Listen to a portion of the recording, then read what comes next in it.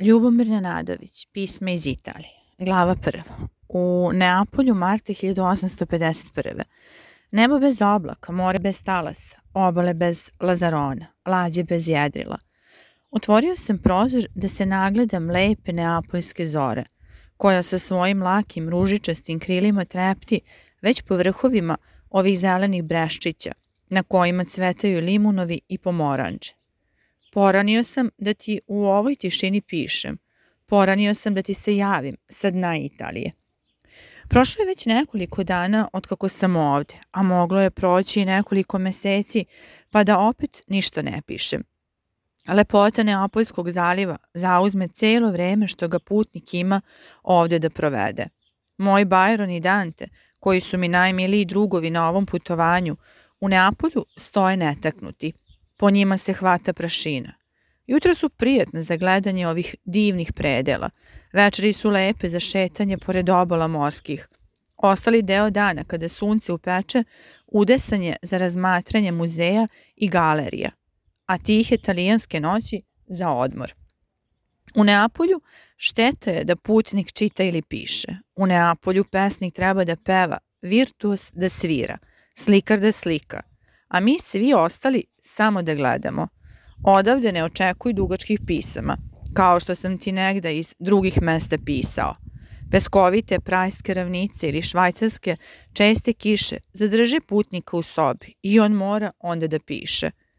Iz Neapolja zadovolji se kratkim beleškama, jer svaki trenutak što se u sobi provede izgubljen je za putnika. U Neapolju češće se čuje za ručkom e, gde poneki putnik kao kakvo čudo kaže Danas sam celo prepodne sedeo kod kuće, a nije nikakvo čudo kad kogod i ne dočekav si svršetak ručka iza stola ustane. Hita da ide u Pompeju, Kazertu ili na ostrava. Posle Londona i Pariza, Neapolj je najveća varoš u Evropi, ali za njegove okoline kažu da su najlepše na celom svetu – Ja i bar ni na jednom pribrežju morskom, ni na jednom švajcarskom jezeru nisam video lepših. I sama varoš vrlo je lepa i za putnike koji ovuda tako rado putuju, u svemu udešen. U svemu udešena. Njene pijace, njene ulice, crkve i palate, njeni hoteli i pozorišta zadovolje i one putnike koji su na parijskim bulevarima šetali i u prvim nemačkim varošima živeli. Pod drugim italijanskim mestima Nije tako. Odseo sam u hotelu Novi York, koji je na samoj obali morskoj, na pristaništu. S mojih prozora vidi se ceo zaliv morski sa svojim zelenim obalama. Vidi se ognjeni vezuv, čiji se vrh neprestano puši. Dim od njega podiže se u visinu kao kakav oblak. Po vrhovima Breščića vide se bašte sa svojim letnjim palatama. Vide se visoke palme i, pod, i pogde koji kiparis. Neizbrojne lađe i parobrodi ljuljaju se na moru. Sve to obavijeno u neko čarobno plavetnilo. Poznaješ li onu zemlju gde limuni cvetaju? Ovo je ta lepa i topla zemlja. Dugo sam stajao u jednom voćnjaku i gledao kako se na granama žute pomoranđe i limunovi. Prihvatao sam ih rukama da se uverim da nisu od voska napravljeni ili da nisu naslikani. Za ovo nekoliko dana, od kako se ovde bavim, video sam i mnoge znamenitosti Neapoljske, ali o njima ne mogu ti sad pisati. Toliko me ova lepota ovih predela zanima. Pođemo po varoši da gledamo crkve, galerije, palate, prođemo pored kakvog proplanka, odakle se između kuća vidi more. Vezuv, Iskija, Kapri. Zaustavimo se, gledamo, pođemo, osvrnemo se – Opet stanemo i tako prođe nam i dan. Da ništa nismo vidjeli što je u Neapolju i što je ruka čovečija stvorila. Vidjeli smo ono što je priroda stvorila. Vidjeli smo Neapoljski zaliv i vidjeli smo mnogo. Nisam se začudio tunelu ispod Temze, nisam se začudio visini tornja u Štrasburgu, a lepoti Neapolja začudio sam se. Ne možeš kazati ili je lepši uveče kad ga sunce ostavlja ili ujutro kada se prvi zraci sunčevi kroz dim vezuva kradu ili noću kada ga mesečina obasja. U ovim varošima, gde je svaka ikona u crkvi znamenitost stare ili nove veštine, u ovim predelima, gde je sa svakog breščića lep i drugčiji izgled, Putnici su svakda umorni, ali svakda zadovoljni. Kako svane hitaju da idu tamo gde je sinoć pri večeri ugovoreno. Kako se ruča, opet trče na drugo mesto. Tek što bi se hteo odmoriti, kažu ti za nešto što treba toga dana videti, jer posle čitave nedelje za gledaoce zatvoreno. Ako si ranije pošao, moraš iščekivati društvo. Ako si odocnio, moraš trčati. Ako si zaspao, čičeroni, vođ što nas po varoši vodi, lupa na vrata viče. Svi na vas čekaju. Putnik ne sme ništa što je za gledanje ostaviti za drugi dan, jer onoga drugog dana iskrsnu druge stvari koje treba gledati. Sad u Neapolju ima mnogo putnika. Putnici koji radi svoga zdravlja traže blagu klimu, dolaze u jesen, a beže odavde u proleć čim počnu vrućine. Putnici veštaci dolaze u svako doba godine i bave se poduže. Putnici koji putuju samo putovanje radi, svrate u Neapolj obično u proleće. Pohode Pompeju, penju se na vezu, jedu makarone, pa odu. Kuda? Svuda. Samo ne tamo gde su bili. S takvih desetak putnika i putnica ja sam u društvu. Ti bi može biti želeo znati ko su ovi putnici. Zajedno smo došli, zajedno smo oceli u gostionici Novi Jork, zajedno ručamo. Jednog čičerona imamo. Zajedno svuda po varoši lutamo. I mi se ne poznajemo. Jedan drugom reknemo dobro jutro pri sastanku i laku noć pri rastanku. To je sve. Niko neće svojim razgovorom i zapitkivanjem da dosađuje drugom. Svaki ima po jednu knjigu u kojoj su znamenitosti Italije. To nam je razgovor. Jedan drugog ne poznajemo, niti znamo koje narodnosti koji. Ko bi mogao pogoditi ko je otkud. Svi govorimo rđevo talijanski. Svi govorimo rđevo francuski. Svi govorimo rđevo nemački. To su sve oni svetski večiti putnici kojima je hotel kuća, kojima je okean jezero, kojima je Švajcarska domaći park kojima je čitav krug zemni otačestvo.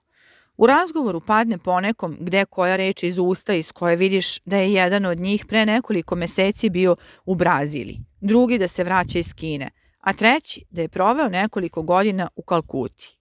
Samo jedan jedini Nemac ima među nama. On je rad da se sa svima razgovara, da se sa svima upozna, ali osim mene niskim se drugim iz našeg društva nije mogao upoznati bliže. Nemci na putu rado prave poznanstva. Kako progovori sa tobom deset reči, on ti odmah kaže kuda ide, otkuda dolazi, kako se zove i čime se zanima.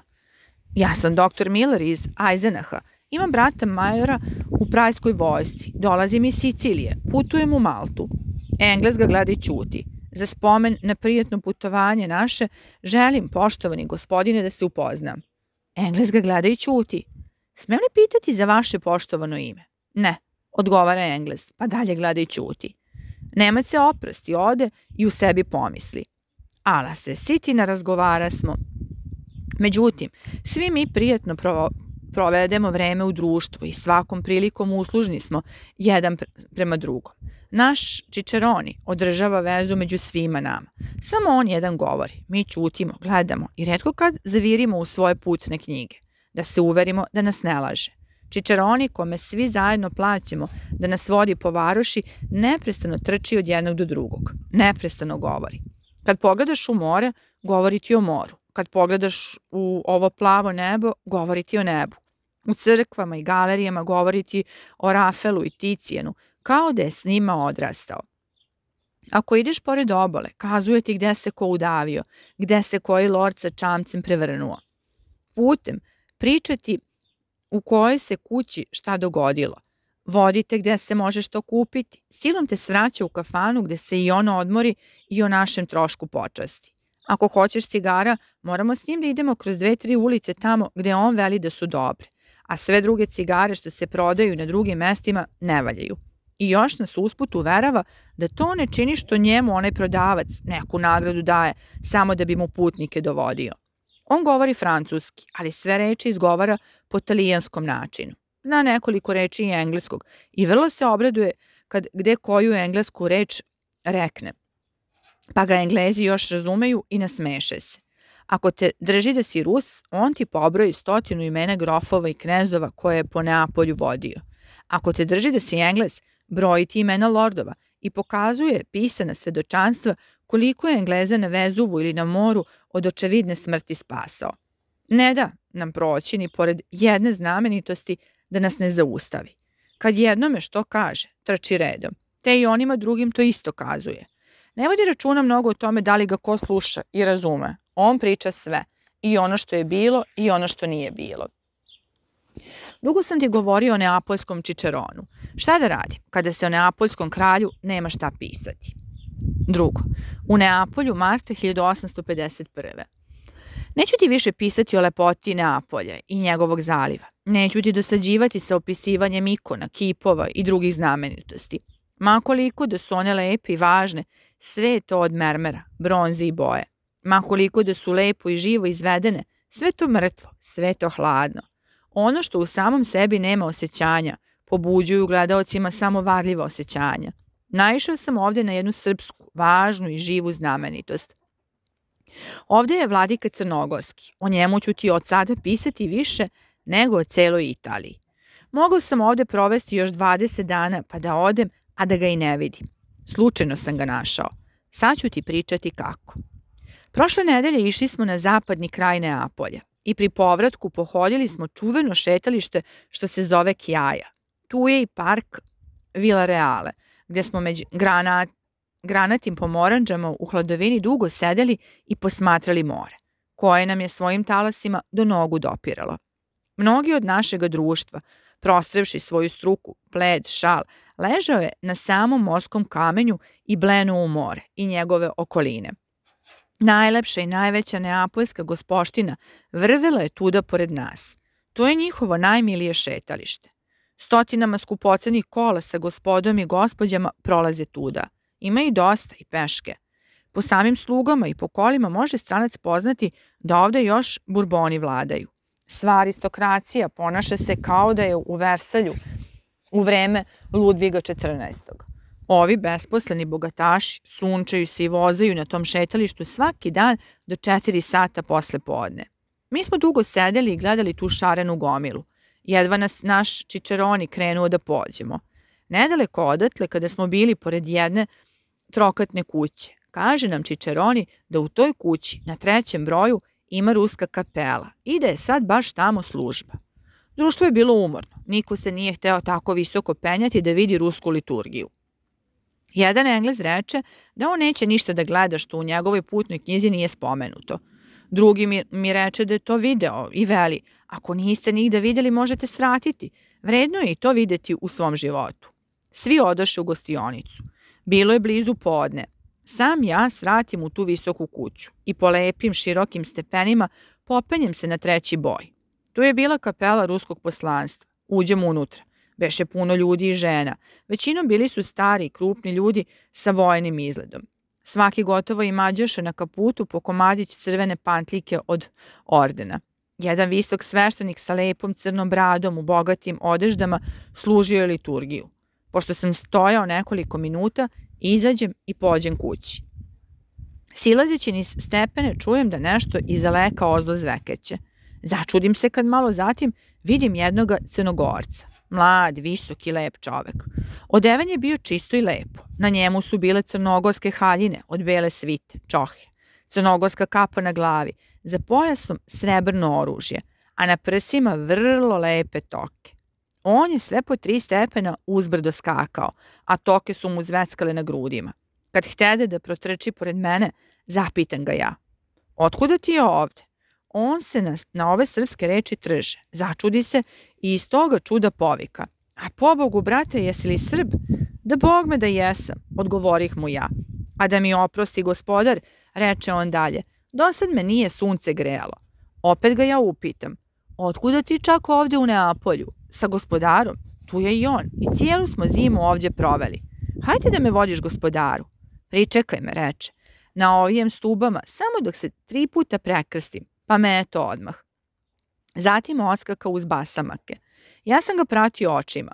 Pred vratima ostavi svoje oružje i ode u kapelu, iz koje se horilo krupno rusko pojenje. To je bio Vukalo, perjanik vladike Petra Njegoša. Ja sam se vrlo obradovao što ću videti toga čuvenog crnogorskog vladaoca i velikog srpskog pesnika. Što sam god njegovo čitao, ostalo mi je u duši. Njegov gorski vijenac pravi je venac srpske književnosti. Polako sam silazio ni stepene i blagosiljao sam ovaj slučaj koji mi je doneo ovakvu radost. Željan sam bio srpski govoriti. Na celom putovanju od Parize do ovde nisam video Srbina. U tuđini svaki jedva čeka da vidi svog sunarodnika. Samo Engleza Engleza ne mari. Valjda zato što ih svuda po celom svetu ima. U najmanjem i u najudaljenijem uglu ove naše planete oni se na putovanju nalaze.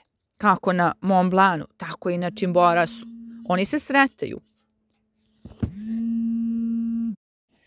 Ko bi taj narod po njegovim putnicima sudio? Ne bi ga pravično ocenio. Oni su kad putuju izvan Engleske svi čudnjaci.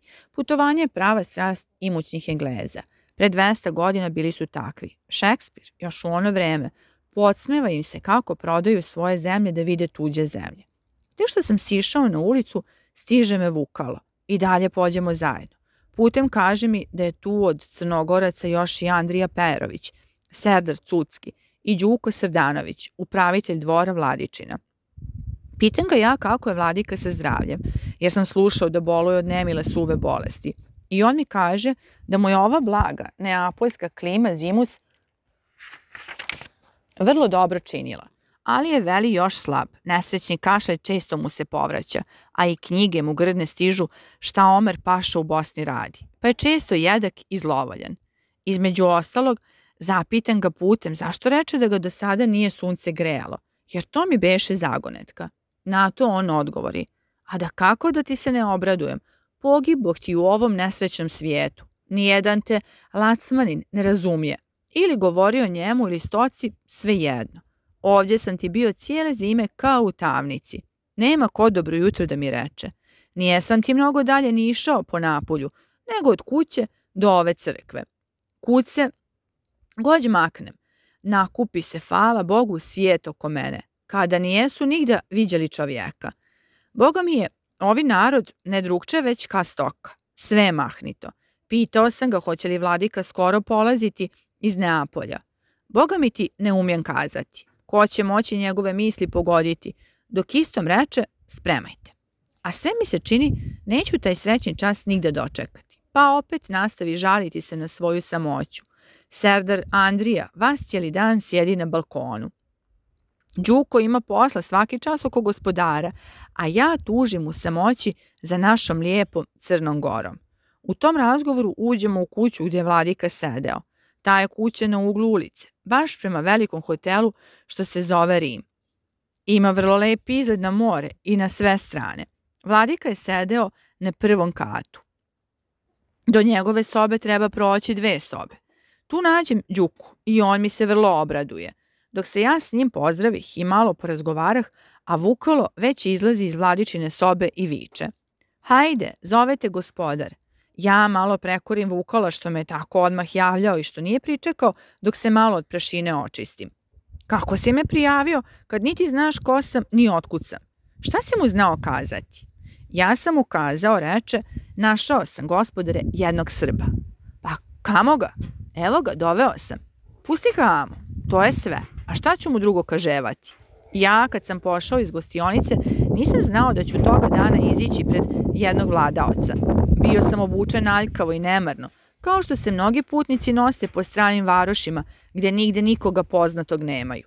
A prave turiste, naročito englezi, uživaju u nekom zadovoljstvu kad se italijani za njima osvrću i glede njihovo delo. Imao sam slavni šešir, ni Robinzonov nije bio drugčiji. To je prvo što putnici kupe kad dođu u Italiju. Dok sam ja dovodio u red svoje haljine i brisao čizme od prešine, Đuka i Vukalo stoj, stojali su i pravili primetbe. A pokad kad bi rekli, idi čoče unutra, šta mari gospodar, jesi li ti malo prašljiv ili nijesi? A kad ja počeh navlačiti rukavice, povika Đuko. O, Vukalo, boga mi, ovo je neki lacman, pa zalutao na, neđe u naše krajeve, te naučio srpski. Ja sam se smejao i oni su se smejali. Posle sam video da i oni nose rukavice. Kada sam bio već svoju toaletu malo u red oveo, otvorim vrata i uđem u vladičinu sobu. Ja sam sebi predstavljao vladiku Crnogorskog kao i druge vladike, u dugoj crnoj mantiji, sa kamilovkom na glavi, sa brojanicama u ruci. Takvu sam i sliku iz mladih godina njegovih viđao. Kad uđem, pogledam po sobi. Soba vidna i velika. Tri prozora gledala su na more, a jedan iz ulicu na Kraljev dvor. U sred sobe stajala su dva stola, na jednom behu rasturene knjige. Bilo je dva lepa kanabeta i više velikih i malih stolica, sa drugim potrebnim nameštajem. Na zidovima, osim ogledala, bilo je različitih slika. Desno od vrata u dnu sobe bio je kamin od mramora, ođak po francuskom načinu, u kome je gorela mala vatra. Prema tome ođaku u velikoj sniskoj stolici sedeo je jedan krupan čovek u crnogorskim haljinama sa nogorskom kapom na glavi i držao je gvozdene mašice u ruci, te njima džarao vatru. Jedva je mogao primetiti da je neko ušao. Nikoga drugog nije bilo u sobi. Prvim pogledom uverim se da je to vladika. Prođem kroz sobu i na dva, tri koraka zaustavim se pred njim. On okrete glavu i pogleda me. Ja mu se poklonim i reknem. Dobro jutro, gospodare. On mi odgovori. Dobra vi sreća. I odmah produži. Vi ste iz Dalmacije? Nisam, gospodare, ja sam iz Srbije. I kaže mu ukratko da sam bio profesor u Beogradu, da sam zimovao u Parizu, da sada putujem da vidim Italiju. A pre svega kazao sam mu kako se zovem. Moje ime učini mu se poznato i odmah me zapita. Jeste li vi što pisali? Jesam. Je li vaša slavenska vila i novina Šumadinka? Jeste, gospodare. Nego se on osvrte i privuče kvatri jednu stolicu. Sjedite, reče mi. Mi smo stari poznanici. Sam vas je Bog poslao da me u ovoj samoći razgovorite. Pruži mi ruku, te se sa mnom rukova. Zatim se zamisli i učuta. Pa iz tih misli, posle nekoliko trenutaka, jačim glasom uzviknu. Ala se mi Sloveni na robova smo. I kao neka srdnja ukaza mu se na licu. Dok sam ja smišljao šta da mu kažem, na to on produži posle kratkog ćutanja.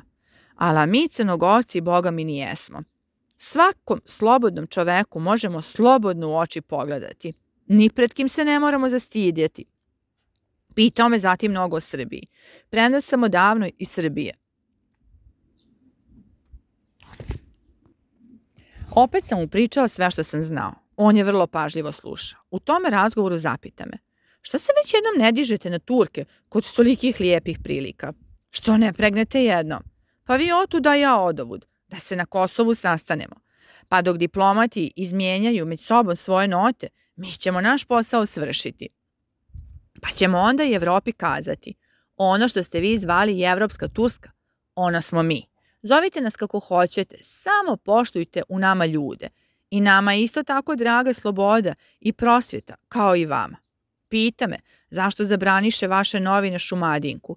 Kažem da nalaze da rasprostira odveć veliku slobodu. Onda veli, neka izbrišu iz istorije imena sviju srpskih vojvoda, jer su se oni svi borili da bude što veće slobode. Zatim, posle kratkog ćutanja, pridodade. Šta se Srbija ima bojati slobode? Srbija, koju je sloboda rodila, koja samo sa slobodom može unaprijed poći. Kogod misli da korači, očekuju da im slobodu donese. Sučim će poći braća koja su pod Turcima, ako im slobodu ne ponese. Kroz staklena vrate vidim gde na balkonu sedi jedan crnogorac, ogrnut čintercom, crvenim kratkim ćurkom sa lisičinom. Puši dugački čibuk iz okovane simsije, tako oni zovu Lulu. Po kad i on pogleda na nas kroz staklena vrata. Krupan, pristar čovek, crnih velikih brkova i neobično velike glave. Sedi na balkonu kao orlušina na kakvoj litici, samo glavu po kad okrene na jednu ili na drugu stranu. U neko doba i on uđe u sobu i ne obzirući se na nas, pođe tihim korakom preko sobe, da ide dalje na druga vrata. Vladika kad ga primeti reče mu, što se ne pozdraviš sa ovijem gospodinom, on je iz Srbije. Serdar Andrija, to on beše, zaustavi se i malo osmehnu. A otkud bih ja znao, gospodare, da je to Srb? Ja mislim da zborite franceski. Ja se pozdravim i poljubim sa Serdarom, a vladika reče mi, to je moj zet, sestra mu za njim, poveo sam ga da mi se nađe kogod svoj, ako bi me ova nesrećna bolest udavila u ovom tuđem svijetu.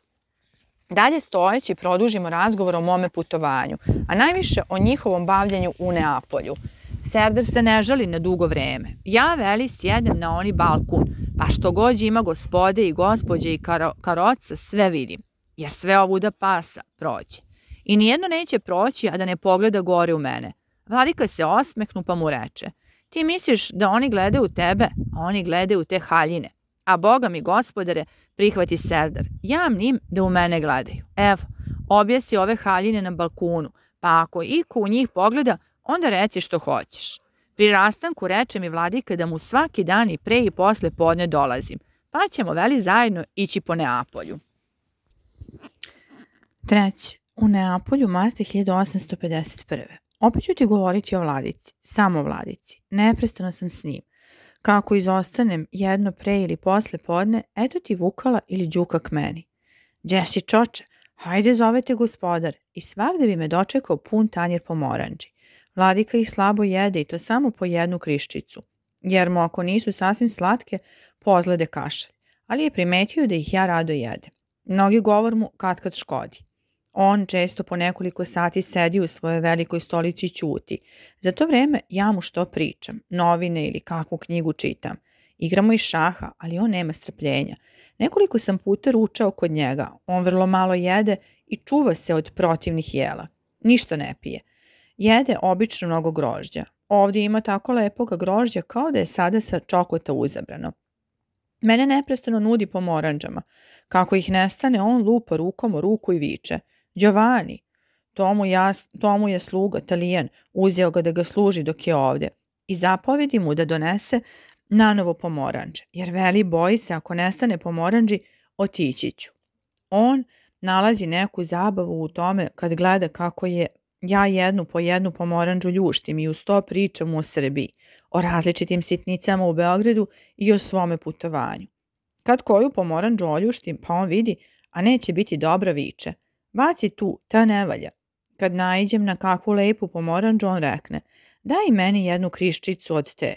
Putnici zaista u Neapolju više jedu pomoranđe nego u talijanskim varošima. Ovde voda nije dobra, ja je nikako ne pijem. Putnici u Minhenu mesto vode piju pivo, a ovde mesto vode imamo pomoranđe, koje su vrlo jeftine da se Lazaroni s njima po ulicama tuku. Vladika slabo što čita i piše. Bolest njegova smeta mu raditi. Ja mu čitam novine, pišem pisma i drugo što mu zatreba. Kaži mi da se Zimus zanimao opisivanjem Crne Gore i njene istorije na francuskom jeziku. U tome pomogao mu neki ovdašnji advokat, Giuseppa Kaza. On svaki dan dolazi te s Vladikom po jedan sat radi. Vladika mu obično diktira, a on francuski piše. To je delo već gotovo. Sad ga samo pregledaju. Vladika će da ga pošlje nekom francuskom pisatelju po imenu Belanžeu, sa kojim se negde poznao i u Crnoj Gori pričao mu. Belanže bio je ushićen njegovim pričanjem i molio je Vladiku da mu tako napiše kako mu je pričao o Crnoj Gori. Ovo je delo, kao što mi reče, udešeno za strance koji nas ne poznaju. Ovaj Giuseppe starinom je francuz i žestok je republikanac. Strahovito se ljuti što Louis Napoleon, sadašnji predsjednik Francuske republike, smere da postane imperator. Ja i on toga smo mijenja, da neće ni tri meseca vladati ako se proglasi za cara. Vladika se smeši i kaže, hoće, Bog me vladaće, kao što mu je i stric vladao. Kada se Evropa podijelila na male kantone, a svaki kanton bude od 2 ili 3 miliona duša i kad budu med sobom u savezu i ukinu stajaću vojsku, onda će biti mirna i slobodna. A dokle god jedan čovjek može raspolagati sa milion vojnika po svojoj volji, dotle će i njegovi susjedi strepeti i biti ugnjetavani. Pa zvao se on prezident, imperator, konzul ili papa, to je sve jedno. Čovečanstvo ne može biti spokojno i srećno dokle je podeljeno u države koje imaju za glavni cilj sebe, vjeru, narodnost i dinastije. Blagostanje svih pojedinih ljudi treba u svakom obziru da je cilj države i čitavog društva ljudskog. I onda će na zemlju doći carstvo nebesko, koje je prije 2000 godina Hristos nagovjestio i koga vladaoci i narodi slave i preuznose, a ne hoće da ga razumiju. Doći će carstvo nebesko, carstvo razuma, ali mi, ni jedan što sada živimo, nećemo to dočekati – čovječanstvo sporo ide naprijed. Ono sazrijeva uporedo sa planetom na kojoj živi. Tako otprilike govoraše vladika, a Đuzepa, opčaran tim govorom, stojaše pred njim. Putem kada smo išli kući, Đuzepa diveći se vladici reče mi, verujte mi, ovaj vaš suveren bolji je republikanac nego prezident Francuske republike. Ja mu kažem da je on taki slobodnjak svagde i svuda i da se to ogleda u svim njegovim pesmama i knjigama koje je izdao i koje narod srpski uvažava kao najmilije svoje blago. Kazuje mi Đuzepa da se mnoge vladičine reči među slobodnjacima po Neapolju pričaju. Vladika ni u jednom društvu, pa bilo to među sasvim, svim, samim kraljevima, ne krije da ljubi slobodu i prosvjetu. To će, veli mi, proćerati Turke iz Evrope i izbaviti moj narod. Svi važniji ovdašnji ljudi pohodili su ga i ne mogu dovoljno da ga se nahvale. Ovde je velika partija koja teži da se sva Italija spoji u jednu državu. Pričali su, mu, pričali su mi u hotelu da je vladika jednom novinaru rekao da moj narod ima tako bogatih i velikih varoši, mi bi se za dvije neđelje spojili i oslobodili. A u drugom društvu gde su kralja kritikovali što im ne da ustav rekao je Crnogorci poštuju junake, ja branim vašega kralja, kada je on jedan jači od vas miliona koji se na njega svuda žalite. Englezi ga takođe mnogo uvažavaju. Jednom pre podne sedeo sam igrao šaha s njim, a jedan lord prijavi se i uđe s rečima. Nisam mogao poći iz Neapolja, a da se ne oprostim s vama. I budite uvereni da mi je milije što sam video i upoznao vas nego Neapolj. Englezi redko laskaju, bogati lordovi nigda. Ako kome laskaju, to samo damama. Vladika se poznao sa tim lordom Zimus na Soarijem, na Soarejima. Pri polasku molio je vladiku da mu da jednu svoju sliku. Vladika mu dade. Zatim molio ga da mu za spomen napiše otprilike to što je sada kazao. Vladika uze peru da napiše i posle kratkog mišljenja potpise samo svoje ime i povrati Englezu sliku. Pa mu reče, moji su stihovi svi žalosni, ja ih ne pišem više. Ja pred sobom vidim grobnu ploču na kojoj stoji napisano. Ovdje leži vladika Crnogorski. Umro je, a nije dočekao da vidi spasenje svojega naroda. I tome imamo najviše zahvaliti vašim zemljacima, gospodine, koji i mrtvu tursku ruku drže pod našim gušom. Drže pod našom gušom. I kad god vidite ovu sliku, sjetite se miliona hrišćana koji su moja braća i koji bez ikakvih prava pište pod nečovečnom turskom rukom. I vi te Turke branite. Kad dođete u bogati London i kad pokažete ovu sliku svojim prijateljima, nemojte im kazati, ovo je vladalac jednog srećnog naroda, nego im kažite, ovo je mučenik jednoga za slobodu mučeničkog naroda.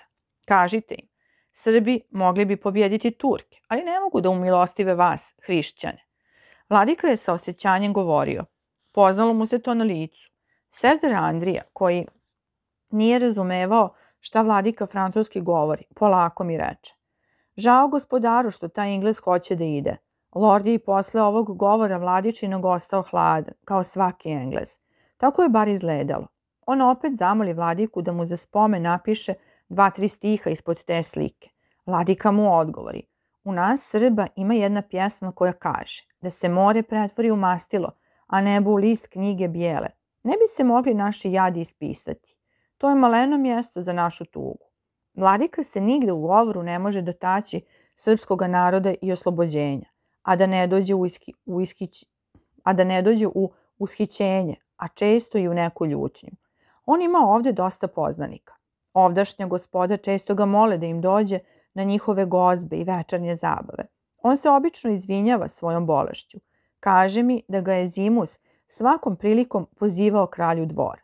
Dva put sam bio po vladičinom poslu kod Rothschilda. Bio sam i kod Fortunata, ministra inostranih dela, i kod barona Šepinga, ruskog šarž, šarže da, da fera. Ruskog poslanika ovde nema.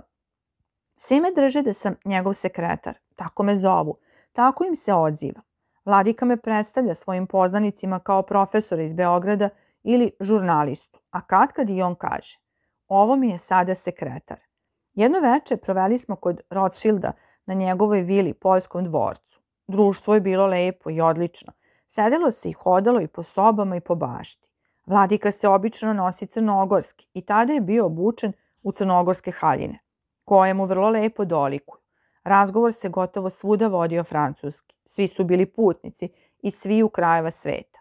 Do vladike nije se moglo doći. Jednako su ga okruživale najlepše dame i molile da im priča o Crnoj Gori, o četama, o ratovanju Crnogoreca.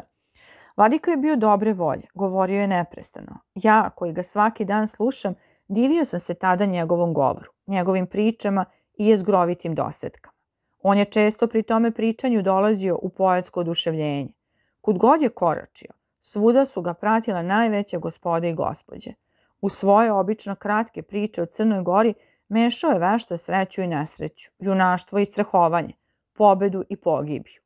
Sve on to umeo vešto jedno pored drugoga uplesti da lepo stoji, tako kao kad dobar tkač vešto utkiva različite boje. Samo na jednom ovakvom večeru mogao je svaki videti da je to poeta, da je velika poeta. On je govorio onako kao što je u Gorskom vijencu govorio. Svaki od mladih Neapoljana i putnika koji ga je te večeri slušao želeo je ići u Crnu Goru. On im odvraća od toga. On ih odvraća od toga. U Crnoj Gori veli, nema hotela ni mekanih postelja, nema putova ni šetališta, nema pozorišta ni balova. Samo sinovi Šparte u njoj bi se zadovoljili. Crna Gora je grad u kome je opsjednuta posljednja iskra srpske nezavisnosti. Crna Gora je kremen koji na svaki udar oganj daje. Rothschild nije mnogo slušao opisivanje Crne Gore. On nema ni imalo poezije u sebi. Kada je vladika najlepše stvari pričao, on me upita. Kuju li se novci na Cetinju? I malo posle upita vladiku. Zašto ne kujete novce u Crnoj Gori? A vladika mu odgovori. Kad bi se mogli od kamenja kovati, ja bih odavno počeo kovati. To mu je talijanski kazao, a inače, celo je veče francuski govorio. On ima običaj kad kad u sred francuskog govora kazati po nekoliko rečenica na talijanskom jeziku. Kad nađe u talijanskim rečima jači izraz, on se njime posluži. Posle ponoći otišli smo kući. Kada smo seli u kola, uzdahnuo je vladika. Uzdahnuo je teško, kao mati kad pomisli na grob svoga jedinca. Od toga uzdisaja u meni je srce zatreptalo. Ja nisam ništa govorio. On posle kratkog čutanja glasno reče. Jadni moj srpski narode, kad li ćeš ti postati prosvjećen, slobodan, srećan kao i drugi narodi? Pa se dalje opet udubio u misli. A kola su naša tutnjala po lepim onim ulicama. Čuteći, dođemo pred njegov kvartir, gde on izađe, a njegova kola odvezu mene dalje, u moju gostionicu. Vladika je to veče gospodi i gospođama pričao, u najlepšim bojama, sve ono što najbolje i najlepše ima srpski narod. A kada je seo u kola i ostao sam sa svojim mislima, izašle su mu pred oči sve nezgode i patnje srpskog naroda. Siromaštvo, neprosvećenost, robovanje, pocepanost. Otuda onaj teški uzdisaj. Tomije sutradan, naslonjen u svoje velikoj stolici, se tužnim osjećanjem kazivao. Vladika se toga večera upoznao sa vice admiralom amerikanske vojne lađe, nezavisnost, koja je ovde u zalivu od pre nekoliko nedelja. On je odmah sutradan pohodio vladiku i pri polasku molio ga ovim rečima. Da poglavar Slobodne Crne Gore ukaže počest i poseti ubojnu lađu Slobodne Amerike. Pošto vladika obeća da će doći, pošlimo on posle podne jedan vojni čamac od vice kapetana, sa vice kapetanom lađe. Vladika odmah pošalje po mene da idem i ja. Ali reče, ne hoću da ideš u tizin haljinama, nego u crnogorskim. I tako koja od njegovih haljina, koja od one trojice, preodenem se i obučen kao crnogorac. Kad sam se bio obukao, svi su gledali uzeme i nizame kako mi stoje crnogorske haljine. Đuka se smeje i kaže, ko bi rekao, gospodare, da je ovo oni isti. Serdar Andrija pravi mi komplimente kako mi dobro stoji crnogorsko ruho. E, boga mi, sada si čovjek kao i mi a Vukalo pridodade.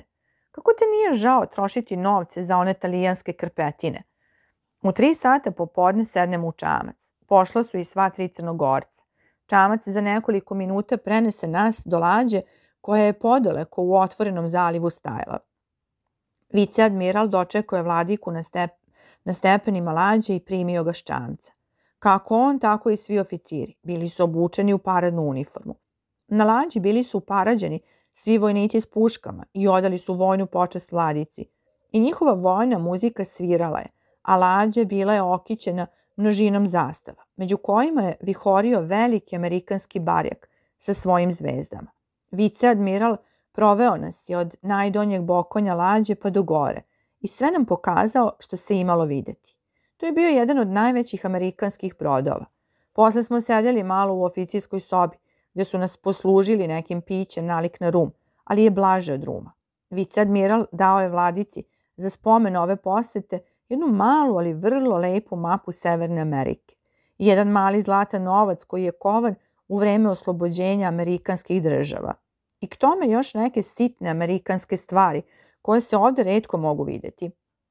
Vladika je posle viceadmiralu poslao na dar nešto od crnogorskog oružja. Vladika istinski ljubi Ameriku. Sa oduševljenjem je govorio i slušao o Americi, o njenom napretku, o njenim ustanovama, o njenoj slobodi.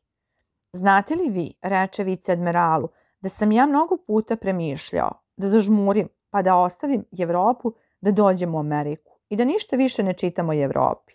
Ljutim se na tuđince, ljutim se na svoje.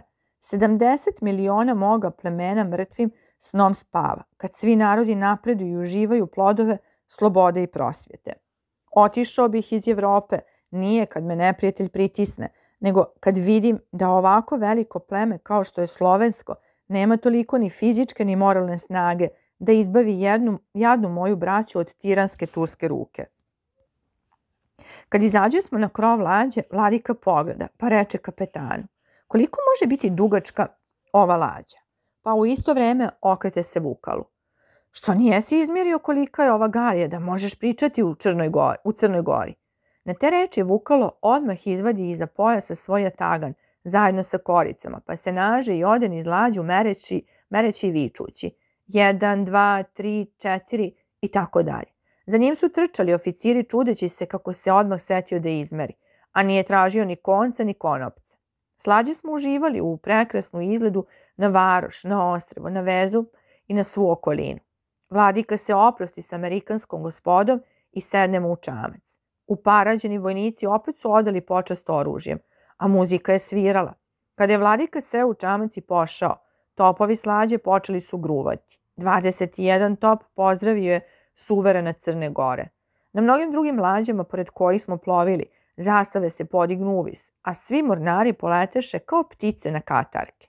Obale se zacrneše od gomile sveta i sa više strane zahori se Eviva, eviva, živeo, živeo. Vladika je podizao svoju crnogorsku kapu i blagodario im.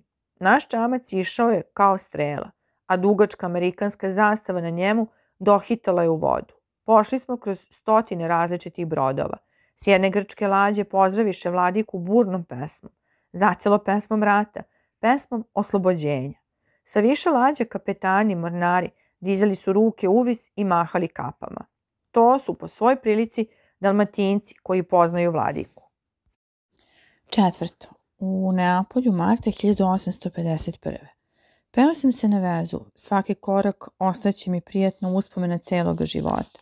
Iz gostionice Novog Jorka gde još stanujem pošlo je nas desetak koja je Engleza i Engleskinja, koja je Francuza i Nemaca. Mnogo smo dana pre toga pri ručku ugovarali kada ćemo poći, kako ćemo poći, šta ćemo poneti. Penjanje na vezu nije lak posao. To je breg veliki i strmenit. Vezuv je blizu Neapolja, ali ipak smo rano pošli. Do Rezine, sela ispod samog Vezuva, išli smo po lepom putu. Po lepom putu, gotovo između samih kuća. Ne znaš gde Neapolj prestaja, gde počinju druge varošice i sela. Gotovo čitav ovaj zaliv opasale su kuće i bele su svuda pokraj obale kao labudovi pored jezera. Svi ovi ljudi žive u neprestanom strahu da ih Vezuv svojom vatrom ne zatrpa. Neapolj se redko plaši. On je dosta udaljen i zaklanja ga morska otoka. Od rezine počinje penjanje na vezu. Tu smo našli sve što nam je za dalje trebalo. Konje, mazge, vođe, velike štapove i tako dalje. A iz Neapolja poneli smo šta ćemo jesti kad ogladnimo. O tome se postarao naš gostioničar. Mnogima su virile iz džepa male butelje različitog pića. U rezini našli smo još mnogo putnika. Tu smo se sustigli iz sviju krajeva sveta, kao što se sustižu hađije pred kapijama Jerusalima i na obalama Jordana. Iz rezine, kako se pođe, ide se uzbrdo. No nije još strmenito. Osim naših pogođenih pratilaca i oni što su pored svojih mazgi išli, bilo je još mnogo i drugih nezvanih što su pošli u nadi da će nam gde god usput zatrebati njihova pomoć i usluga. I da će tom prilikom što god zaslužiti. Oni nose na prodaju vina, vode, pomoranđe, štapova i tako dalje. A osim ovih koji su do na vrh Vezuva išli za nama, pratilo nas je više od pola sata gomila dece, žena i starica iz rezine i portiči, trčeći za nama, bosi i polunagi. Prosili su milostinju, neprestano vičući Marija Santisima, presveta Marija, jurili su nas kao da smo im nešto oteli. Tako su nas iz rezine ispratili, tako su nas pri povratku dočekali. To je njihova navika. Ništa ne raditi, to se kod njih zove živeti. Tim se Lazaroni odlikuju od drugog sveta, vazdan planduju. Lakše im je od putnika koji ovuda vrve isprositi što god nego zaraditi. Kud se god putnik makne, najđe na njih. Ako te kakva grana zakači, ako je kakav kamen na putu, ako ti što s konja spadne, po desetoro njih potrče da ti učine uslugu. Pomažu ti i onda gde ti njihova pomoć nikako ne treba, pa odmah ištu novaca. Putnici ih psuju, grde i teraju, pa najposle dadu im po nešto. Vezuv, to je njihova njiva. Putnici su njihova letina, njihov bogom dani prihod. Kaži im da ti pevaju, oni će pevati. Kaži im da ti igraju, oni će ti igrati. Kaži im da ti kakav posao svrše, gde se treba malo duže potruditi. No, signore, neću gospodine. Klima, im je, klima ih je razmazila. Oni ne osjećaju nikakvih potreba. Cele godine u samoj košulji mogu ići, pa kada se nagutaju makarona, legnu po tribuške kraj mora i vazdan glede lepotu ovih predela. Dolce far niente. To je njihova poslovica koja kaže slatko je ništa ne raditi. Za Neapolj i njegovu okolinu putnici često vele ovo je raj u kome đavoli obitavaju. Hajdemo dalje na vezu. Odmah kako smo izišli iz rezine nastaje već prava pustinja. Išli smo po samom kamenu. To je lava koju je negde Vezuv izbacio. Lava zove se ona smesa koja iz Vezuva kulja i koja rastopljena teče kao reka nizbrdo i valja se kao testo. Kad ohladni, različito izgleda, ali većinom je kao kamen ili kao zgura. Kad se lava nizbrdo valja, tako je vruće da se na 50 koraka pred njom sirova drveta zapaljuju i kao luč plamte. Sve ulice i pijace u Neapolju popločene su ovom lavom. Pojedino kamenje dugačko je čitav korak, a toliko je gotovo i široko. Stoga, u Neapolju nigde nema blata. Vezu sada ne izbacuje. To ne biva svake godine. Sada se samo neprestano puši. Kada smo se popeli do ermitaža, što se zove San Salvator, zaustavi smo se da se odmorimo. To je jedna mala crkvica sa nekoliko uzanih soba, u kojima živi jedan pustinjak. Putnici na ovakvim putovima, kako stanu, oni jedu. Posadali smo po onom kamenju i vadili iz svojih torbica ko je šta imao za jelo. Divni izgled sladio nam je naše zalogaje. Svi smo čutali i gledali. Vođe naše posedale su takođe ili naslonivši se na mazge gledali su u nas. Ovu našu tišinu prijatno potrese glas jedne pesme. Jedan dečko sedeo je prema nama na jednoj uzvišenoj steni. Na glavi mu beše poderan kalabrski šešir. Jedno mu rame virilo kroz iscepanu košulju. Bose noge visile mu niza stenu. Njegovo od sunce preplanulo lice bilo je vedro, veselo i lepo. Pogled na more i na Neapolj, a pomisao na dobru napojnicu od putnika doveli su ga u, is, u, iskuće, u ushićenje. I on lepim i jakim glasom, kakav se samo u ovim krajevima može čuti zapeva.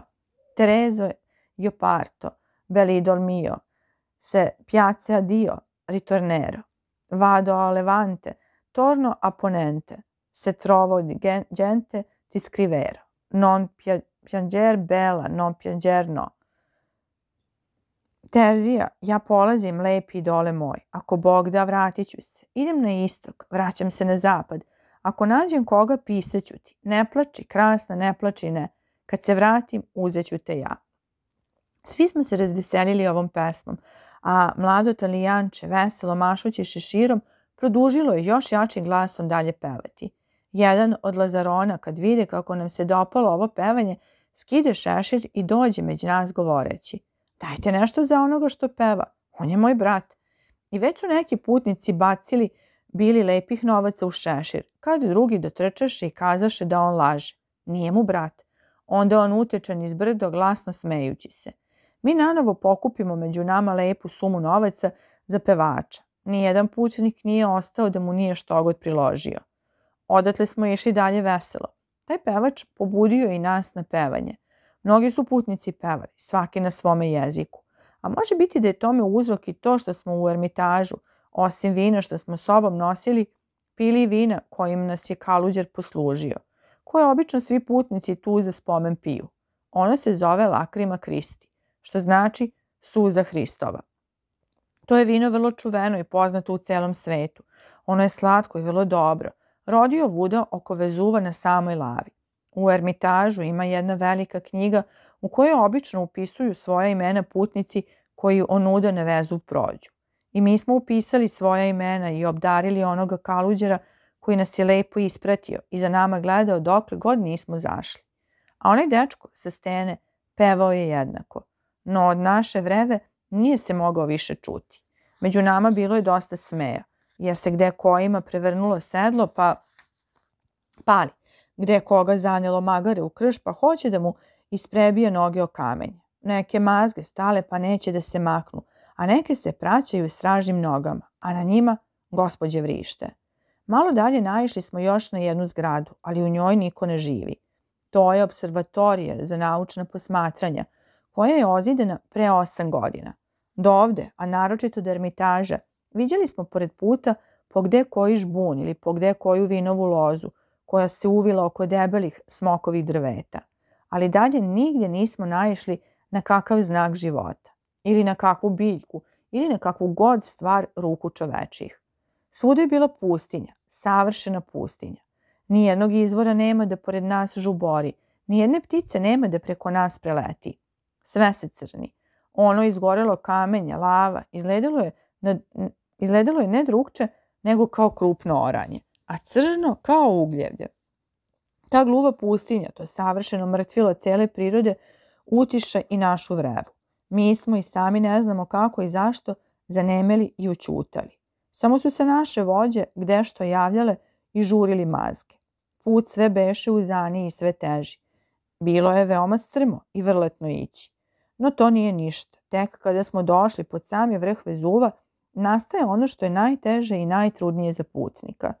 Dalje se nije moglo na tuđim nogama.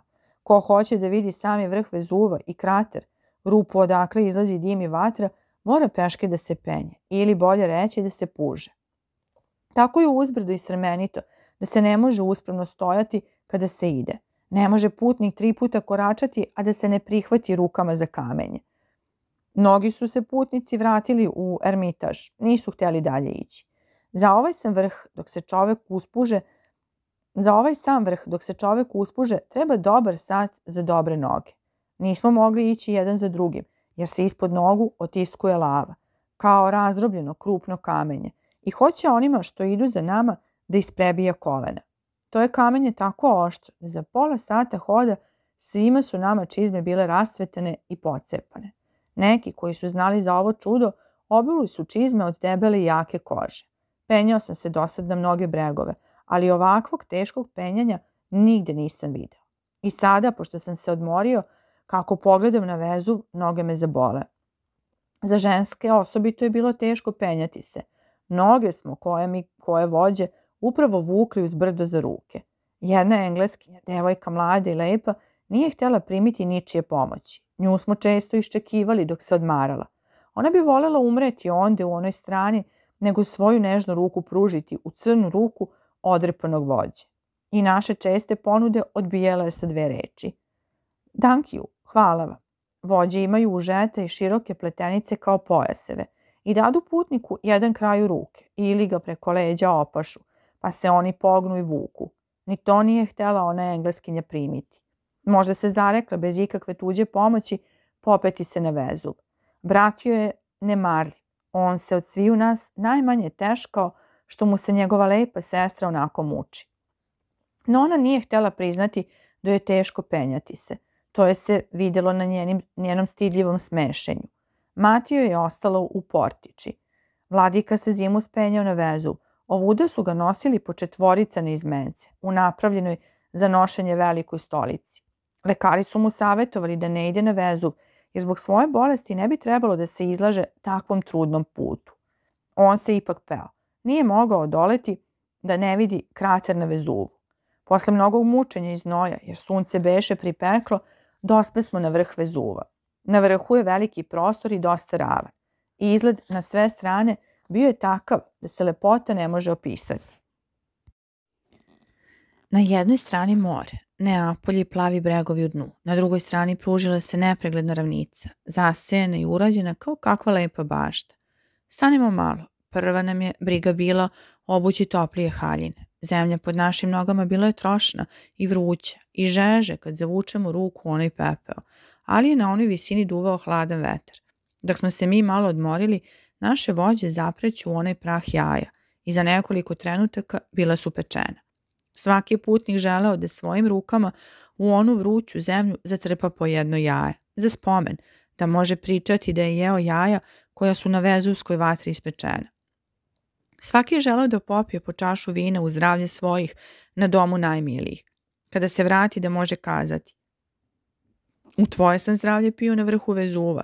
Ko nije poneo vina, skupo ga je platio. Razume se da i svako jaje što su ga Lazaroni na Vezuvu prodavali bilo skuplje nego kokoš dole u njihovom selu. Pođemo dalje. Gde smo god stali bila je zemlja vruća i mekana. Veliko grumenje sumpora trošilo se pod našim nogama.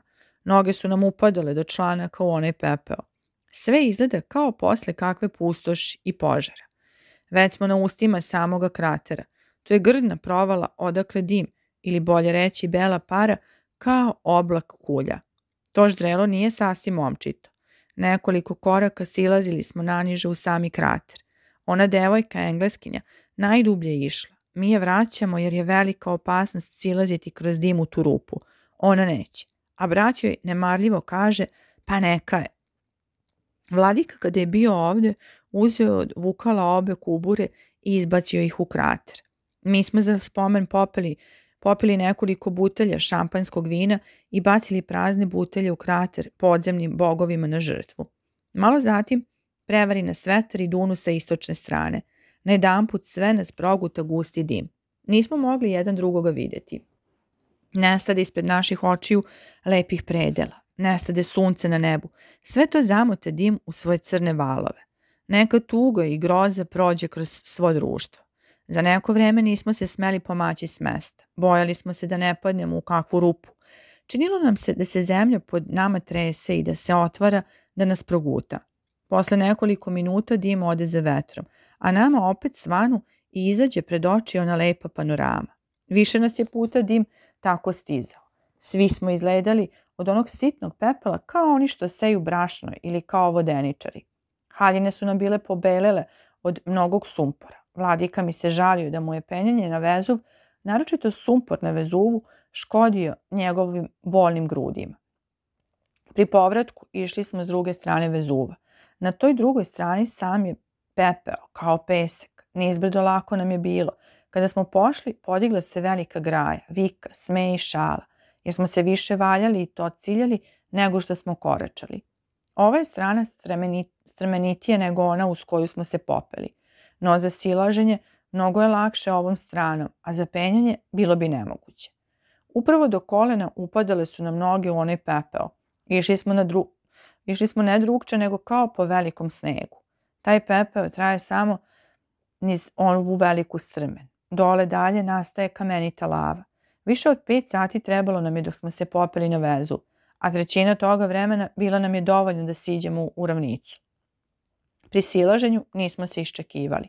Svaki je išao kako je mogao. Hitali smo u mermerna lepa kupatila Neapoljska da se od prašine operemo. Nijednoga ne beše kome obuća nije bila pocepana na nekoliko mesta, a gde kojima su i prsti bili ispali. Tek pri punoj trpezi u gostionici prikupi smo se i sa zadovoljstvom pričali smo jedan drugom šta je koji prepatio, gde je koji pao ili ko je šta izgubio putem. Peto. U Neapolju, marta 1851. Opet sam poranio da dočekam izlazak sunca. Nigda, čini mi se, Neapolj nije lepši nego kada se sunce rađa. Šta upravo čini ovu lepotu, nije ni jedan putnik opisao, nije ni jedan slikar naslikao, nije ni jedan poeta opevao. I na drugim mestima gledao sam plavo more i oko njega zelene obale. I na drugim mestima gledao sam ovo isto sunce. I na drugim mestima stoje po moru razbacani ostrevčići i po obalama lepe palate. Ali druga mesta nisu ono što je Neapolj. Obale morske nisu svuda jednake, ne možeš znati ni kazati zašto su jedne od drugih lepše. Neapolj sa svojim položajem, sa svojim vezuvom, sa svojim ostrevčićima, sa svojim neobičnim plavetnilom neba i mora, ostaje večito najlepši kraj sveta. Srušite ove palate, crkve i muzeje, uklonite odavde sve što je ruka čovečija stvorila. Putnici će opet sa svih strana vrveti, opet će na praznim obalama sedeti i gledati. Ugasite vezuv, potopite u more lepe ostrvčiće, ostavite mu samo more i bregove, ostavite mu jutra i večeri i opet će ovaj zaliv kao magnet privlačiti putnike.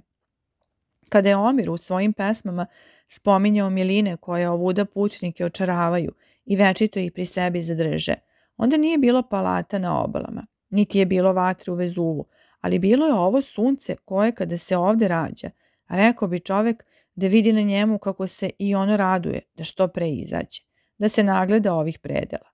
Lepa je zora kada se sa švajcarskih planina ogrnuta rumenim purpurom kao carica javi, kada obasja večite snegove onih božih piramida, kada se zablista na jezerima kao rastopljeno srebro na zelenoj kadifi, kad umije svojom kosom alpijsko bilje. Putnik, taj bogati zarobljenik velikih varoši i njenih običaja, kad ugleda alpsku, alpijsku zoru, podigne obodve ruke k nebu i gotovi u suzama pobožnosti da padne na kolena pred veličanstvenošću prirode. Crte njegovog lica ozbiljne su, na njegovim jagodicama nema osmejka, toga znaka unutrašnje radosti. Čisto bi se nekuda sakrio, ne uzda se u svoju snagu da može izdržati pretres novih osjećanja, a ne osjeća ništa. Zamišljen stoji, a ne misli ništa. Gleda rađanje sunca ne kao kakvu dosad neviđenu krasotu, nego kao neko van prirodno čudo. Gleda alpijsku zoru sa nekim tajnim strahom. Čini mu se da tog trenutka priroda rešava. Hoće li dalje opstati svet ili će ga u prah pretvoriti? Putnik u tome gorskom čaru ne poznaje ono sunce koje mu je celog života više glave treptalo. Čini mu se da je to neko drugo sunce – sunce koje ljutito ide da se poslednji put svetu pokaže. Putnik, kada mać pustim i divljim, kad meć pustim i divljim planinskim vrhovima, gleda zoru, on zanemi. Usta mu se otvore, ali reči mu izumru na usnama. Čini mu se da se sunce samo sebi, bregovima i jezerima rađa. A za čoveka, za taj mali stvor, ništa ne zna. Neće ništa da zna. Lepa je alpijska zora, ali je lepša zora neapoljska. Ja neću kušati da je opišem, jer ona je puna neopisanog čara i nežnosti. Ona je puna poezije i ljubavi. Putniku kada je gleda, čini mu se da se ona umiljava. Čini mu se da se to lepo sunce samo njemu rađa i da ga sva ova divota zove u svoje zagrljaje. Srce mu se razdraga i počne jače kucati. Čelo mu se razvedri i nehotice obuzme ga neka milina. Prijatno smešenje pojavi mu se na usnama pojavi mu se ne na usnama, nego na licu. Radost u njegovoj duši prekipi i vesela pesma zahori se iz njegovih usta. A ne osjeća da je hteo pevati, ne osjeća da peva. Alpijska je zora ozbiljna i pobožna. Neapoljska zora je vesela i umiljata. Koliko je lep Neapolj u zoru i posle zore, ja bi ga ipak davno ostavio. Otišao bih, da u njemu nije vladika. Kad sam ukazao da ću da polazim, reče mi, ostani još malo, ja očekujem neka pisma, pa onda možda ćemo zajedno.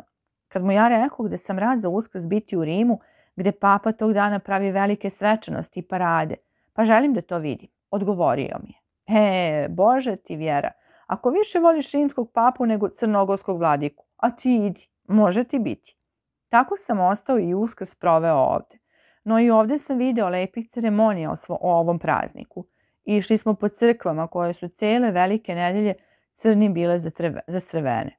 Od velikog četvrtka, od podne, prestala su svuda kola ići po varoši. I san kralja ovih dana ne vozi se, nego ide peške. To je običaj i znak žalosti. Na veliki petak bio sam sa vladikom u jednoj crkvi gde je pevalo preko sto najboljih pevača iz opere i drugih pozorišta. Pevanje je bilo vrlo lepo. To nekoliko dana vladika je neprestano bio obučen u civilnim talijanskim haljinama, tako da ga niko nije na ulicama kuda smo hodili poznavao. Savo sam, samo sam ja išao s njime. Kuda smo god prolazili kroz najživlje ulice kao što je Toledo, gde ljudi tako idu da se jedva mogu razmimo ići. Vladika je išao bez smetnje. Svaki mu se uklanjao s puta. Mnogi, pošto prođu, osvrnu se i glede za njim. Vide da nije običan čovek. Ovde Hristos ne, vrska, ne vaskrsava u nedelju. Topovi sa svih strana oglasili su u subotu ovaj praznik. To čine najviše zato da bi imali vremena u crkvama promeniti crne i žalosne ukrase i pripraviti ih za svečanost. Bio sam više puta u ovdašnjem muzeju, što se zove Burbonski muzej. Jedan put sam i sa vladikom bio. Ovo je muzej između prvih muzeja na svetu. U njemu ima vrlo mnogo stvari koje se nigde više ne mogu naći i videti. Tu su prikupljene najznamenitije starine. Između ostalog, u tu muzeju čuvaju se i sve stvari što su nađene u Pompeji i Herkulanumu. Ima slika, ima različitih statua od mermera i bronze. Ima mumija i svakojakih vaza. Upravo ima svašta. I sve je vredno videti. Sve nas je zanimalo. Ima oko 30.000 različitih starinskih stvari od pečene zemlje i oko 20.000 od bronze i stakla što su samo u Pompeji našli. Deset velikih soba zauzele su etruske vaze. Videli smo i mnogo skupocenih stvari, naročito nakita od srebra i zlata, što je u Pompeji ili u grobovima nađeno. Pregledali smo gotovo sve što ima važnije u Neapolju. Vidjeli smo lepih statua od Kanove, od Čelinije, od Michelangela i od stotine drugih koji su docnije radili. Vidjeli smo slika od Rafaela, Ticijana, Koređije, Karavađije, Rubensa, Vandika i mnogih drugih. Za jedno prepodne što provedeš u galerijama, čućeš sto puta da se pomenu ova imena. Od mnogoga gledanja oči zasene i glave zaboli. Vladika ne mari da vidi mnoštvo stvari. On gleda samo ono što je najlepše i najređe. Pri onome što mu se dopadne, on se duže zadrži i pažljivo posmatra. Ukus mu je lep i nežan. Gde se on zaustavi, tu zastane mnogo gledalaca. Koja mu se slika dopadne, uzme stolicu i sedne pred nju, pa je dugo posmatra. Ja prođem kroz nekoliko soba i u njima pregledam stotine predmeta, pa se vratim njemu, a on još sedi pred onom slikom koja mu se dopala. To je škola holandska. Jednom šaleći se reče, valjda mi se zato dopadaju njegove kartine, tako on zove slike, što mu je ime nalik na moje, Vladika. Mnogi bogataši u svojim kućama i poljskim vilama imaju lepe zbirke statua, slika i tako dalje. Mi ih nismo pohodili. Stručnjaci, osobito ljubitelji starina, trče gde god čuju da ima deset slika ili nekoliko kamenova i ploča iz Pompeje. Ostavimo slike i galerije, ostavimo prašljive muzeje i u njima polomljene stare bogove. Herkula bez ruke, Bahusa bez trbuha, konjske glave bez trupa, silnog Jupitera bez nosa, Merkura bez nogu. Bežimo iz ertruskih soba, u kojima stoje okrnjeni lonci i sudovi iz kojih su ljudi pre 2000 godina jeli i pili. Ostavimo te trošne stvari koje nas opominju na naše ljudsko ništavilo, na ništavilo naše i naših bogova, koje nas opominju da smo na ovu zemlju samo svratili da provedemo nekoliko godina, kao nekoliko trenutaka, pa da nas zanavek nestane. Hajdemo u polje, hajdemo na otvoreno more i na obale plavog jezera Anjana, hajdemo u Pucuoli i na lepa pribrežja zaliva od Baje, gde sam proveo jedan dan lepo i veselo. Kakvih dana malo ću u životu imati. O tome da ti pričam. Iz Neapolja pošli smo na kolima rano, jer je to prilično daleko. Vladika je bio toga dana neobično veseo i dobre volje. S nama je pošao i Đuka i Vukalo. Serdar Andrija ostao je da sedi na balkunu. Ceo, sam dan, ceo smo dan proveli u okolinama Baje i Pucuole. Hodali smo po prahu starih Rimljana i razgledali smo njihove palate, hramove, kupatila. Samo njihova imena spominju se pri gde kojoj gomili kamenja. To je slaba uteha ljudskoj sujeti i ljudskom ništavilu. Pucoli, a naročito Baja, zbog svoje lepote i toplih banja, bila su najmilija mesta velikanima starog Rima. Tu su se oni odmarali od svojih trudova i uživali svoja neizmena bogatstva. Tu su Pompej, Marius, Neron, Sula i mnoštvo drugih imali svoje palate. Bogatstvo koje je igde bilo u pojedinim rukama treptalo je po ovim palatama. Uz vino točene su sve raskoši koje su igde ljudi izmislili i uživati mogli. Sva je ova okolina bila u neprestanom blesku i veselju. I prošle godine za godinama, i prošli vekovi za vekovima, i vetar razneo pesme i veselja, i monjac pojeo bogate prostirke, i vreme srušilo mramorne palate. Od svega toga ostalo nekoliko survanih zidova. Ostalo nekoliko sitnih vrstica na listovima svetske istorije. U dvoru gde je Ciceron živeo i gde je imperator Adrian umro, našli smo gde goveda planduju. U palati bogatog Lukula udelili smo milostinju jednom iscepanom prosjaku koji je pred vratima sedeo. I vidjeli smo gde korovi, guštari vire iz zidova onih soba u kojima je Lukul. Od blaga nagrabljenog po Aziji, čitav milion za jednu čast, za jedan ručak trošio. Kada smo izlazili iz razvaline ove palate, vladika spomenu Gundulićeve reči. Ah, čujem si se, zahvalila, taštja ljudska oholosti. Sve što više stereš krila, sve ćeš paka niže pasti. Ah, čije, čijem si se zahvalila, taštja ljudska oholosti. Sve što više stereš krila, sve ćeš paka niže pasti. Neću ti govoriti o razvalinama hramova Jupitera, Merkura, Venere i nekih drugih koje smo tamo vidjeli. Oni se nalaze još u dosta dobrom stanju. Njihovi stubovi još stoje uspravno, njihovi svodovi još nisu srušeni. Trošni oltari nadživeli su svoje bogove. U jednom hramu pucao je vukalo, po zapovesti vladičinoj, iz puške, da čujemo kako se eho razleže. U drugom nekom velikom hramu takav je akustičan svod da smo se u njemu duže zabavljali. Jedan stane s jedne strane uz duvar, drugi prema njemu s druge strane uz duvar, a treći stane na sredinu. Od one dvojice jedan pristoni uvo na duvar i sve čuje lepo šta onaj sa druge strane uz duvar šapće. A onaj što u sredini hrama stoji, ništa ne čuje. Glas prolazi uz duvar, pa ide ispod svoda onome drugom. Vidjeli smo razvaline amfiteatra, koji je, kao što kažu, samo za jednu četvrtinu manji od Koloseuma u Rimu. Pohodili smo grotu Sibile. Ona leži podaleko u jednom lepom usamljenom i dosta pustom predelu. To je uzena, mračna i dugačka pećina.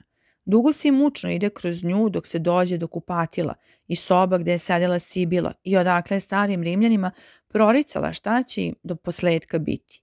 Kroz ovu je pećinu, kao što Virgilije peva, išao Enej na onaj svet, u podzemno carstvo, u pakao. Pred tom pećinom našli smo nekoliko krupnih i crnih lazarona, za koje nam se učinilo da su sad izišli iz pakla. Ovi banditi gledali su začuđeno u srebrne toke Đukine i Vukalove. Nigde toliko srebra nisu vidjeli na jednom mestu. Okoline su Neapolja svagda opasne za putnike. Ja i Đuka molili smo vladiku da ne ide u pećinu, no on zapovedi da se ide. Dvojica od ovih lazarona zapališe buktinje i pođemo. Jedan od tih italijana išao je sa buktinjom napred, za njim vladika, za vladikom Vukalo, a za Vukalom ja.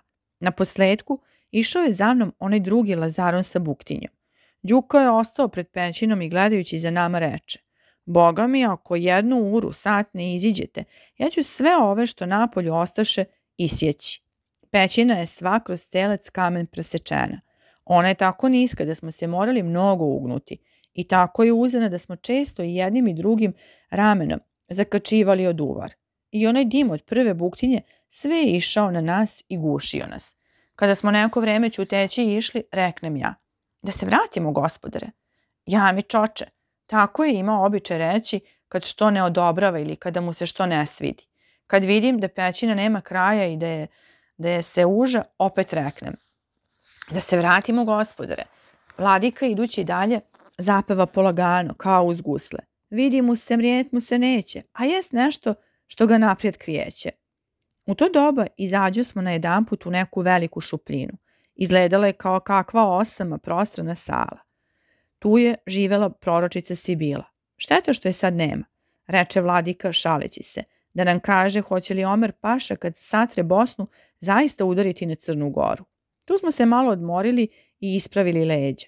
Odatle treba dalje ići preko vode koja se videla kroz jedna velika vrata. Vođe naše već su se spremale da nas nose preko vode na drugu stranu gde su bile sobe i kupatila si bile. Vladika zapita jednoga, a možeš li ti mene prenijeti? Vidiš koliki sam ja. Mogu, odgovori onaj. Vaša je čelenca nije ništa prema trbušatim englezima koje sam ja ovude na leđima prenosio. Vladika se osmehnuo pa reče, prenesi najprije ovoga, pokaza na mene, pa onda ću ja. Jedan jaki napolitanac uze me na leđe, a drugi je nosio zapaljenu mašalu pred, pred nama. Tako smo naišli na ono podzemno jezero. Vladika je gledao za nama i nešto pevao iz narodnih pesama. Samo sam čuo da veli. Sarahtlije, hate pojahaše, ali se grohotom poče smejati kada smo dublje zašli u vodu i kada sam već i ja na nogama dohitao do vode. Prešavši preko te vode, došao sam na suvotu, u sobe Sibiline, koje su bile nekad iskićene i ukrašene mozaikom. To su bile i kupatila njena. Poznaju se još veliki stepeni sečeni u kamenu po kojima je ona hodila. Tu je sve pusto i porušeno sada. Niko ne dolazi više ovde da čuje šta će mu biti. Palmerston i Louis Napoleon nagoveš, nagovešćuju sada budućnost pojedinim ljudima i državama. Jedva sam čekao da izađem ispod ovog podzemnog carstva i ne bih više tu došao da bih znao da će me Ver Virgilije u svojim pesmama kao Enea opevati. Želeo sam što pre da izađem na beo dan. Radovao sam se kad sam pri izlasku iz pećine čuo Đukin glas da je terajući one talijanske prosjeke da ne ulazi u pećinu viče. Maksa odatle gadu. Kad smo izašli, bili smo svi garavi od dima onih buktinja. Osobito vukalove crnogorske bele haljine bile su, isp bile su se isprljale. Pohodili smo grotu Dikani, pseća jazbina. To je jedna rupa u zemlji iz koje izlazi neki ugljeni gas. U tu rupu kada se spusti kakva životinja, pa posle nekoliko trenutaka izvadi, ona je onesvešćena kao mrtva, ali se na čistom vazduhu odmah povrati i ne bude joj ništa. U tu rupu obično pse puštaju. Zato se i zove pseća rupa. Vladika nije hteo da gleda taj eksperiment, neće da gleda to mučenje životinja. Vidjeli smo jedan breg koji je pre 200 godina iz ravnice za 30 sati izrastao. On je gotovo koliko avala i zove se Montenuovo, što će reći novo brdo. To je neki podzemni vulkan iz dubine buknuo, ali nije površinu zemlje prokinuo. I sada vidi se tuda na mnogim mestima gde izbija dim iz zemlje. Ovuda su česti zemljotresi. I priroda i ljudi činili su ovuda svoja čudesa. Pohodili smo na posledku i Neronove banje. One su na jednom breščiću kraj mora. Voda je vrlo vruća. Jaje u toj vodi za nekoliko trenutaka skuva se. Ulazak je uzan, strmenit, mučan i opasan. To je kao neki dubog bunar. Vladika nije hteo silaziti. Vukalo sa jednim vođem spustio se u tu banju. Za to vreme mi smo sedeli na bregu i posmatrali more i hiljadama predmeta na njemu i oko njega.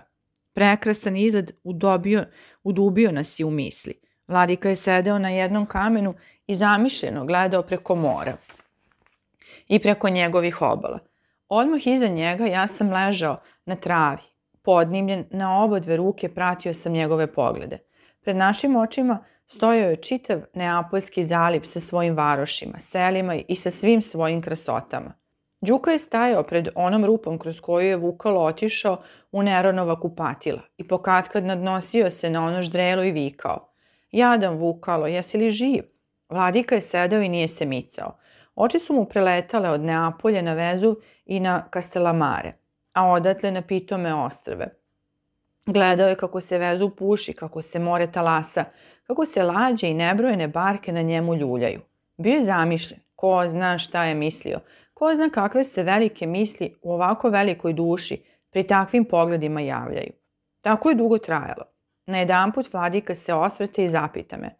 Kaži mi šta si mislio sad u ovom trenutku? Ja se zabrinem i počnem se sam sebi smejati. Jer pošto pretrčim kroz sve svoje misli, vidim da upravo nisam ništa mislio. Ili kada se već nešto mora misliti, mislio sam o svakom onom predmetu koji mi je za to vreme iskrsnuo pred oči. O Vezuvu, o njegovom dimu, o Rimljanima, o grčkim kolonijama, koje su se ovde naselile i posle iščezle o moru, o svakom čuniću koji se na njemu pojavio. Mislio sam o svemu što se odatle moglo videti. Ali svaka ta misao bila je tako kratka da se u nekoliko reči mogla iskazati. One hiljade predmeta podigle su hiljade misli. One su se pojavile i iščezle kao talasi na moru na koje sam gledao. Nisam znao šta da odgovorim. Iz te zabune oslobodio me Đuka, koji se iz daleka začuk da viče. Gdje si jadan Vukalo? Jam nije pogibe u tu đavolju banju. Vukalo je izašao iz te duboke jazbine, sav znojav i prljav i izneo je vladici jednu punu čašu vruće vode iz podzemne Neronove banje. Odatle smo pošli kući. Kada smo slazili peške sa toga brega, vladika je kao da mu je žao bilo što se u ravnicu spušta, glasno uzviknuo. Oro gnjezdo vrh Timora vije, jer slobode u ravnici nije. Vozili smo se natrag onim lepim putem pored mora, izmeć prekrasnih, večno zelenih brešćića i dolina. Svrati smo na grob Virgilija i tu smo sedeli i gledali kako se sunce nizbrdo valja da padne u valove sredozemnog mora i tu da utrne i da se ugasi. Na jednom uzvišenom mestu pri ulasku u jedan dugačak starinski tunel stoje dva, tri izvaljena kamena. Oko njih je korov i žbunić od lavorike. To je grob velikog latinskog pesnika. Da je Virgilije u Nemačkoj pevao ili da je u Nemačkoj sahranjen, grob njegov bio bi mamume, monumen, monumenat celoga ovog predela. Ljudi mu nisu nikakav spomenik podigli ni grob ukrasili. Lavrove što rastu oko njegovog groba priroda je sama podigla. Vladika odlomi jednu veliku granu od lavorike i ponese sa groba Virgilijeva za spomen. U samu suton došli smo u Neapolj i bili smo vrlo zadovoljni ovom dugom šetnjom. Vladika je toga dana bio vazda neobično vedar i veseo. Zaboravio je toga dana svoje domaće brige i zlopatnje svoga naroda. Zaboravio je bio kakva strahovita bolest u njegovim grudima stanuje. Gledao je na plavo more, na Vezuv, na razvaline starih dvorova i hramova, na ostrva i na sve, kao kakav bezbrižan engleski turista. Putem je pevao, zviždao, smejao se i šalio. Njegovo dobro zdravlje i veselje pobudilo je i u nama radost. Da se može, svaki bi od nas odvojio po jedan deo svoga života i zdravlja i njemu bi dao. Kada smo došli kući, našli smo Serdara Andriju gde jednako sedi na balkonu. On se vrlo radovao kada je čuo da je gospodar taj dan lepo i veselo proveo. 6. U Neapolju Marte 1851. Vladika je juče vazdan, brižan i zlovoljan bio. Kad sam mu došao, pruži mi jedno pismo. Čitajte, veli. Poznam odmah da je nešto ljut, jer samo kada nije dobro raspoložen ili kada mu se bolest pogorša, govori mi vi. A inače svakda kaže mi ti. Ja uzmem pismo, prevrnem ga i obrnem se svi u strana, no ništa nisam mogao pročitati. Pismo je pisano šiframa. Umesto pismena bile su samo cifre. Ja se nasmejem i kažem mu da ništa ne razumem, ali sam ga veli ja razumio. Omer Paša krenuo iz Mostara svojim krvavijem tragom u Sarajevo. Putem ubio Ali Pašu Stočevića i namjerava kako Bosnu i krajinu sasvim umiri da udari na Crnu Goru. Šta kome čini ovaj kameniti krš okupan suzom i krvlju?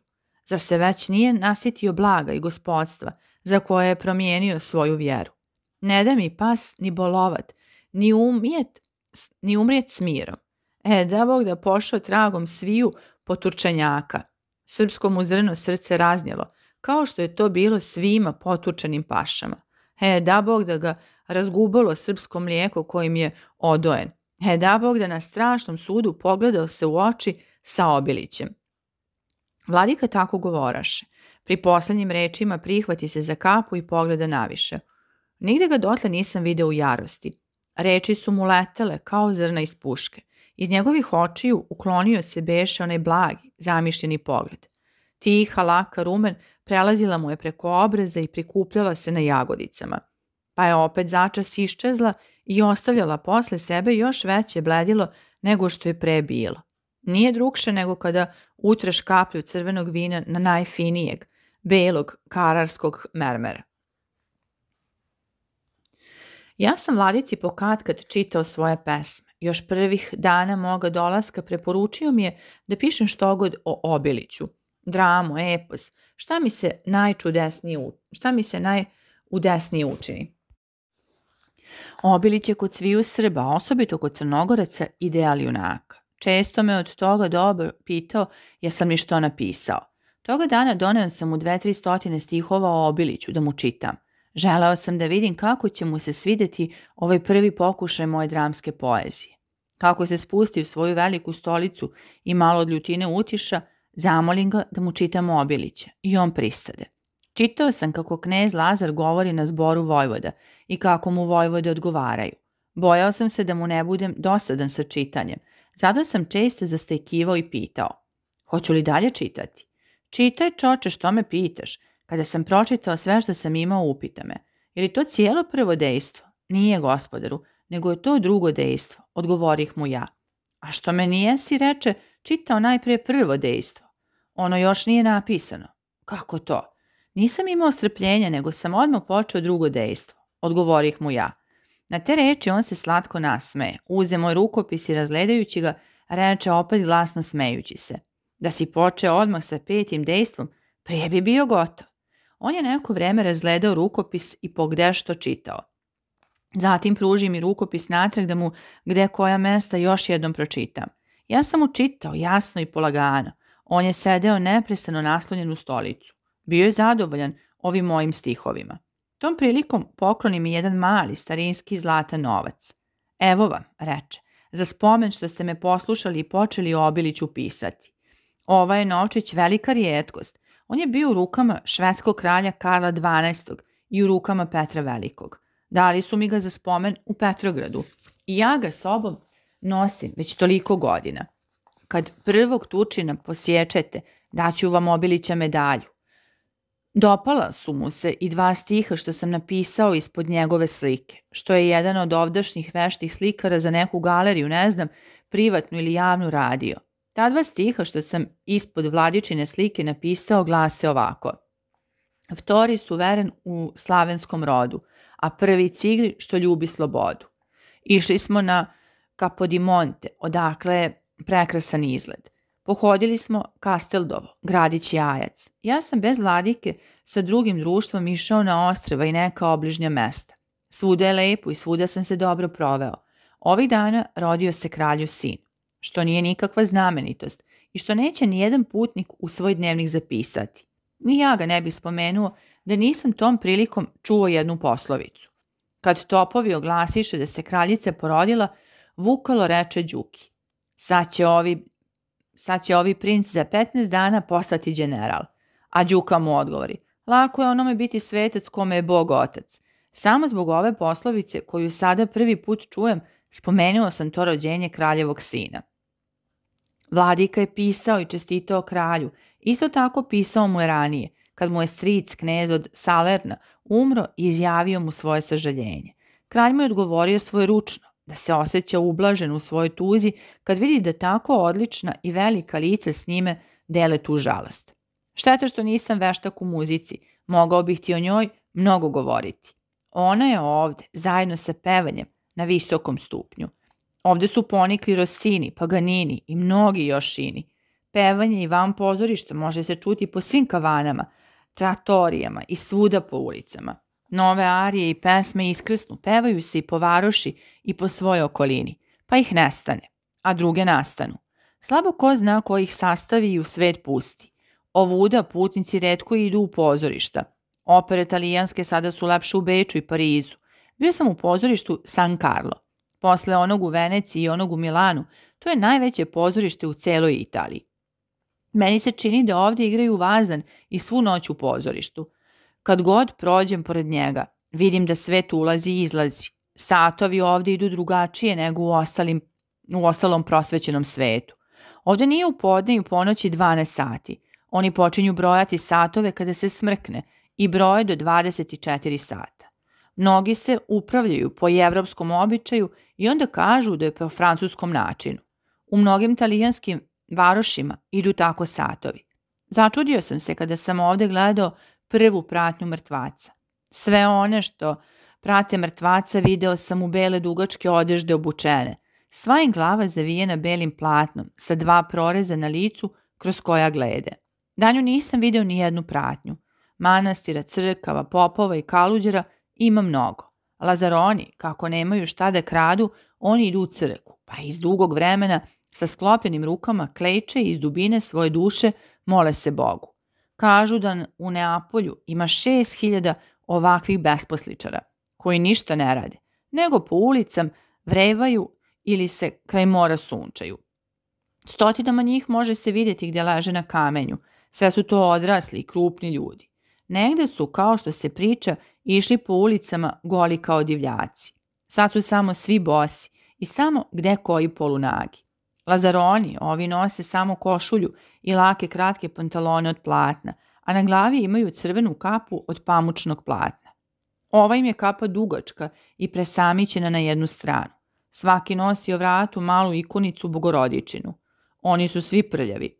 Na mnogim mestima po varoši video sam ih gde sede te se bišću.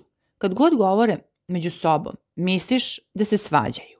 Oduševljeni su za revoluciju i za rat. Ali u ratu nisu junaci. Pevajući polaze za, na bitku, pevajući beže iz boja kako prva puška pukne. Šteta je umreti pre suđena dana i ostaviti da drugi ovaj lepi Neapolj uživa. Žene im se lepo nose i čistije se drže. One više rade i zarađuju nego oni. Sve su bez razlike crnomanjaste. Sve su gotovo lepe. Kad malo ostare, neobično su ružne. Neapolitanci u svemu su hitri i prgavi. Putnik mnogo mora paziti da ga kola ne pregaze. Tako lakomisleno jure. Po varoši ima mnogo kola na dva velika točka. Često po osmoro njih sedne na takva kola i onda lete po ulici kao strela. Na tim dvokolicama jedni sede, jedni stoje, neki se samo jednim kolenom naslonio, pa se drži rukama, a noge mu vise ispod kola. Po jedan konj obično vuče ta kola. One što drži uzde sedi na samim rukunicama. Sa svakih takvih kola ori se ili pesma ili larma, a kad kad se u najvećem tom trku na kolima tuku i za kose čupaju. Koliko sveta u Neapolju zna čitati i pisati možeš suditi po ovome što na svakoj pijaci, na svakom uglu ulice sedi jedan čovek za stolom, na kome ima sve što je potrebno za pisanje. Oko njega se svakde nalazi gomila ljudi, žena i devojaka, te im piše pisma, račune, molbe i drugo koješta.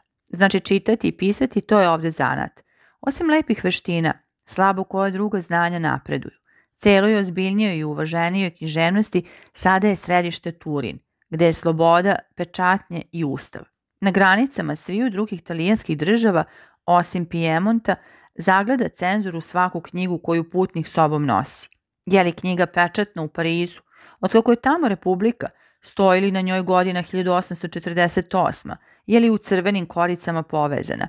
To sve rađa sumnju. Te se knjige moraju na granici dugo razmatrati i pogde koje zadržati. To je sve opasno za male prestoliće talijanske i za veliku papinu stolicu. Oni smatraju lepu, raskomadanu Italiju za svoje spahiluke. No, pored svega toga, u svojoj Italiji duboko pušta žile sloboda, ustavnost, a i republika.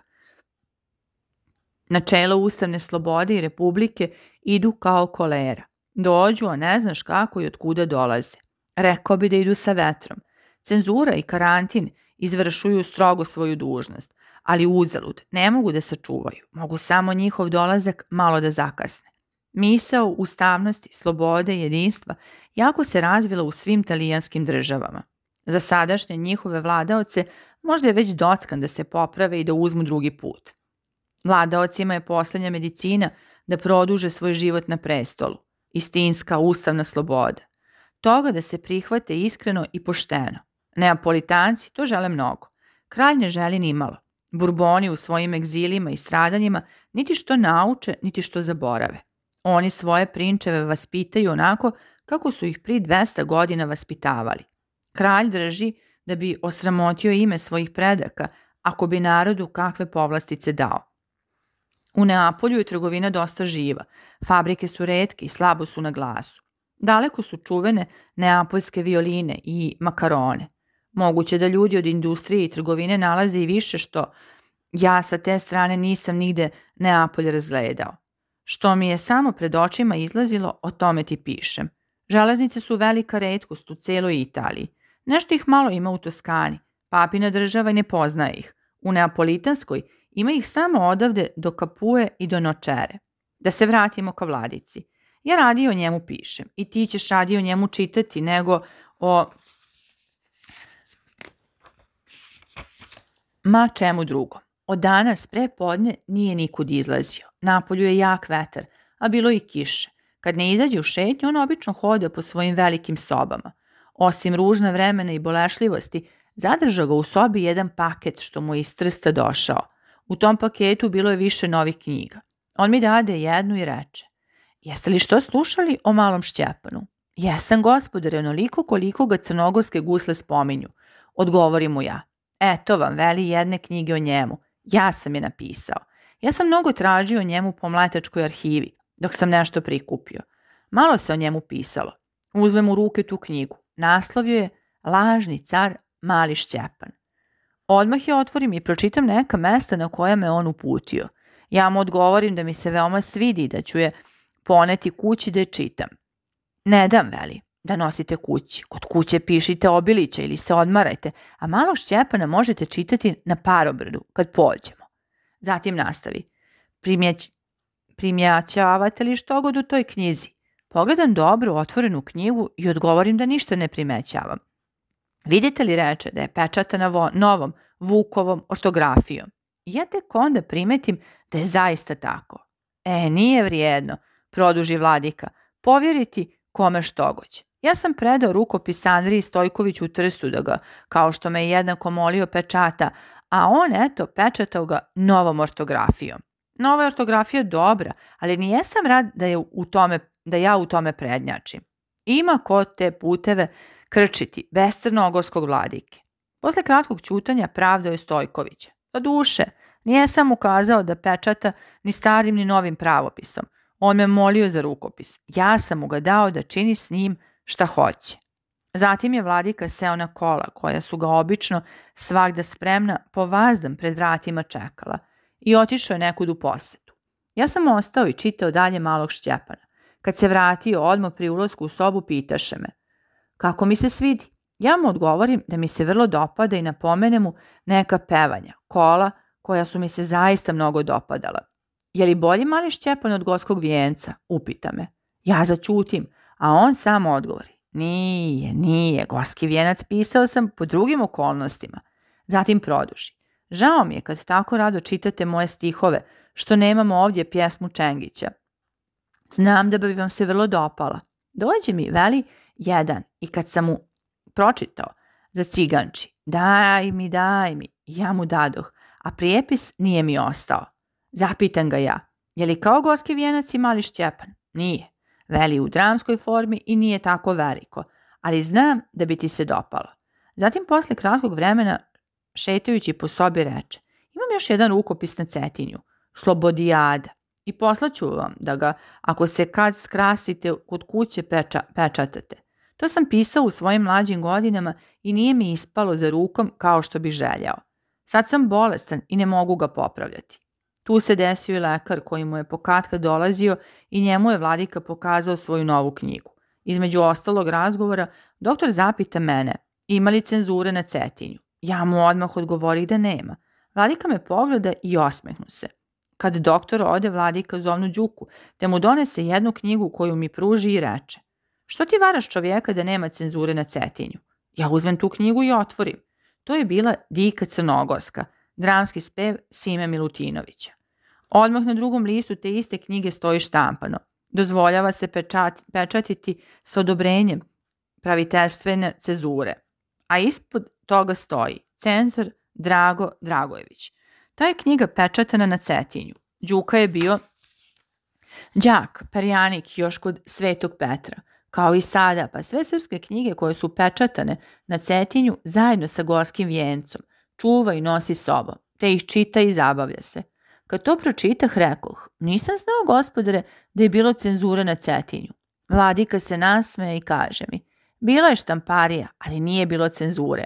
To se Simo podsmijevao ostalom svijetu, te tako stavio. A Drago Dragović nije ime cenzora, već to znači piši šta ti je gođ drago. 7. U Neapolju marta 1851. Umoran sam, pa ti opet pišem.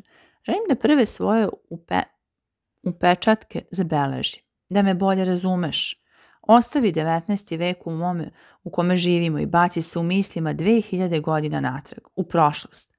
Prošeti sa mnom kroz jednu veliku varoš u kojoj za 18 stoleća nije ništa dirnuto, nije ni jedna kuća načinjena, načinjena ili okrečena, u kojoj 18 vekova nije se ni jedan građanin rodio ili umro, u kojoj se nije nigde čulo za ime Hristovo, u kojoj ne znaju da ima Amerike.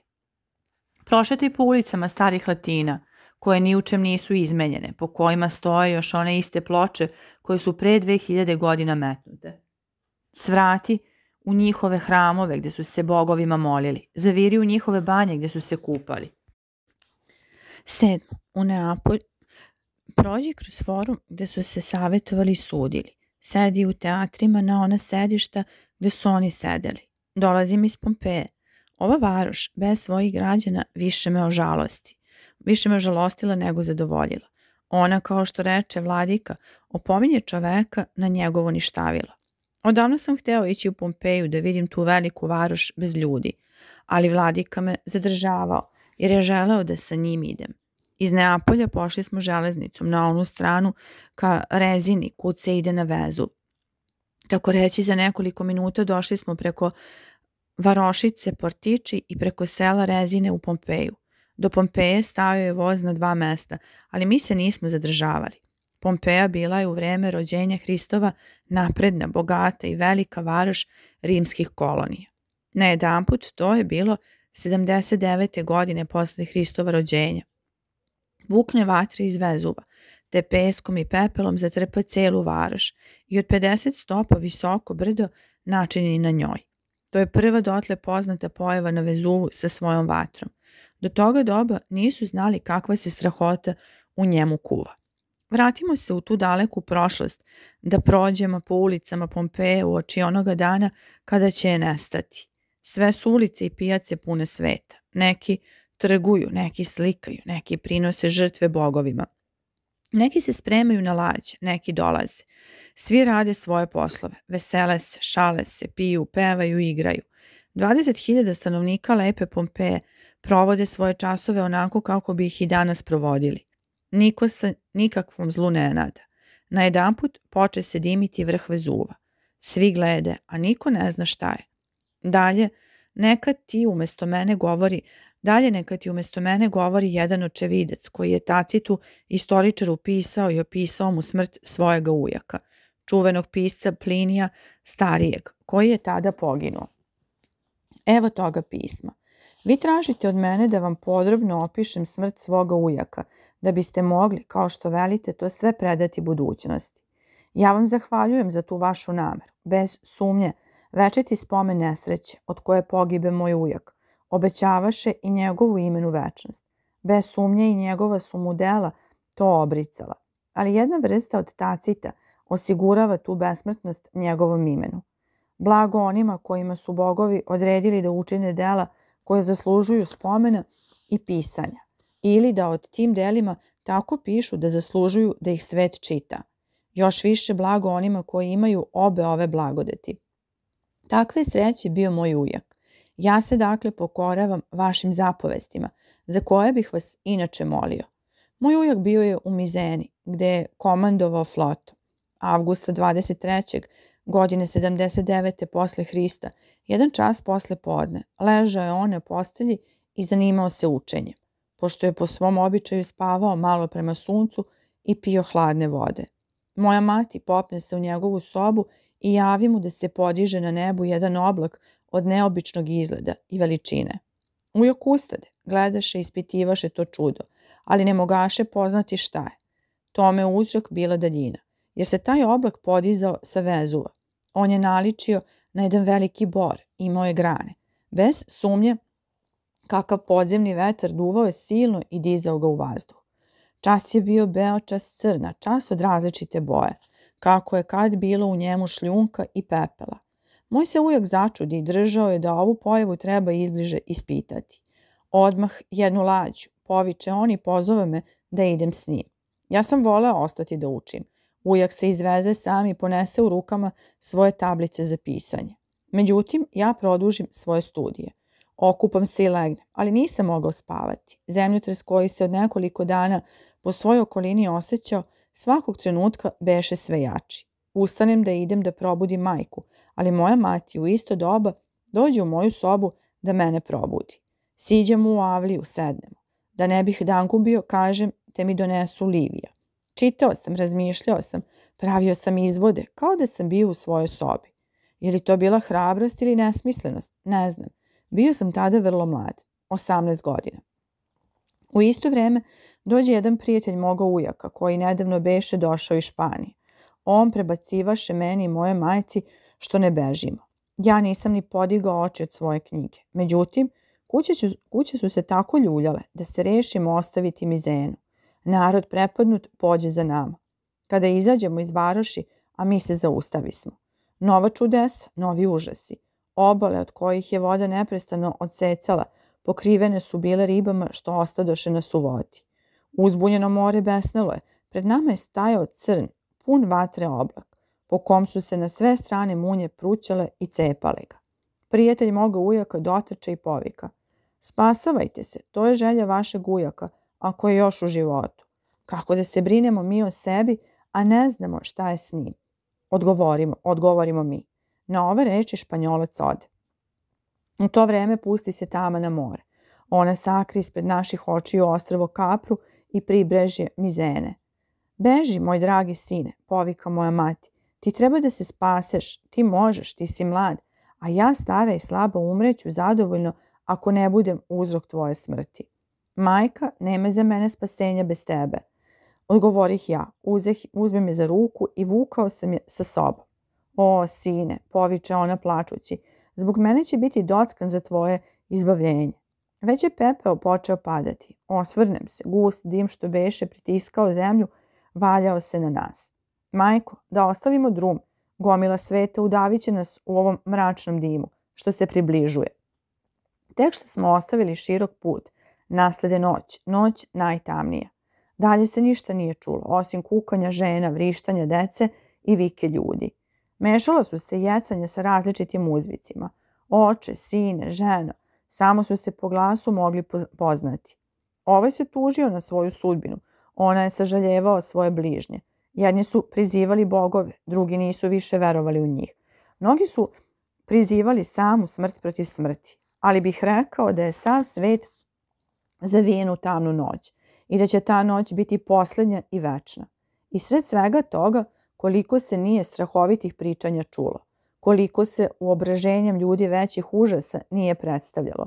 Kada se čovek prepadne, on sve veruje i sve uveličava. Međutim, nešto se zasvetli kroz mrak. To je požar koji se približavaš, ali opet se zaustavi. Ugasi se. Noć postade još mračnija. Kao kiša padao je pepeo i kamenje. Često smo otresali svoje haljine. Hoću li ti kazati?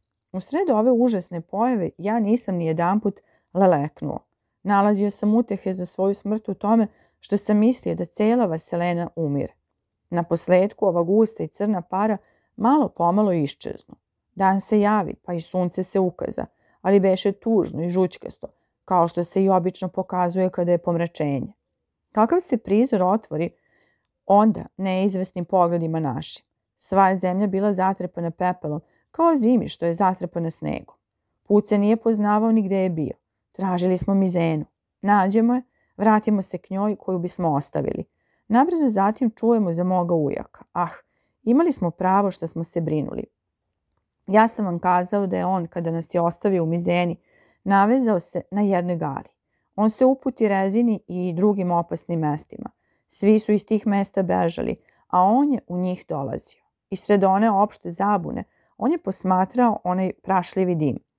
Sledovao je svim, svima pojavama i kazivao je da se opisuje. Ali vruć pesak padao je već kao gusta kiša na galiju i kamen je padalo oko njegove lađe.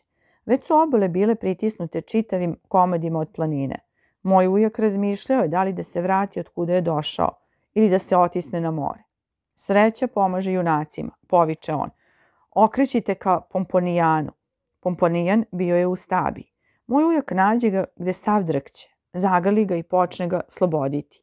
Da bi ohrabrio svog prijatelja, zaište da se okupa. potom sede za sto i večera veselo. Ili bar, što ga ipak ne pokazuje slabijeg karaktera, činilo se da je veseo. Međutim, zapali se Vezuv sa svih strana u mračnoj pučini. To su ostavljena sela što gore, govoraše moj ujak gomili sveta, želeći tim da je malo oslobodi od straha. Odmah zatim on legne i zaspi. Tvrdo je spavao kada se dvorište počelo puniti pepelom i sve izlaske zatrpavati. Dotrče i njemu, probude ga. On ustane, nađe pomponijana i dogovarao se s njim šta će raditi. Hoće li ostati u kući ili će bežati u polje. Ostanu li? Kako će izmaći zemlji koja se raspada? A ako beže, kako će da se sačuvaju od kamenja što ozgo pada? Poslednje bude izabrano. Svetinu je na to privoleo strah, a mog ujaka razum. Odmah izađu iz varoši i radi bolje sigurnosti pokriju glave jastucima. Svanulo je bilo svuda na drugom mestu, ali ovde trajala je noć, užasna noć. Vatrena magla svetlela je. Moj ujak hteo je da se približi obali, ne, gledajući što je more još bilo burno. On izađe, napije se vode, prostre jednu prostirku i legne. Na jedan put plamen kao žeravica pred kojim se osetio miris od sumpora bukne. Plamteći neprestano, svi nagnu bežati. Moj ujak, podpomagan od dva roba, ustane, no zalud. Zagušen vrućom parom padne i Plinije beše mrtav. Tu se svršava pismo njegovog nećega. Sad izvolite da uđemo u Pompeju. Sad punih 18 stoleća posle toga užasnog događaja možemo bezbižno šetati po njenim ulicama. Možemo se odmarati na onom mestu gde je Plinije poginuo. Vezov nije više tako strašan i opasan.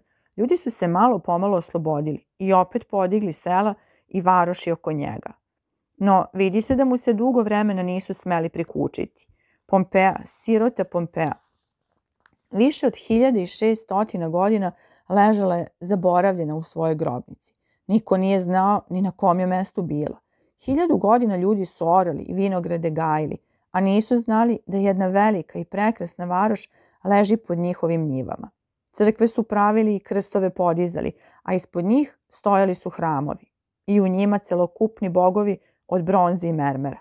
Neptun, Penati, Herkuli, Jupiteri i stotine drugih. Tek pre sto godina pronašli su Pompeju u zemlji i počeli je otkopavati. Breg je skinut i dosad je 27 ulica otkopano i očišćeno. To je to, tek trećina celokupne varoši. Sve ono drugo leži još pod zemljom. Rastopljena lava nije dotle doprela, zato je lako otkopavati. Pompeja je zatrpana pepelom i šljunkom. Vidi se kako je najpre za 7-8 stopa u visinu sitna prašina, kao brašno, pala, pa onda šljunak. Drže da su stanovnici većim delom utekli i spasli se, jer do sada su našli samo oko 500 ljudskog skelet, ljudskih skeleta. Kada bi se otkopala cela varoš, još bi se dva puta toliko našlo. U nekim podrumima nalazili su kosti od 20 ljudi. Trčali su pod jake zidove da se saču, sačuvaju. Ko će znati koliko ih je hiljada poginulo van varoši kad su bežali. U Pompeju došli smo kroz jednu dugu i lepu aleju, a ušli smo na jednu veliku i široku kapiju. Ta je kapija negde imala tri ulaska, dva za pešake, a jedan poveći u sredi za kola.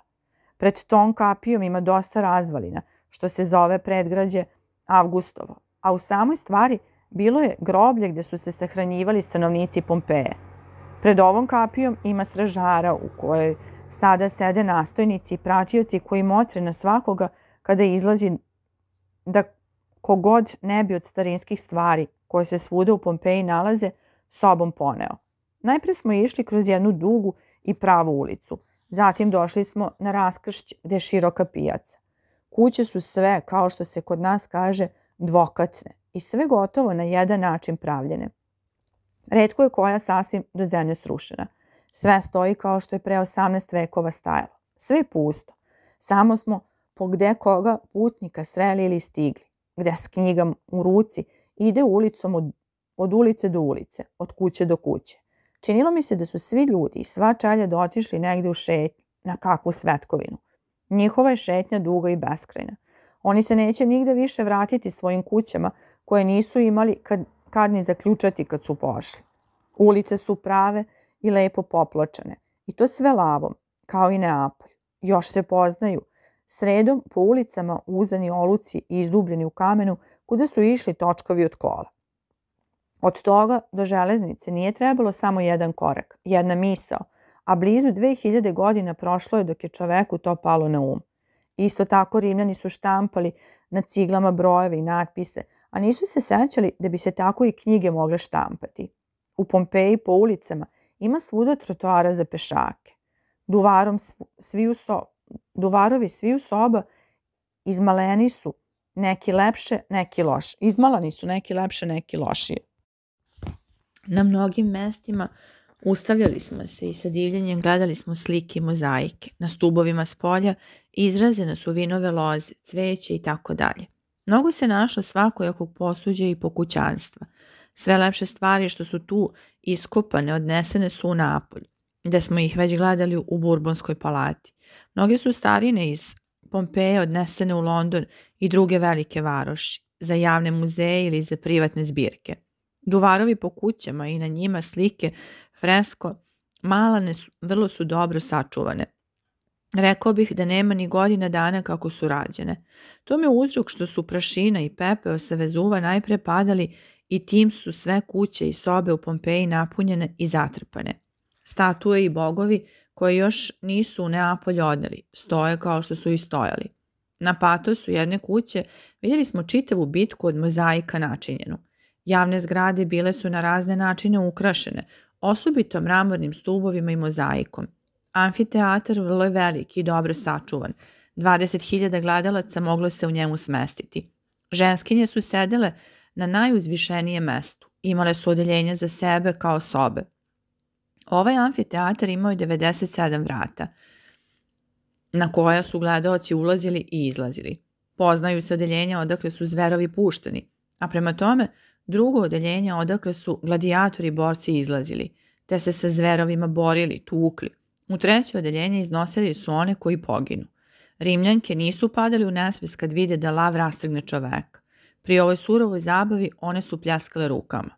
Ja volim da pomislim na predstave parijskih tragedija u kojima tronute dame brišu svoje suze, nego na ove varvarske igre. Pohodili smo Panteon, Odeon i hramove, Jupiterov, Merkurov, Venerin i Fortunin. To je oko foruman Varoškog. Hram Jupiterov ukrašen je sa šest korinskih i osam ionskih stubova. Templo Venerino hrama ima blizu 50 stubova i vrlo lepih slika. Još se stoji u njemu statua boginje lepote. Forum je jedna od najvećih znamenitosti Pompeje. Tu se svršavale i rešavale najvažnije mesne stvari. Osim suđenja, tu se držale njihove skupštine i velike javne svetkovine. Javna kupatila tako, takođe je vredno videti. Imaju dva odeljenja. Jedno je za muške, a drugo za ženske. Dućana i prodavnice bilo je mnogo po kućama, na gde koji još se razaznaju, natpisi, kako se trgovac zvao i čime se zanimao. A više mnogih vrata poznaju se u kamenu izrezana znamenja, šildovi. Neću govoriti o ovim izrezanim znamenjima i o gde kojim na sobnom duvaru slikama, jer ima ih i takvih o kojima ne može se pisati po kojima možemo zaključiti da u one stare vremena moral se nije brojao među odlučne osobine. Ulice su negdje široke 20, a negdje samo 7-8 stopa. Svaka glavnija kuća ima sada svoje ime. Nazvali su ih po onome što su najznamenitije u njima našli. Ili, ako su koju kuću pred kakvim vladaocem otkopali, zovu je po njegovom imenu. Jedna od najvećih kuća zove se Fulonika, fabrika za čohu jer u njenim sobama našli su izmalno sve po redu kako se čoha pravi. Ima što se zove kuća Prajskog kralja, otkupana 1823. godine, kuća cara Josifa II, kraljice Adelaide, imperatora Franca II i tako dalje. Te su kuće ili bar neki duvarovi od soba otkopani u prisustvu tih lica, a za spomen njihove posete nazvali su ih njihovim imenima. Od sada će biti jedna kuća koja će se zvati Il Principe di Montenegro, knez Crne Gore. Za čast vladici naređeno je te je pred njime otkopana jedna soba. Vladici su svi čestitali srećan slučaj, jer na duvaru te sobe našla se jedna od najlepših slika. Vešto su i polako odgrtali ne pepeo i pesak da se ne bi na duvaru slika pokvarila. Soba je bila zbijena prah, zbijenim prahom i najsitnijim peskom napunjena. Zato je bilo lako odgrtati. Vladika je osjećao prijetnu zabavu i radost kada je primetio da je duvar fresko malan. Najpre se ukazale grane od jednog zelenog drveta, pa onda jedna velika muška glava, pa dalje redom. Celokupan, krupan čovek leži pod drvetom na lavovskoj koži, a jedna lepa devojka, boginja, hladi ga lepezom i uspavljuje ga. A oko njih svuda mali krilati amorići. To je predstavljen Herkul kako ga ljubav obezoružava. Ta je slika zauzela sav duvar i vrlo je lepo i vešto predstavljena i izrađena. Herkul leži na lavovskoj doži, a mali amorići polagano izlače ispod njega tu kožu. Druga tri amora odneli od njega podalje njegov drveni buzdovan, pa ga zauzdali jašu. Nekoliko ove nestašne krilate dece popilo se na drvo i vešaju ogranu Herkulov tul sa strelama i luk sa tetivom. Sve to tako lepo izrađeno da se čovek ne može dovoljno nagledati. Oni što nadziravaju kopanje kažu da odavno na ovako što lepo nisu naišli. Ispod te slike napisat će se koga je dana to otkopano i pred kim. Osim Pompeje, zatrpano je onda još nekoliko varoši, među kojima i najznamenitiji Herkulanum. To je bila negda jedna od najlepših i najbogatijih varoši. Leži na samoj morskoj obali između Neapolja i Pompeje. Ta varoš nije samo pepelom i šljunkom zatrpana, nego 20 stopa u visinu navaljalo se na nju tvrde lave i kamenja. A povrh toga podigla se lepa varošica Portiči i selo Rezina. Pri povratku iz Pompeje stali smo u Portiči da vidimo Herkulanum. Morali smo duboko pod zemlju slaziti. Pred nama su nosili zapaljene buktinje. Ulazak je vrlo nezgodan, odveć je malo otkopano, dalje slabo što i rade. Ne mogu prvo zbog toga što bi se varoš Portiči koja ozgo stoji srušila, a drugo zbog toga što je Herkulanum zatrpan, upravo zaliven rastopljenom lavom, pa ta lava na nekim mestima sjedinila se sa zidovima do kuće. Nije drugče nego kada bi kakvu varoš voda potopila, pa se posle ta voda smrzla u led ili u kamen pretvorila. U toj podzemnoj dubokoj šupljini, što je otkopana, videli smo samo pozorište, koje je, kažu, veće od samih sadašnjih pozorišta u Evropi. Orke, orkestar mu je veći za jednu trećinu od orkestra sadašnjeg Neapoljskog pozorišta, San Carlo. Sav je patosan mermerom iz, A, iz Afrike. Ima lepih statua od bronze, među kojima beše jedna vrlo velika, za koju nam rekoše da je Vespazijanova – Mi tu nismo dugo ostali, a i nema se što mnogo videti. Sve što je tu otkopano i nađeno slično je sa onim što smo u Pompeji gledali. Herkulanum pronašli su slučajno pre 140 godina. Neko kopao bunar kad na jedan put najđu na zidine i na tri lepe ženske statue. Pritom našli su jedan natpis koji je jasno značio kako se ta varoš zove. Od Portiča nismo se hteli voziti na železnici, nego smo uzeli otvorena kola i došli kući. Ja sam doneo punu maramu od različitih redkih starina, komadića od mozaika i od malanih duvarova, malih bogova od bronze, izrezanih slika u kamenu i tako dalje. To sam sve u Pompeji našao. Ovim načinom putnici raznose na sve strane starinske stvari iz Pompeje. Premda, kada se uđe u Pompeju, za svakim putnikom ili društvom ide po jedan nadzornik, te čuva da što oko ne uzmu i ne ponesu.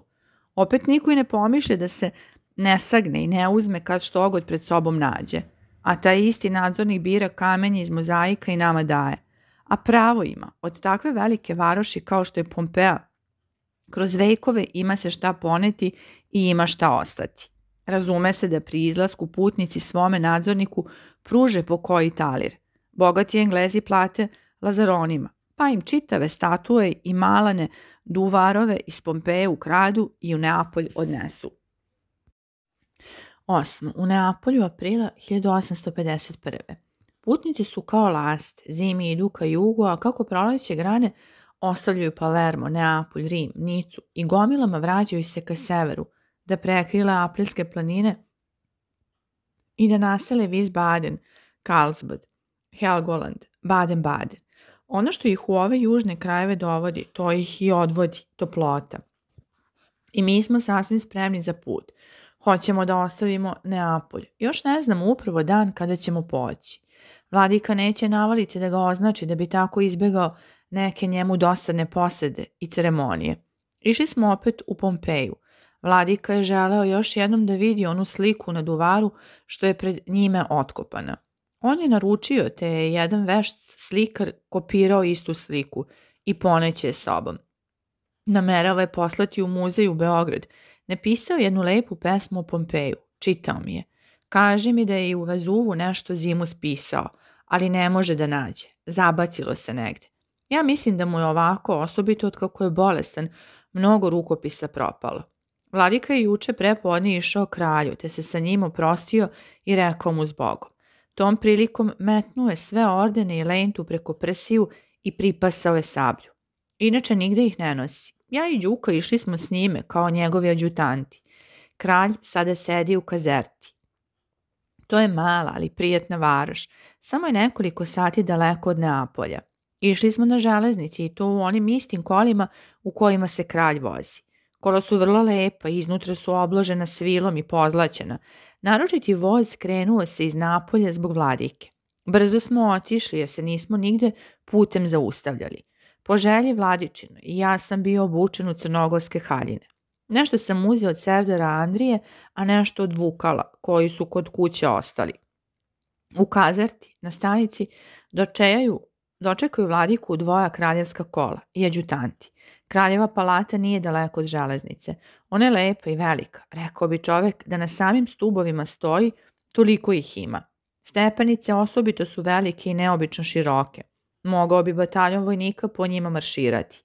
U hodniku i pred kraljevom sobom dočekalo je vladiku mnogo oficira i generala i odmah otvoriše se i jedna velika vrata. I kralj primi i odvede svoga gosta.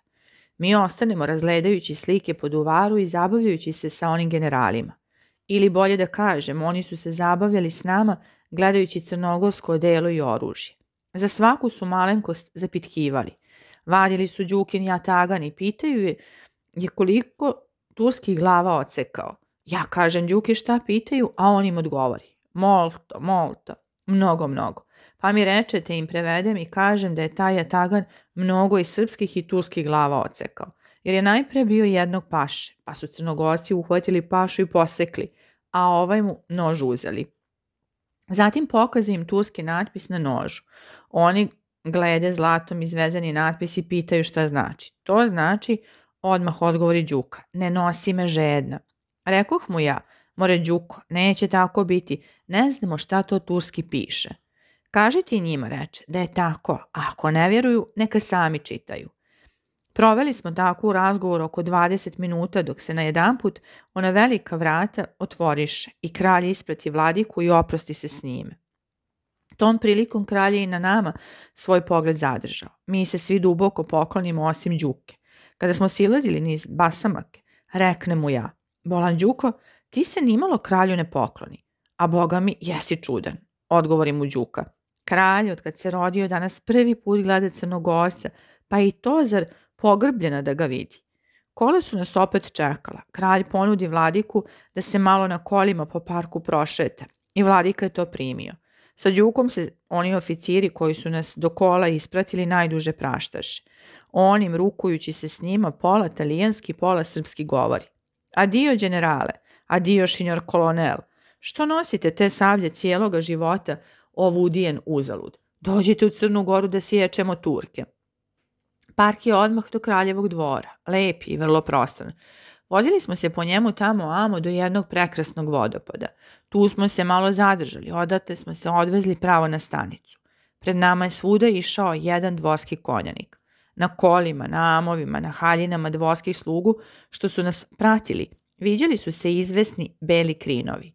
To su znaci burbunske dinastije. Oni su u Francuskoj uvenuli. Ovde još u potpunom smo svom zanosu cvetaju, kao pre sto godina. Kralj Ferdinand II vlada ovde punih 20 godina. S početka svoje vlade bio je pristupan reformama i dobrim uredbama, no docnije izopačio se. Godine 1848. bio je primoran da objavi ustav, no kako su se malo revolucije utišale, ukinuo je odmah ustav. Njemu je sada oko 40 godina. Od Neapolja do Kazerte put ide kroz same ravnice. Iz desne i s leve strane urađena je zemlja kao kakva bašta. Nijedna stopa zemlje nije ostala nezasejana. Kada smo došli kući, pita Vukalo Đuku, kako ti se dopada kralj? A Đuka mu iz gorskog vijenca odgovori, da ne biješe pod onim imenom, nešćaše se bojat od uroka.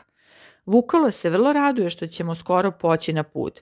Kako kakvu skrinju zatvori ili kakav paket veže, svak da rekne. E, da Bog da te do cetinja ne driješio. Đuka kaže, gdje je goć gospodaru dobro, tu je i meni dobro. Serdar Andrija puši pa veli, meni je sve jedno, ovako ću sjeđati i na cetinju. 9. Na Parobrodu, aprila 1851.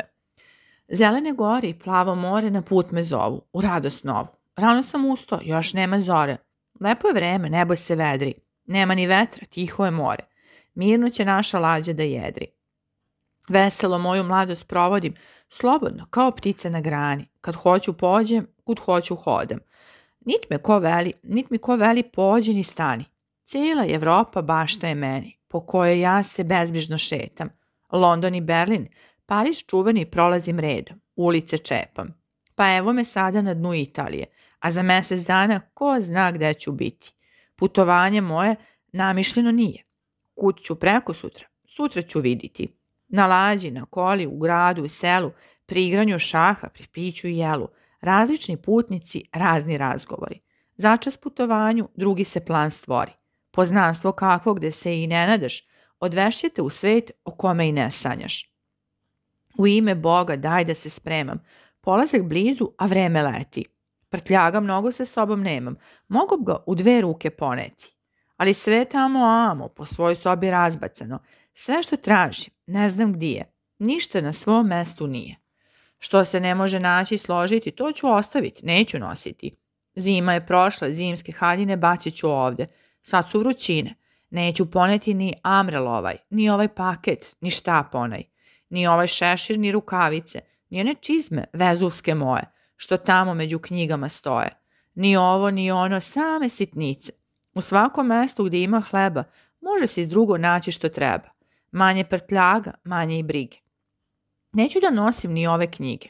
Život je kratak, treba da shita. Ko će po drugi put da ih čita? Taso, Ariosto i Crni Dante, Nežni Petrarko, ne marim ni zate. Što u vama stoji, to u srcu nosim. Čitaću vas opet kad se opet rodim. Ja putujem sada i varoši biram. Te po njima dolče for njente študiram. Slatko je ne raditi ništa. Druge države, drugi jezici, drugi narodi, drugi pesnici, druge varoši, druge radosti, druga poznanstva, druge sladosti, druge pijace i druge robe, drugi hoteli i druge gozbe. Život, ako nije večita promena, a on je mrtvilo bez svoga imena. Nalik na magare što savaču vuče, što suvaču vuče, dovek naokolo, danas ko juče. Kolupa na vrata. Vreme je veće.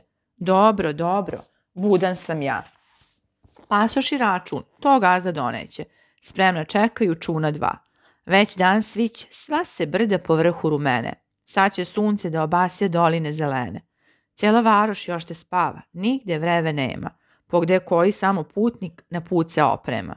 Još ove male idole da složim, za spomen sa sobom hoću da ih nosim. Mali taj idolčić od kamena zgrađen, posle 2000 godina sad nađen.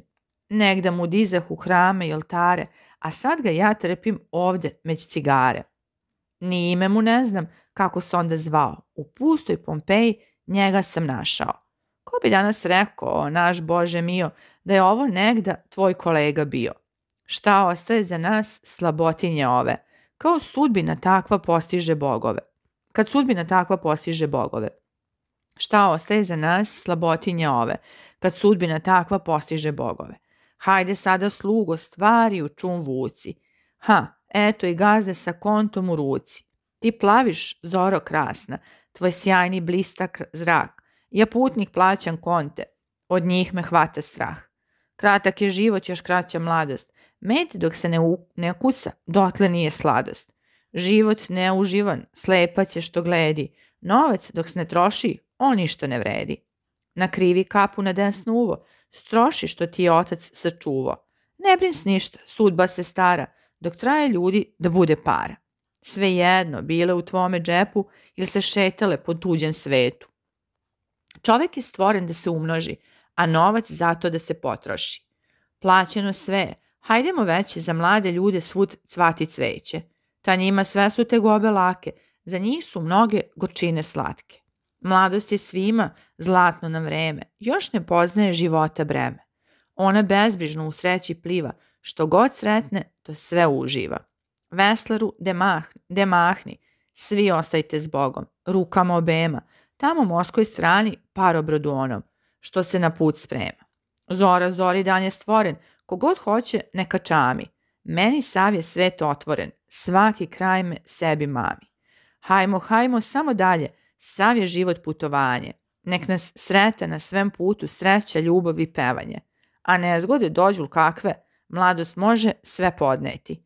I kroz bede i nevolje sa veseljem mladost leti. Nema za nju ništa teškog, noge lake i odmorne, u žalosti nađe smešnog, neora su za nju orne. Pa dobro, parobrod gotov, ali još te čeka. Svi smo na brodu, ali jednog nema. Topova odsvud čuje se jek, gosta svog milog Neapolj sprema. Eto, eto ga, eto, već dohodi, kraljeva šajka njega vodi.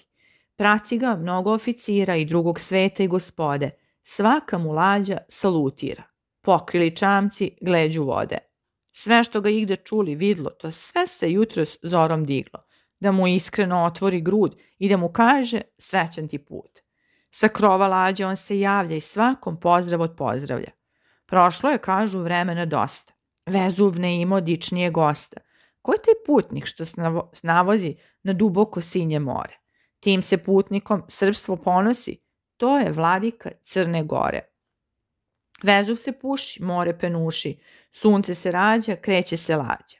O, mila mesta, po vama sada posljednji put se moj pogled šeta. S vama se prašta sad na svakada, polazeć dalje put bela sveta. Zbog o kraju, podoban raju, ljubimče klime, gde nema zime, gde ima cveća i bez proleća, gde nema dana neobasjena. Neapole s Bogom, praštam se s tobom. 30 dana prošlo je veće od kako tebe ovako gledam. Njih ću se kao časova sreće do groba moga svagda da sećam. S Bogom zemljo mila, gde Virgil počiva, gde nestašna mladosti najavi sniva, gde neranđe, cvate i žute citrone, svagda toplo sunce greje lazarone, gde čarobno neko plavetnilo trepti po svim krajevima, i zimi i leti, gde miline svetske čoveku predane na kraj kakav drugi pomisliti brane. Zbogom obale gde sam hodio, ili se u čunu tiho vozio. Hladovi zbogom gde sam sedio, putevi gde sam s konjem jezdio. Ostrvi, staze, zidine stare, portići, Pompejo, Kastalamare. Zbogom utoke, breščići, doline, puni krasote, puni miline. Vezuve, što se tako dižeš i tvojim vrhom u nebo stižeš? Lava se tvoja već dosta lila, zbogom, i štedi ta mesta mila. 10. U Rimu, aprila 1851. Kada čovjek prvi put ulazi u ovakvu jednu varoš s kojom je svetska istorija tako tesno skopčana, obuzmu ga neko osjećanja o kojima ne može sam sebi računa dati. Osvrće se svuda gde će da vidi one ljudi i događaje o kojima je čitao i slušao. Kad smo se približili kapijama Rima, sve što sam iz istorije o Rimljanima znao, ponovilo mi se u mislima njihove borbe i triumfi, njihovi junaci i oratori, njihova bogatstva, nauke i slava, njihovi bogovi, boginje, njihovi imperatori i republike. Sve mi je to na um palo. Ali od svega toga ništa nema. Našao sam Rim, ali nisam našao Rimljane. Mesto triumfa idu po ulicama Litije, mesto bogatih Krasusa, Lukala, Vitelija, prosjeci ne dadu ti iz kuće izaći. Mesto cincata, katona, bruta, sreteš po ulicama bose kaluđere. Mesto Jupitera sa gromovima u ruci stoji statua Svetog Petra i drži dva ključa. Kažu da su to ključevi od raja. Mesto Cezara sedi u Vatikanu jedan smireni starac. Na ono mesto odakle su polazili rimski legioni da idu da pregaze Galiju i Britaniju, vežbaju se francuski vojnici. Varvari Gali došli su da čuvaju Rim. Rim koji je svet osvojio i njime po svoje volji vladao. Hoćemo li iz Rima govoriti što god o prošlosti Rima? Govorili bismo kada bi se u 30 vrsta moglo preći 30 vekova. Pisati prošlost Rima, to je pisati istoriju staroga sveta. Tome nije mesto ovde. Putnici u svojim beleškama spomenu samo po gde koju godinu, po gde koje ime i po gde koji događaj iz okeana rimske prošlosti. Oni u svojim pismima govore o onom što samo pred njih izađe i što je spojeno sa razvalinama pored kojih oni prolaze. Tako ću i ja činiti. Istorija Rimljana, kroz koju ćemo ovdje samo radi opomene protrčati, svakome poznata još iz detinjstva. Nijedna školska vrata ne možeš otvoriti, a da ne čuješ što god o njima. Kad stranac prvi put po ulicama Rima ide, čini mu se da ide kroz neku varoš da je proveo svoje detinjstvo. Pita za Panteon, za Koloseum, za Kapitol, za Forum, kao za kakve stare svoje poznanike. Da pređemo brzim korakom istoriju Rima, da protrčimo, tako reći, kroz tamne svodove od 3000 godina, pa da se onda zaustavimo pred razvalinama koje i danas stoje pred nama. Početak istorije sviju naroda i starih gradova zavijenje u maglu i tamu. Sve istorije počinju izmišljenim gatkama. O postanku i trajanju Rima kažu knjige i pričaju ljudi ovako. Neka rođaka kralja Numitora, sveštenica Rea Silvija, prestupi svoj zavet i rodi blizance, Rema i Romula. Ova deca budu bačena u reku Tibar. Talasi nanesu ih na obalu i na njihovu dreku. Dođe kurjačica te ih doj, dojila dok ih jedan pastir ne nađe, te ih uzme k sebi i odgaj. Oni kad odrastu namisle osnovati jednu varoš, no svade se i poboju oko toga ko će biti starešina. Rem pogine, a Romul ostane i osnuje varoš, koja se po njegovom imenu nazove Roma, ali kao što je mi zovemo Rim.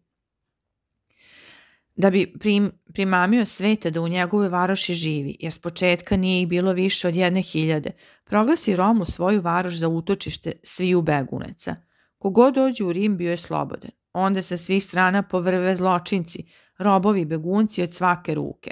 Tako Rim za kratko vreme istina ne postane uljudan, ali postane mnogoljudan. Svi su bili beskućnici i vojnici. Žena nije bilo. Ko će za ovakve ljude da se uda?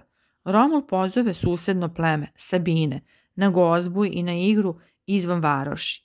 U sred toga veselja svaki rimljanin ščepa po jednu ženskinju i utekne natrag u svoje opkope.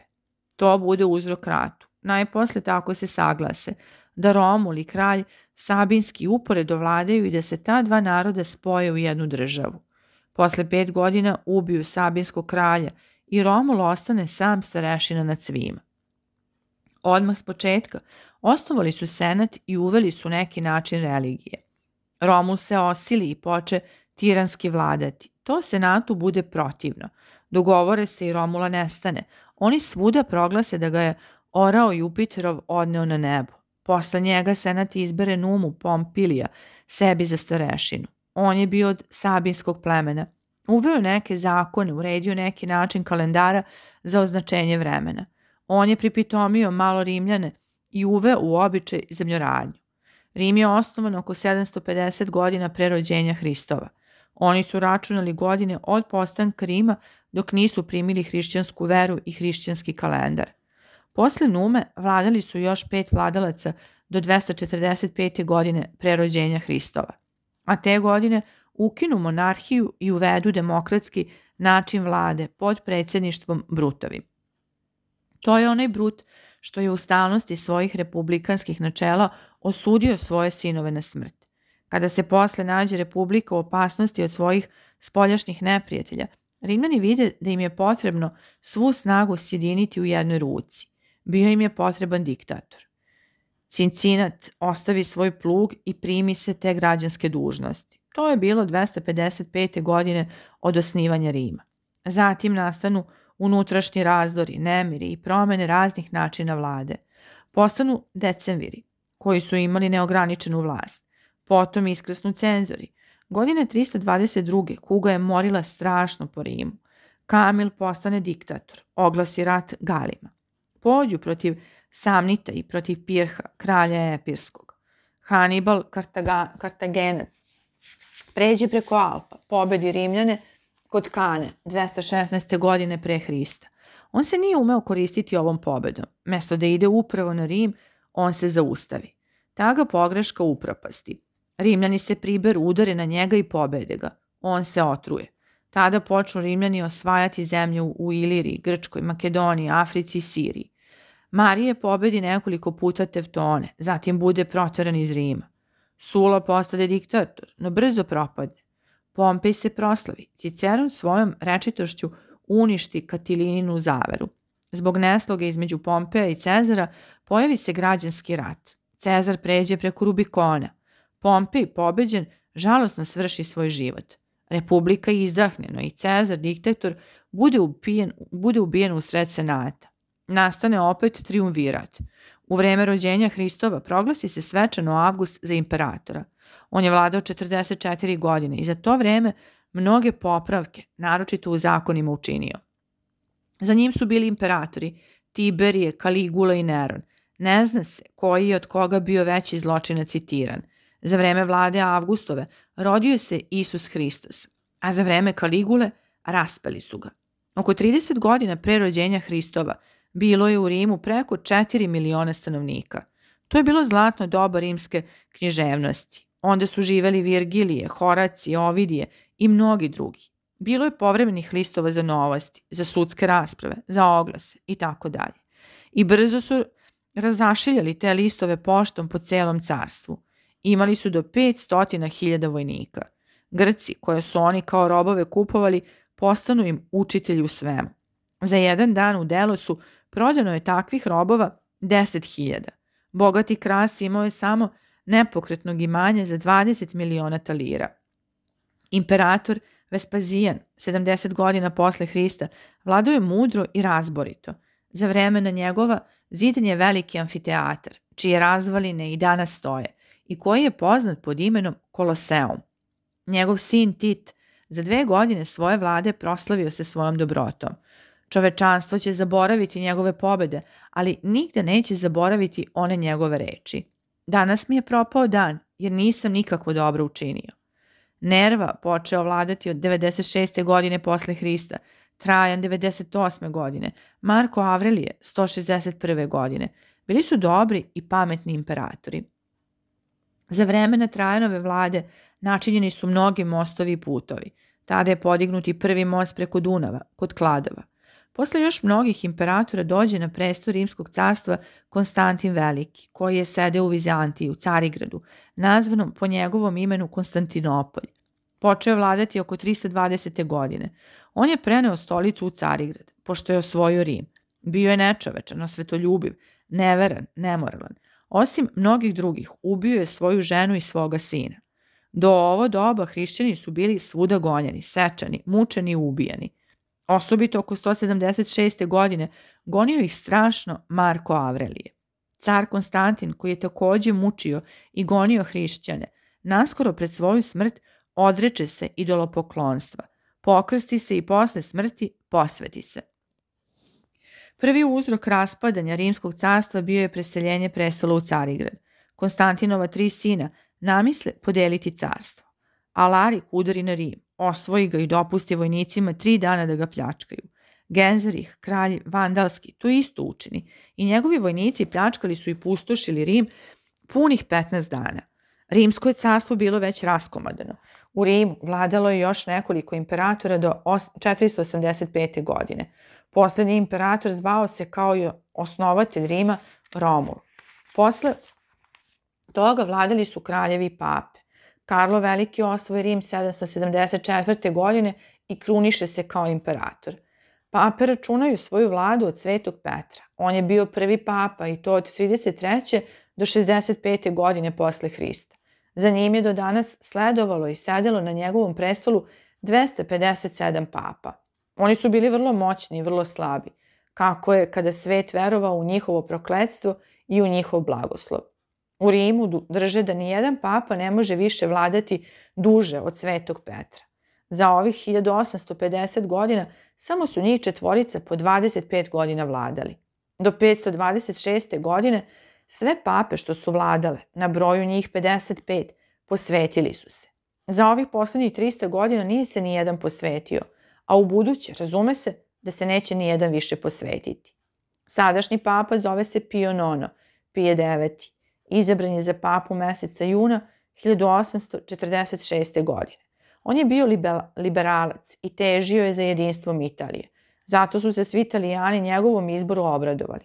Nadali su se da će on mnogo prineti njihovom oslobođenju. No Pije Nono, kada je seo na svetu stolicu, prestao je biti svetac. Promenio se sasvim. Našao je ključeve svetog Petra. Ne mora više pogrbljen ići. U današnjem Rimu živi oko, 1000, živi oko 188.000 duša, ne računajući tu i putnike, kojih ima na hiljade u svako doba, osobito zimi i oko uskrsa. Malo je kad kažem da 100.000 stranaca svake zime letuje po Rimu, Neapolju, Florenciji i drugim talijanskim mestima. Kažu da je broj Rusa, naročito u Florenciji, nadmašio broj Englesa. Engleza. Ruši, Rusi beže u Italiju od mraza, a Englezi od magle. 11. U Rimu aprila 1851. Nijedna varoš na svetu nema da pokaže putniku toliko ostataka iz starog veka koliko Rim. Mi svaki dan od jutra do mraka hodamo, razgledamo ih. Nije mi moguće u ovako kratkom vremenu pisati o svemu onome što smo vidjeli i čemu smo se divili. Godine bi trebalo ovde provesti, redom, jednu po jednu znamenito zgledati, študirati i opisivati. Mi ih brzo prolazimo. Vladika želi da ih vidi. Gde je koja slika Rafaelova, gde je koja ogromna razvalina, zadrži ga po nekoliko trenutaka. O onome što mu se svidi i što ga malo zabavi, pri polasku rekne nekoliko reči, u kojima obično izjavi ono što je osjećao za vreme gledanja. Često kaže i svoje primetbe. On ne mari da ih zapiše, ali svakde je želeo da ih kogod čuje. Jednom kad vide da je da ja o nekim rimskim zidinama nešto beležim i pišem, reče mi. Ja mi to čoče, to je hiljadu puta opisano. Hajdemo dalje. Dođi drugi put bez mene pa piši.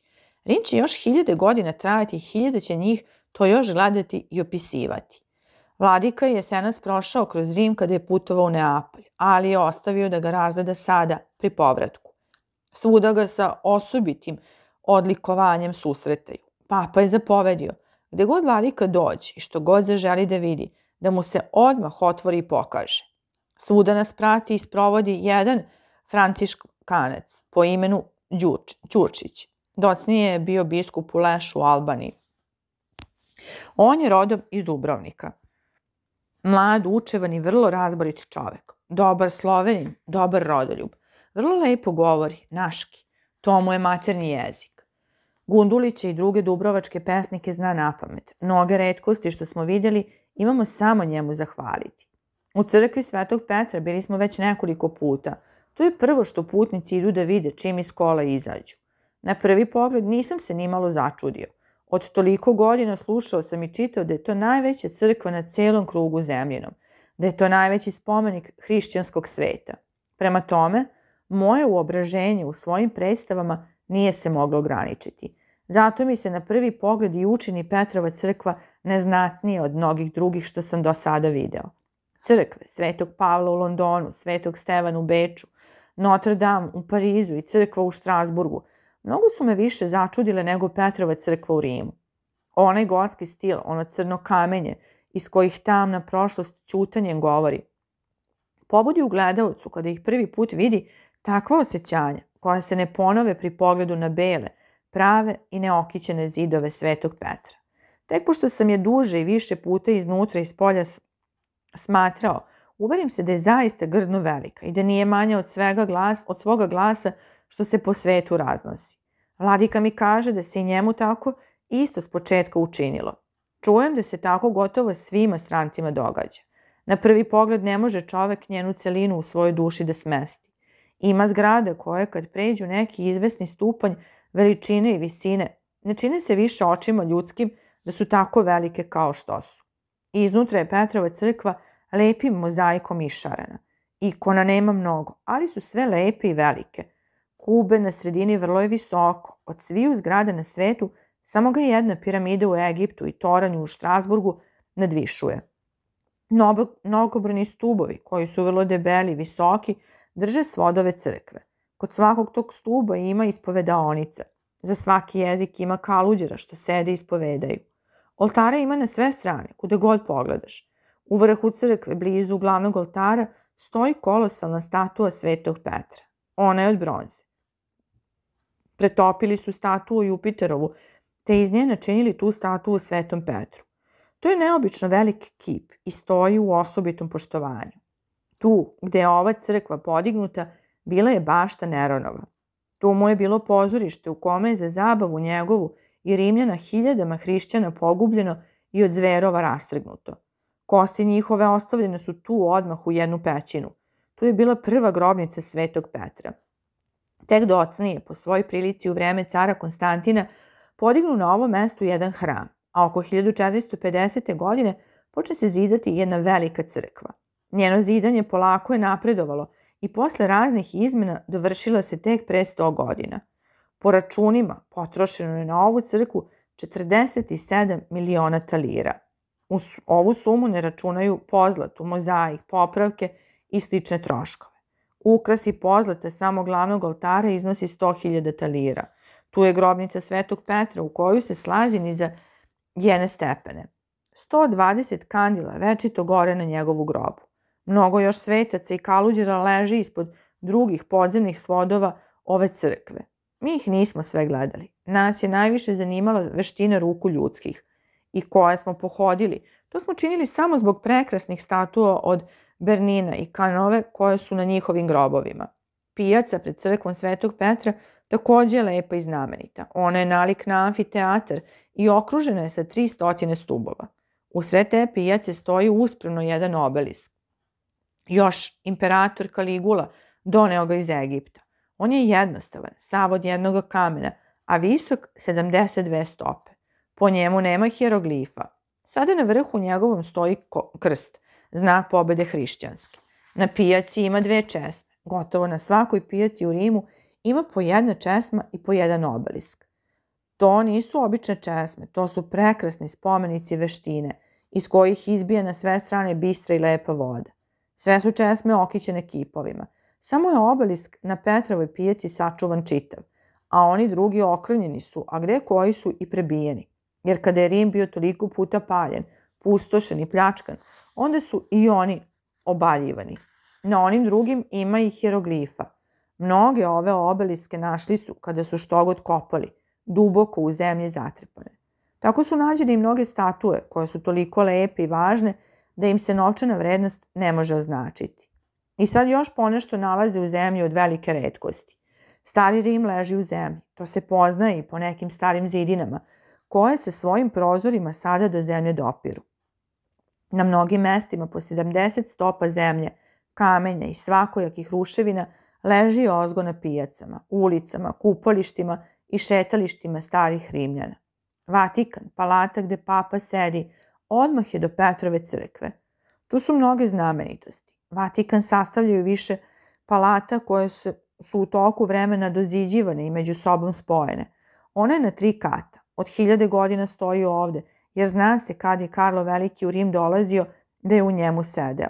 U Vatikanu, koja je kapela, koja je soba, koja je različitih galerija, ima 10.000 odeljenja. Ima osam velikih i širokih, a dve stotine drugih, manjih stepenica – Tu su smeštene mnoge starine, slike, muzeji, biblioteke, statue. Stotine grdno velikih soba napunjene su time. Vladika se najduže zadržava u galeriji slika i to gledeći preobraženje, transfiguraciju, prekrasnu sliku od Rafaela. Tu se najviše putnika sustignu, jer se pri toj slici svaki zaustavi. Ta je soba svakda puna sveta. Svaki se zanese gledanjem. Slika je koliko čitav duvar – Hristos je celokupan u prirodnoj veličini predstavljen. U njegovom licu, koje je sama dobrota, izražene su sve vrline. Ne može čovek očiju da odvoji od te slike. Što je duže gleda, sve mu se više svidi i sve više želi da je gleda. Ovakav ideal dobrote, kao što je ovo lice Hristovo, ne može se nigde više na platnu videti. Slikari sa sviju strana dolaze te kopiraju ovu sliku. I sada četvorica sede i rade. Među njima bejaše jedan Rus. Vladika je seo na stolicu i 30 minuta gledao neprestano u božanstveno lice Hristovo. U celoj Italiji ništa mu slađe nije bilo gledati od ove slike. Zaista, reče pri polasku, kad bi ova Hristova slika mogla progovoriti, prve bi re, riječi bile. Ne činite drugima ono što sam, sami sebi ne želite. Vjera bez dobrih dijela mrtva je. Od ovakve nežne slike, posle nekoliko trenutaka, dođemo pred mramornu grupu Laokona, sveštenika Neptunova. To je jedna od najčuvenijih i najslavnijih statua što je igde iz mermera istesana. Velika zmija uvila se oko Laokona i njegova dva sina, kojima je upomoć on dotrčao, i ujedajući ih, uvila se oko njih tako da je strahota pogledati ovu bornu i one muke. To je takvo vešto predstavljeno da čovek zaboravi da je to od kamena. Čini mu se da ih gleda žive. Čisto sluškuje da čuje pisku zmije i jaukanje dece i njihova oca. Ova u svom rodu nenadmašna statua nađena je u Rimu, u zemlji, pre 300 godina, a ima više od 2000 godina kako je načinjena. Jedni drže da je veštak izrezao ovu statu po stihovima i eposu Vergilijevom, a drugi opet kažu da je Virgilije, gledajući na ovu kamenitu grupu, one svoje stihove napisao. Vladika se nije dugo zadržavao pri ovoj statuji. Grozne predstave ne može da gleda, one ga ne vesele. To bi, reče, Omer Paša ili koji od turskih sultana namesti u svoj trpezariji da slađe ruča. Zadržali smo se pri drugim vrlo lepim kipovima, kojih u Vatikanu mnoštvo ima od svake ruke.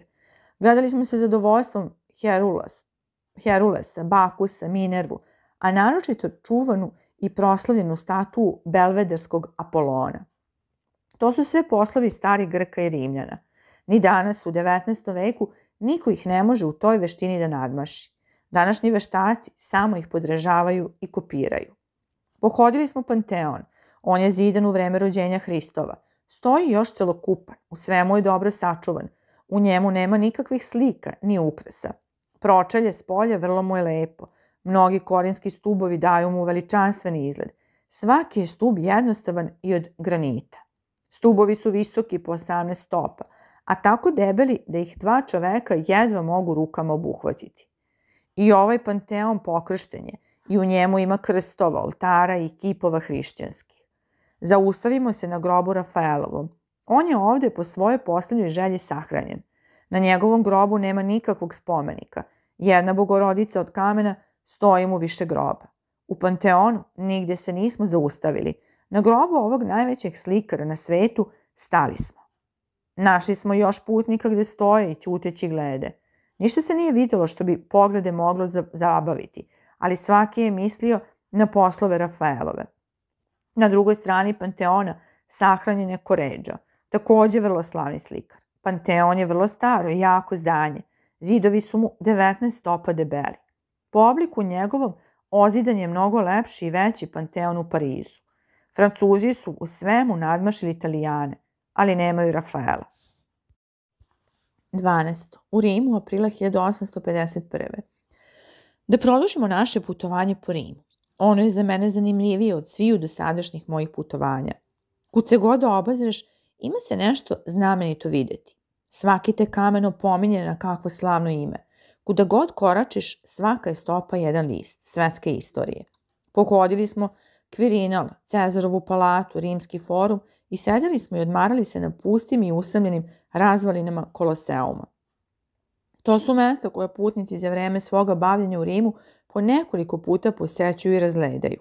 Najstariji monument iz starog rimskog doba nalazi se oko foruma. Kada smo išli niz velike kapitolske stepenice, bili smo u sredini među njima, same razvaline. To je prvo ime za poslove naših ruku, tako se zove prošlost ljudska. Rimski forum, gdje su se tolika istorijska djela svršila, gde je ugovoran rat i mir, forum gdje se sudbina sveta rešavala, leži u razvalinama i sada se zove Kravlja pijaca. Našem pogledu učinilo se da su juče sa svojim varvarskim četama ovuda prošli Alarik, Genzerih i Atila. Grabeži i pljačka podigli su i osnažili Rim. Grabeži i pljačka oborili su ga i pretvorili u ruine. Ko sabljom seče od sablje pogine. Što su Goti, Vandali i Huni ostavili uspravno, došli su Normani i oborili. Opljačkani narodi po dalekim krajevima Azije, Afrike i Evrope davno su osvećeni. Na ognjištu njihovih tirana, na forumu starih Rimljana, goveda planduju. Nema ni onog jezika kojim su na svojim zborovima u ovom forumu govorili. Nijedna mati više ne uspavljuje svoje dete tim jezikom. Nestalo ga. Niko ne zna kako. Odmah kod foruma hram je Veste. To je najstariji hram u Rimu. Na tom su mestu nar... nađeni Romul i Rem. Razume se, taj hram sada je crkva. U kapitolu još se vidi na zidu jedan Jupiterov orao. Nisu ga izmazali. Hrišćanstvo ga poštedelo. Na slavnoj Tarpijskoj steni nismo ničega slavnog našli. Stub Marka Avrelija Antonina prekrasan je spomenik. To mu je senat podigao da ovekoveči njegove pobede u Germaniji. Ovaj stub sklopljen je iz 28 velikih komada belog mermera, na kojima su izrezane bitke i pobede Rimljana. Visok je oko 150 stopa. Iznutra imaju stepeni po kojima se može do vrha popeti. No, Trojanov stub mnogo je lepši i važniji. Vrlo je dobro sačuvan. 1700 godina stoji na tom mestu gde je sada i rekao bi da je juče podignut. Za ovakve spomenike kao da je vreme izgubilo svoje zube. Ni vandali kada su Rim rušili i palili nisu ga dirali. Da je bio od srebra ili zlata, davno bi ga nestalo. Od kamena nikom ni kamena. Stub ovaj sastavljen je iz 34 komada od mermera, na kojima su vrlo vešto izrezani ratovi rimski i pobede Trajanove. Ljudi, haljine, konji, oružje i druge vojne sprave od dna do vrha, oko stuba, vešto su u mermeru izrezani. Samih ljudskih likova ima, kao što kažu, oko dve i po hiljade. Svi veštaci koji rade na kakvim predmetima iz starih rimskih vremena sa ovog stuba pregledaju haljine, oružje i tako dalje. Triumfalnih kapija ima više, no sve su gotovo porazvaljivane, osim kapije što je podignuta u slavu cara Konstantina. Ona je još celokupna. Nije velika, ali je vrlo lepa i zidana je na tri svoda. Malo dalje od ove kapije pružio se koloseum, kao lešina kakvog giganta. To je najveći amfiteatar što je igde na svetu bio. Zidan je za vreme vlade cara Vespazijana. Zidali su ga zarobljeni jevreji koje su Vespazijan, a posle njegov sin Tit iz Sirije doveli. To je bilo na 70 godina posle Hristova rođenja. Kažu da su ga za četiri godine ozidali. 100.000 ljudi moglo je u njemu stati i gledati predstave, ili bolje reći zlostave. Svi su gledaoci obično sedeli i sad se poznaju mesta određene za sedenje. Poznaju se lože odakle su imperatori, sveštenici i druga goština, gled, gospoština gledali. Kažu da je Titus dovršio ovaj amfiteatar, da je u njemu za sto dana svaki dan davao predstave Rimljanima i da je na tim predstavama poginulo 2000 gladijatora, boraca i 5000 koje lavova, koje tigrova, koje drugih divljih zverova. Kad borac nadvlada zverku ili zverka rastrgne koga bor, borca, to je bilo veselje za Rimljane. Od radosti pljaskali su rukama. Ovakve surove zabave stvarale su surove ljude u kolibi i na prestolu.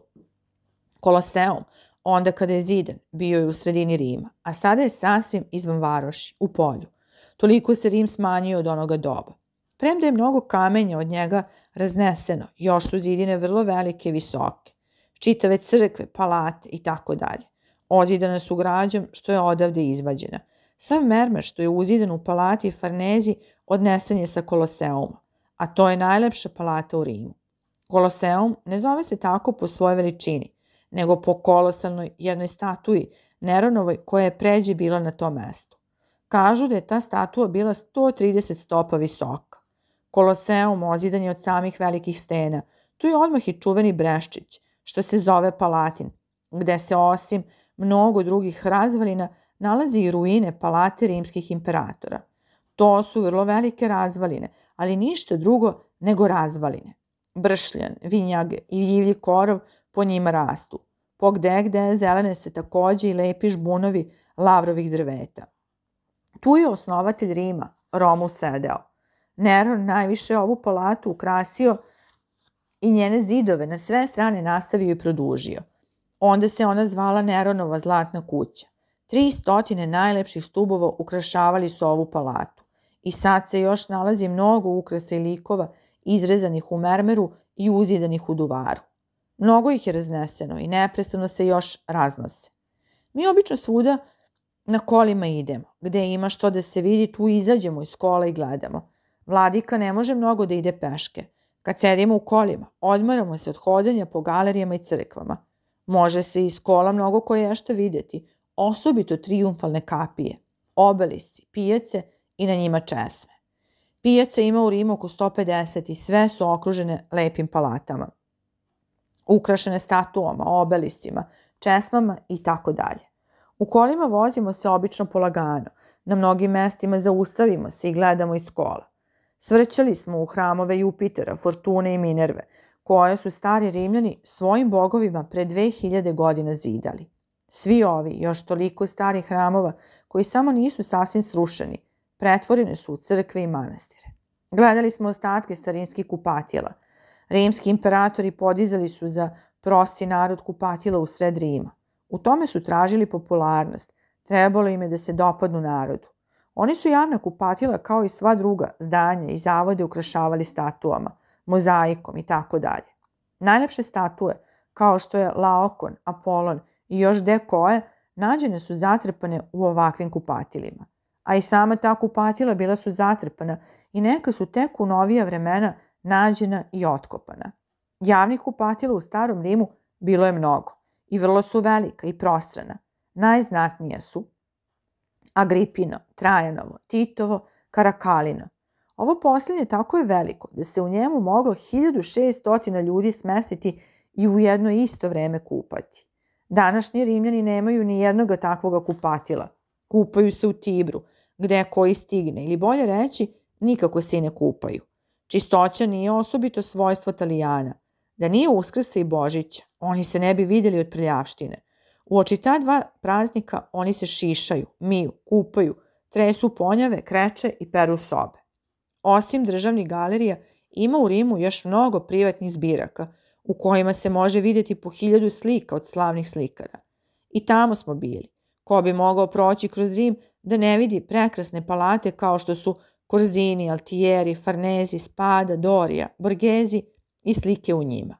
Na kojoj god crkvi ili palati otvoriš vrata, nađeš vajarske i slikarske poslove takve da im se moraš diviti. I sami hladni englezi spadnu s nogu trčeći da sve vide. Čovek još ne zna zašto voli ono što je lepo. Zato što je lepo. To je sav odgovor. Putnik koji nigde nije o skulpturi i slikarstvu mislio, kad putuje po Italiji, sam ne zna kako se u te veštine zaljubi. Neprestano njima čita, neprestano njima misli. I kad spava, o njima sanja. Po samom izrazu slike pogađa koja je iz škole holandske, koja iz talijanske. Oči su mu već privike da razlikuju jednu školu slikara od druge. Kad se gledanjem po varoši umorimo, onda se vozimo po okolini Rima. Pohodili smo crkvu Svetoga Pavla, do koje smo se gotovo čitav sat vozili. Toj crkvi ima 1500 godina. Mnogo je puta gorela i od varvara, osobito od Saracena, pljačkana i rušena. Jedan put udario je grom te zapalio. Tu počiva telo svetoga Pavla, a glava mu je, kako kažu, u Lateranskoj crkvi u Rimu. Nedaleko od ove crkve ima druge tri crkve, na onom istom mestu gdje je sveti Pavle posečen. Kažu, kad mu je glava na zemlju pala, da je tri puta odskočila od zemlje i gdje god je pala, onda je izvor vode potekao. Kod svakoga toga izvora, koji i danas izviru, načinjena je po jedna crkva – One se tako i zovu. Tre fontane, tri izvora. Svetom Pavlu kao rimskom građaninu učinili su počastem u glavu ocek. One druge, kao i svetog Petra, razapeli su na krst. Ova Pavlova crkva sad se opravlja. Vrlo je velika i kada se sasvim opravi, bit će prekrasna. Celo katoličko hrišćanstvo pozvano je da su tako iz čitavog sveta došli prilozi i milostinja. Velike su se sume skupile – Stubovi što su doneseni iz Egipta još leže nepodignuti. Milione će ova crkva stati. Ah, koliko je sirota iz celog sveta odvojilo zaloga od usta svojih i svoje dece i ovamo poslalo da se polovina od toga novca potroši na raskoš prelata i kaluđara, a polovina da se izda za ovaj hladni mermer. Kako siroti da ne daju kada se ište u ime blagoga Isusa Hrista – Kako da ne daju kad znaju da je taj u čije se ime išti i prosi bio je najveći zaštitnik sirota. Delio milostinju i učio druge da tako čine. Ko ima dve haljine, Neka jednu pokloni onom što nema. On je osnovo religiju, ljubavi i milostinje. U crkvi kod kapitola, pred oltarom svetoga Josifa, grob je Katarine Bosanske kraljice. Na njenoj nadgrobnoj ploči sada stoji samo latinski natpis, a pre, kao što nam kažu, bio i srpski natpis čirilovskim slovima. Po želji vladičinoj prepis, prepisao nam je G. Ćurčić taj srpski natpis iz knjige Oca Kazimira, reda Svetoga Franje, pečatene u Rimu 1736. godine. Taj natpis ovako počinje. Katarina, kraljica Bosanska, Stepana Hercega od Svetoga Save od poroda Jelene i kuće cara Stepana rođena. Tomaša kralja bosanskoga žena. Odatle se može dalje vidjeti koliko je godina živela i da je u Rimu umrla 25. oktobra 1458. godine. Njena bliža istorija i slika može se naći u knjizi Gvaldija. Sve smo vidjeli, no žalosti naše nismo vidjeli papu. Vladika neće da mu ide, premda bi ga papa, kao što nam je došlo do znanja, privio kako on hoće. Vladika nije u Rimu gotovo nikom išao u posete. Njemu je dolazilo više znamenitih i velikih ljudi, osobito Rusa, među kojima je bio ruski poslanik i knez Čavčin, stari vladični poznanici. Mnogi fratri i sveštenici iz Hrvatske, Slavonije i Dalmacije, koji se ovde po manastirima ili inače u službi nalaze, pohode vladiku. Oni se vrlo raduju kad vide kako vladika, nezavisno od vere, govori o rodoljublju. i od jedinstvu našeg naroda. Oni vide da veri nije protivno ljubiti svoj jezik i svoj narod. Godina 1848 nije prošla bez koristi. Ona je u svakom slovenskom srcu podigla oltar narodnosti i užegla kandilo pred njim. Svude se ponavljaju reči. Ne gledajmo ko se kako krsti, nego kakva krv je njegovom srcu teče. 13. U Rimu, aprila 1851. Skoro ćemo iz Rima poći, treba dalje ići. Italija ima još lepih varoši. Italija ima još lepih slika i lepših reka nego što je Tibar. Ove posljednje dane naše bavljenja ovde posvetili smo okolini Rima. No ipak, nigde ne možemo proći pored Petrove crkve ili pored Koloseuma, a da se ne zaustavimo i da ih ne gledamo. Nigde ne možemo proći pored Vatikana, a da ne svratimo i u preobraženje tu poslednju i najsavršeniju Rafaelovu sliku da vidimo. O okolinama Rima nema se toliko govoriti koliko o Rimu, ali ima mnogo što zaslužuje da putnik u svojim kratkim beleškama spomene. Ja ću ih sasvim izostaviti. Vladika pravo ima kad kaže da će Rim i njegove okoline trajati još hiljade putnika i hiljadu putnika još ih opisivati. Ja ću samo o Vladici da pišem. O njegovom putovanju po Italiji niko drugi neće pisati. Njegovo trajanje na zemlji kratko je. U Rimu poslužilo je vladiku i dobro vreme i dobro zdravlje. Otkako smo ovde, niti je bilo oblačnog dana, niti se vladici vraćao kašalj. Pored svega mnogoga hodanja i voženja, nigde se nije potužio da je umoran ili da nije mogao spavati. U Neapolju mnogo je noći zbog kašlja proveo sedeći u stolici. Gledanje znamenitosti po Rimu vrlo ga zanima. Crkvu Svetog Petra sam je premerio koracima i kazao mi da zapišem. Ima dužine 184, a širine 140 koraka. Kada smo izvan Rima jednom u polju bili i, to toli, i toliko koraka premerili i označili, nismo mogli verovati. Tako mnogo prostora zauzme čitava njiva. U crkvi Svetoga Petra kao osobita svetinja čuva se lanac kojim je Sveti Petar u Jerusalimu u tamnici bio vezan. To je onaj lanac što je u našem narodu poznat pod imenom časne verige. U kalendaru u mesecu januaru njima je posvećen jedan dan. Sećam se kada sam mnogi razbiraju kada su časne Sećam se da kod nas mnogi razbiraju kad su časne verige da se ne bi ogrešili u taj dan što god radili. Taj lanac čuva se kao svetinja i stoji u kovčegu svagda pod ključem. Kaluđer, kad ga pokazuje otmenim putnicima, sa velikom pažljivošću otvara skrinju, vadi lanac iz pamuka i sa osobitom pobožnošću i smirenošću prinosi ga poklonicima, te ga oni klečeći sa skrštenim rukama celivaju. Kad je Kaluđer prineo vladici ove verige, vladika ih odmah uze u svoje ruke – Rasteže ih da vidi kolike su i čudeći se kako su dugačke, reče. Ala su ga dobro vezali, zatim ih vrati odmah kaluđeru koji od čuda jedva je mogao zapitati. Zar ih neće vaša svetlost celivati? Vladika mu polazeći odgovori. Crnogorci ne ljube lance. Pri prvom ulasku u Petrovu crku, Serdar Andrija zaustavi se na vratima, skide kapu, prekrsti se i glasno reče. Prosti mi, majko, crkva moja na cetinju, ne ulazim da se poklonim, nego da se nagledam.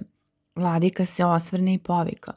Ulazi čoče, stalo je crkvi na cetinju kuda hodi Andrija Serdar. Ja mislim, gospodare, nastavi Serdar, da će joj biti žao što ulazimo u tuđu crkvu. Često smo se razgovarali o crnogorskom svetu, svetom Petru, stricu Ladičina. Osobito Đuka, koji je kod njega služio, mnogo mi je pričao o njemu. On je svetac, često Đuka govoraše, još dok je po zemlji hodio šćaše se posvetiti. Što rekne, ono se dogodi. U poslednje vrijeme niko nije znao šta je jeo i od čega je življao. Samo jedan stari kaluđer, Rus, u jednom malom zatvorenom lončiću, svakda mu je nešto kuvao i to je Sveti Petar i objedovao i večerao. Niko nije znao šta je to. Još za života njegova nismo ga drugše zvali nego Sveti Vladika. Bojali smo se njegove kletve više nego oštre sablje. Jedanput kada smo izlazili iz Petrove crkve reče Ja mnim gospodare koliko god ovi sveti Petar može god Boga učiniti, može kod Boga učiniti, toliko može i onaj naš što je na cetinju. Vladika se slatko nasmeja, pa mu odgovori. Baš i ja tako mislim, Đuko. Nisam još ni jedne reči napisao o crkvi Svetoga Jovana, koja je posle Petrove crkve najveća i najznamenitija. Ona se obično zove crkva Lateranska, po imenu jednog hrišćanina Laterana, koji je na ovom mestu gde je ova crkva podignuta pogubljen, što je bio u zavari protiv Nerona. Ovo je katedrala crkva sviju papa. Ovo je katedralna crkva sviju papa. U njoj oni najviše služe. Naročito kad nov papa bude izabran. U ovoj crkvi drže se najveće ceremonije. Prepune raznih ukrasa. Stubovi i statue ne mogu se prebrojati.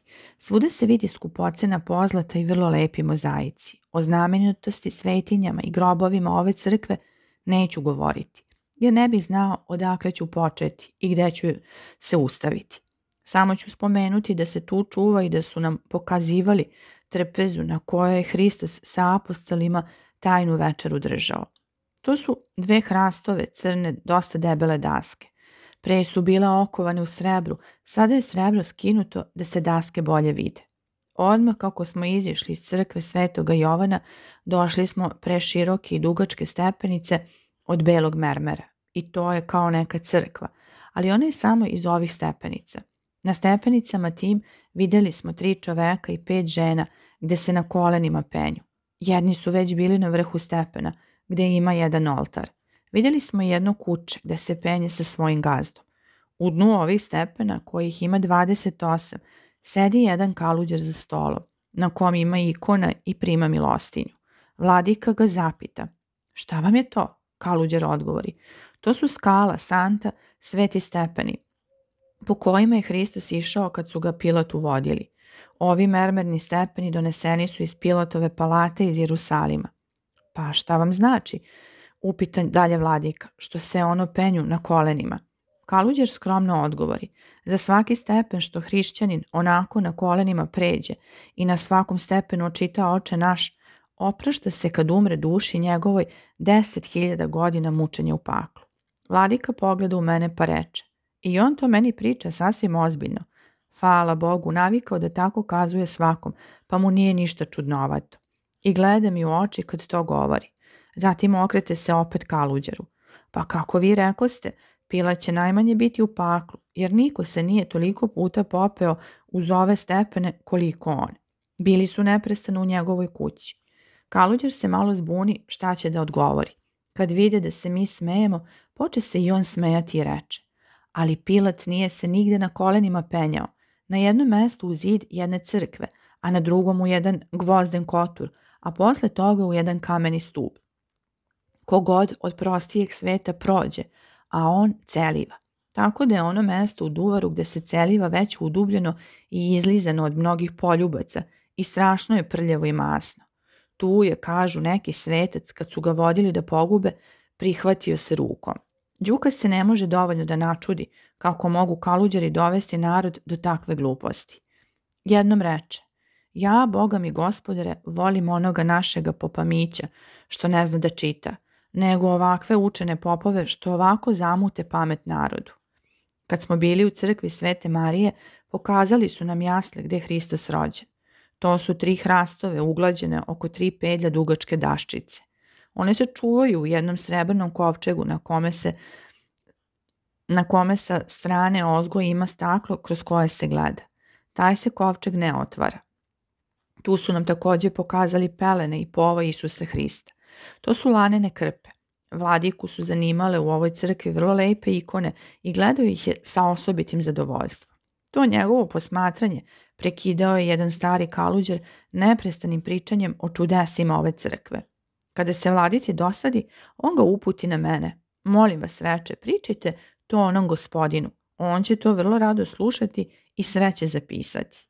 I tako sam ja morao ostaviti dalje gledanje po crkvi i slušati priču kako se svetome Liberiju i svetome Patriciju pre 1500 godina jedne iste noći javio anđeo i kazao im da zidaju crkvu onde gde sutra nađu da je pao sneg i da crkva bude onolika koliko mesta pritisne sneg.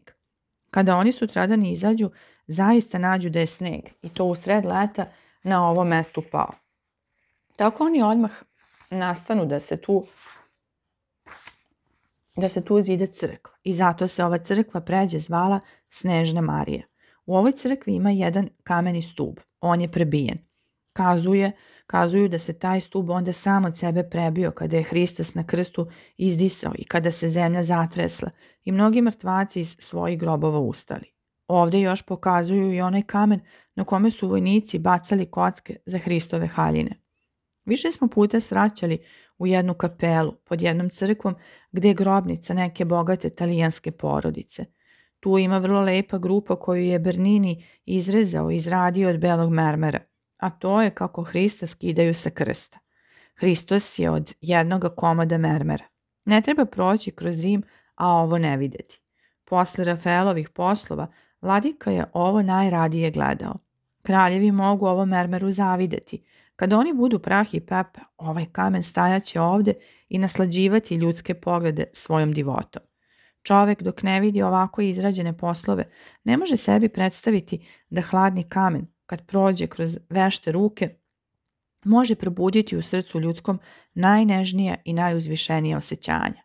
Ovaj mermer stvara više hrišćanske ljubavi i prave pobožnosti nego sve predike jezuita. Mermer ćuti, ali vi čitate iz njega najlepšu pesmu, poslednju scenu najveće tragedije. Crte Hristove na kamenu izrezane govore.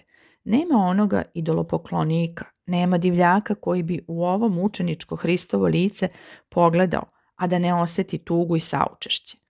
U crkvu svetoga Onufrija, koja je podale kod Rima, išli smo samo s toga što je tu sahranjen slavni italijanski pesnik Torquato Tasso. Mala mramorna ploča s leve strane označava ovo znamenito mesto, grob velikog poeta, kome se putnici sa osobitim poštovanjem približuju. Čudnovato je da u Italiji ljudi veliki i slavni zbog svojih zasluga i dela nemaju lepših spomenika, dok se na grobovima papa i mnogih drugih neznatnih ljudi blista kararski mermer, na kome su Bernini, Kanova i mnogi drugi umetnici svoju najveću veštinu pokazali. No potomstvo gleda i uvažava ovamo statue na grobu, a onamo one što leže u grobu. Mnoge smo lepe spomenike gledali i divili se, a nismo pitali na čijem grobu stoje. Ili, ako nam je i kazano ime, mi smo ga zaboravili. U ovom manastiru živeo je Torkvato Tas, jedan mesec dana, pa tuga i smrt našla. Kaluđer nas je vodio u njegovu sobu u kojoj je umro. Tu nam je pokazao njegovu stolicu, sto, divit i tako dalje. Sve je izgledalo sirotinski. Dalje pokazao nam je njegov beo pojas. To se drži u jednoj šatulji i kroz stakleni zaklopac može se videti.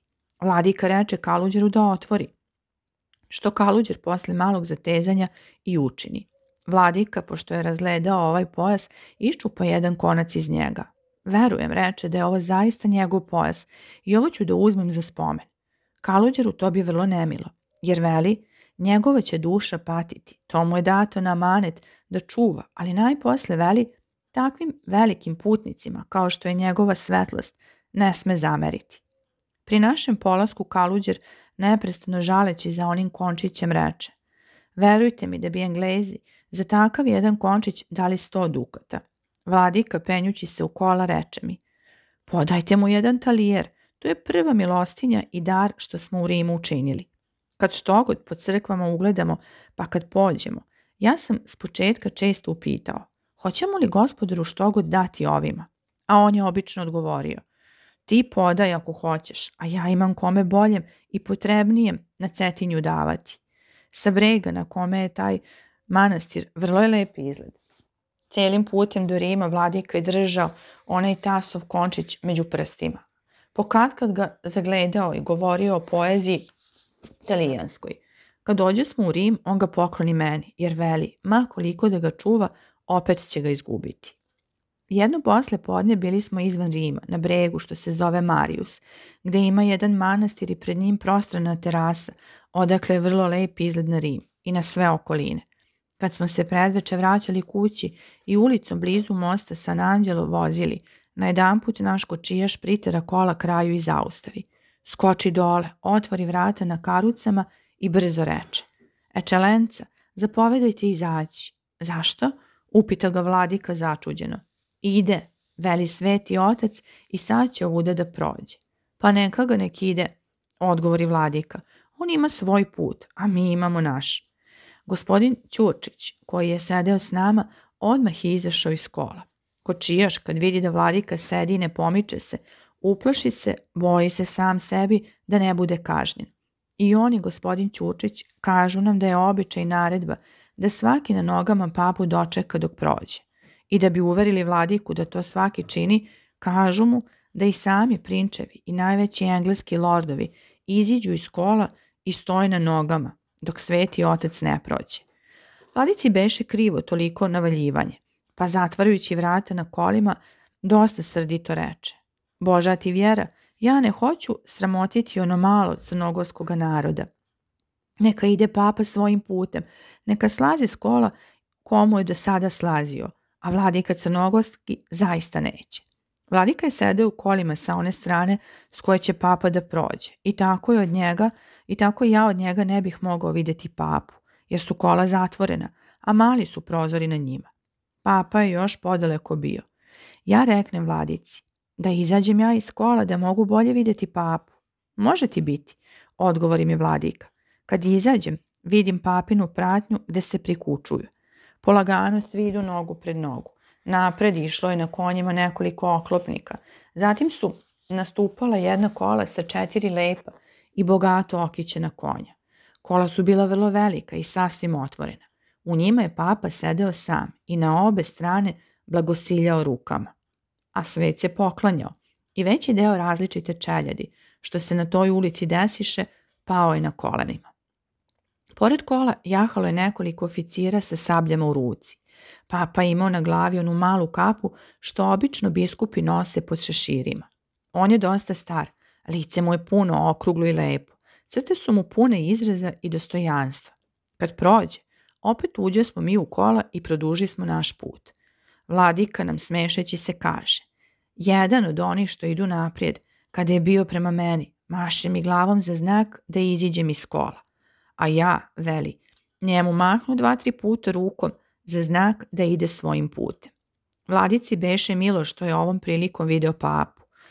Bar veli ne može nam se ona poslovica kazati. Bio u Rimu, a nije video papu.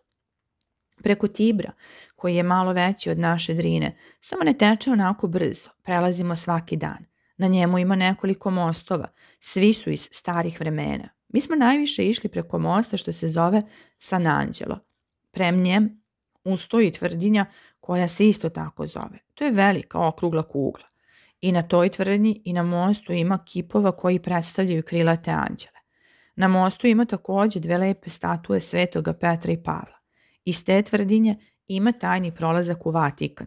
A to zbog toga da bi sveti otac, kad se pobune protiv njega, a što često biva, mogao uteći i zakloniti se pod krila svetog anđela, iza topova te tvrde kule. Ni njemu ne pomažu svakda molitve. Vladika je išao u Vatikan gde se novci kuju. Ja nisam tamo išao. Pratio ga jedan ovdašnji crtač koji mu je nacrtao Obilića medalju. Vladika u kovnici želi da naruči nove medalje. U Rimu ima svega 360 crkava. Kaluđera ima na hiljade. Siromah Berlin. Kuća njegova je retička duša. Tri puta je veći od Rima, a nema više od 60 crkava i nema ni jednog visokog tornja. On je otpornik od Rima, ne veruje u papinu svetinju. Pape neprestano žale za tim svojim izgubljenim stadom, osobito za stadom sa tako dobrom vunom. Berlin ima 360 velikih i hiljadu malih fabrika. Rim nema ni jedne, osim ako ćemo među fabrike brojati nekoliko magaza gde se prave likeri, čokolade, rukavice, fališan biser, mirisavi sapuni i neke svilene stvari. Nigde nisam video da kakva velika mašina radi ili da se kakav visoki dimnjak nad fabrikom puši. Narod je u Rimu neradan. Hoće da prevari, lažljivlje, bezobrazan je, kradljiv je i vrlo pobožan. Da im nije stroge cenzure koje ih čuva od evropskih knjiga, svi bi postali rodoljubci i republikanci, a to su već papini protivnici i otpadnici. Takvih, kao što nam rekoše, ima u Rimu sada 3000, u tamnici. U svetoga oca ima mnogo nemirne i neposlušne dece, ali on neočinski sa njima upravlja i vlada. Da nije ovde francuske vojske te drži mir i red, papa bi se odavno morao seliti iz Rima. Sva talijanska inteligencija protivna mu je i radi sa sviju strana da mu se ukine vlast. Stoga je sada ovde velika strogost, samo putnici uživaju potpunu slobodu. 14. U Rimu, aprila 1851. Posle jedne šetnje na kolima proveli smo veče na Koloseumu.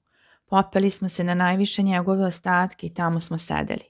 Ispratili smo sunce, dočekali smo zvezde. Koloseum noću izgleda drugčiji. Suton daje mu neku tužnu poetsku sliku, a noć ga pretvara u crno strašilo. Putnici ga rado u to doba pohode. Bilo ih i tada dosta. Išli su i sedeli po onim kamenitim rupama kao slepi miševi. Svi su ćutali kao aveti. Vladika je bio zamišljen iz gde koje reči kojom je svoje ćutanje prekidao. Videlo se da je o ljudskoj prošlosti mislio. A o čemu bi drugom nego o prošlosti mogao čovek misliti na razvalinama Koloseuma, pored koga Rim, taj veliki balsamirani mrtvec, leži. I za varoši i za države prirode ima svoje zakone. I one imaju svoju mladost, svoju starost, svoju smrt. Niniva i Memfis, one velike varoši oko kojih se jedva za dan i noć obići moglo, poznaju se danas po kamenim stubovima što vire iz zemlje. A London, sabor i magacin sveta, podigao se na ono mestu gde su onda divlji zverovi svoje pećine imali. Rim pao i postao nejak. Mars preselio svoje darove u Pariz – Pa koliko miliona godina treba da tako jedna varoš kao što je Niniva i Memfis poraste do najvišeg stupnja i da sa svim svojim stanovništvom, sa svim svojim bogovima i oltarima i sa svojom slavom propadne. Ni pune 2000 godina. Toliko nije trajalo ni Asirsko, ni Veliko Rimsko carstvo. A toliko može da raste i da traje jedno drvo, jedan grm. Doći će vreme kad će putnici dolaziti na obale reke Sene i Temze i kopati zatrpano kamenje da pronađu gde je Pariz i London. Uništenje ovako velike varoši i rasturen mravinjak za prirodu je svejedno. Njoj su sunce i planete individue, to su stanovnici ove neizmene vasenjene. A ljudi, to su male trunke od praha što padaju na njenu porfiru. U koloseumu čovek danju vidi same nagomilane velike stene. Noć ih sve oživi. Uobraženje nema granica – Pred nama se u mraku javljaju scene koje su pre 18 vekova ovde bivale. Vidimo Rimljane gdje na svojim mestima sede. Vidimo ih kako se miču jedan drugome šaplju. Nestrpljivo očekuju početak užasne predstave. Osvrću se na onu stranu odakle će iskočiti divlji zverovi. Drugi po sredini cirkusa kao senke tamo amo prolaze. Spremaju.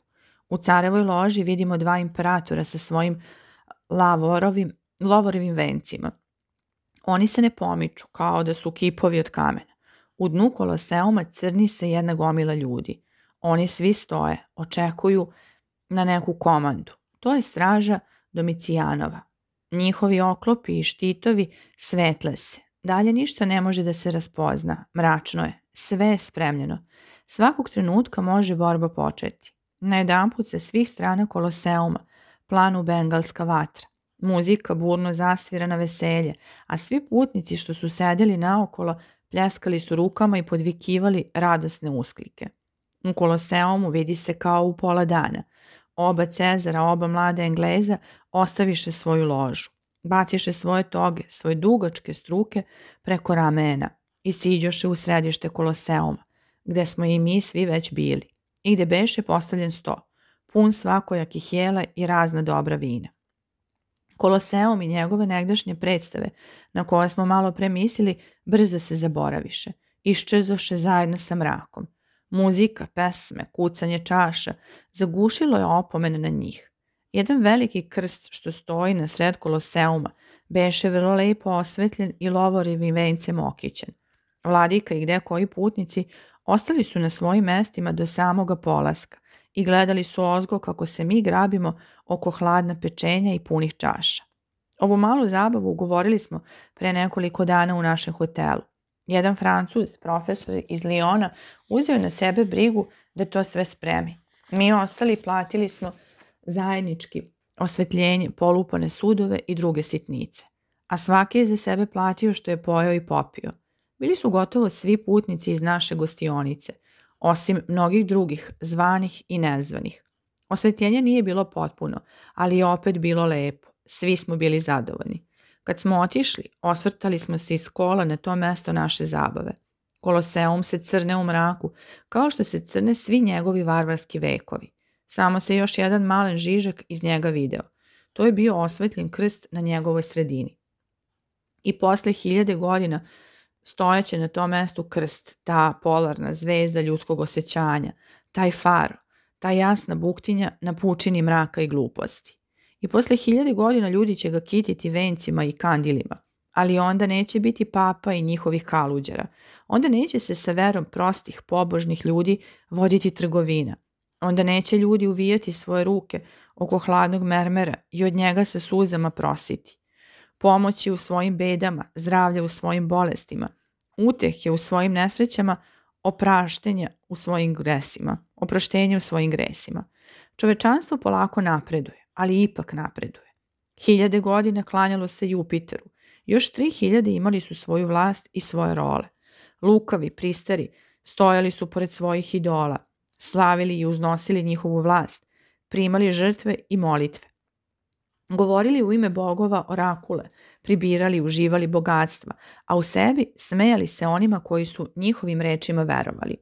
I tako hiljade godina ljudi su u gorama i u grešnijima, u gorima, ljudi su u gorima i u grešnijima tražili za novac posrednike između sebe i Boga. No ljudi što stvore, to i obore. One koji su jedni za bogove proglasili, drugi su ih bacili i uništili. Kako je koji bog sa prestola pao, odmah se vidjelo da nema božanske snage. Jupitera i Neptuna nema više. I opet grmi i sevaju munje. I opet se na moru podižu i spuštaju valovi. Razum čoveči sve bolje uviđa. Da ono što čovek u svojim fantazijama i za ličnu korist neke klase ljudi izmisli, nije Bog. Da se nije razum ljudski zanimao onim što mu je apsolutno nemoguće znati i što mu ne treba da zna. Još bi se Aleksandar Veliki vozio na železnici po ravnici Azije. I podiže se nauka Hristova iz Jerusalima, kao sunce iz mora, da obasja zemlju, da uništi svako tiranstvo i svaku čovekovu nečovečnost i da osnuje društvo ljudsko na ljubavi prema bližnjima. Rim i njegovi idoli i pristari, potreseni iz osnova takvom istinom, zatreptiše i raspeše Hrista i njegove najbolje učenike a hiljadama oni što su u nauci Hristovoj spasenje i utehe tražili, pobiše ili ih divljim zverovima predadoše. No zalud, Rim je u toj borbi pao. Kad kažem da je Rim u toj borbi pao, neistinu govorim. On i sada vlada. Njegovo carstvo dalje se sada prostire nego što je bilo kada su Cezari po njegovim ulicama hodali. Njegovo oružje nije više od gvožđa. Rim, kada je postao nemoćan, da silom grabi, on otima. Kao bolestan lav pretvori se u samu blagost i dobrotu. Pretvori se u svetinju. Kad vidi da mu se uzalud protiv hrišćanstva boriti, pretvori se u najžešćeg hrišćanina.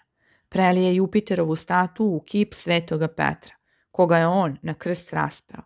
Hram što je Pompej podigao Minervi pretvori u crku što se sada zove Sveta Marija Minerva. Od Panteona načini crku Majci Božjoj i svetim mučenicima, koje je on Rim pomorio.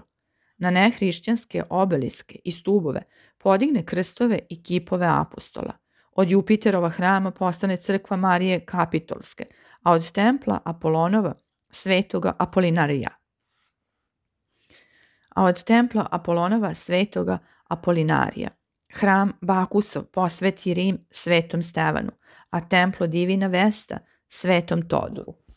Od templa Konkordija, što je Kamil podigao za spomen pomirenja između patricije i naroda, a gde je senat pokatka držao sednice svetom Sergiju, od stubova Herkulovaga, hrama podigne crku svetom Nikoli. Rim je prekrojio odeždu u kojoj je služio idolima.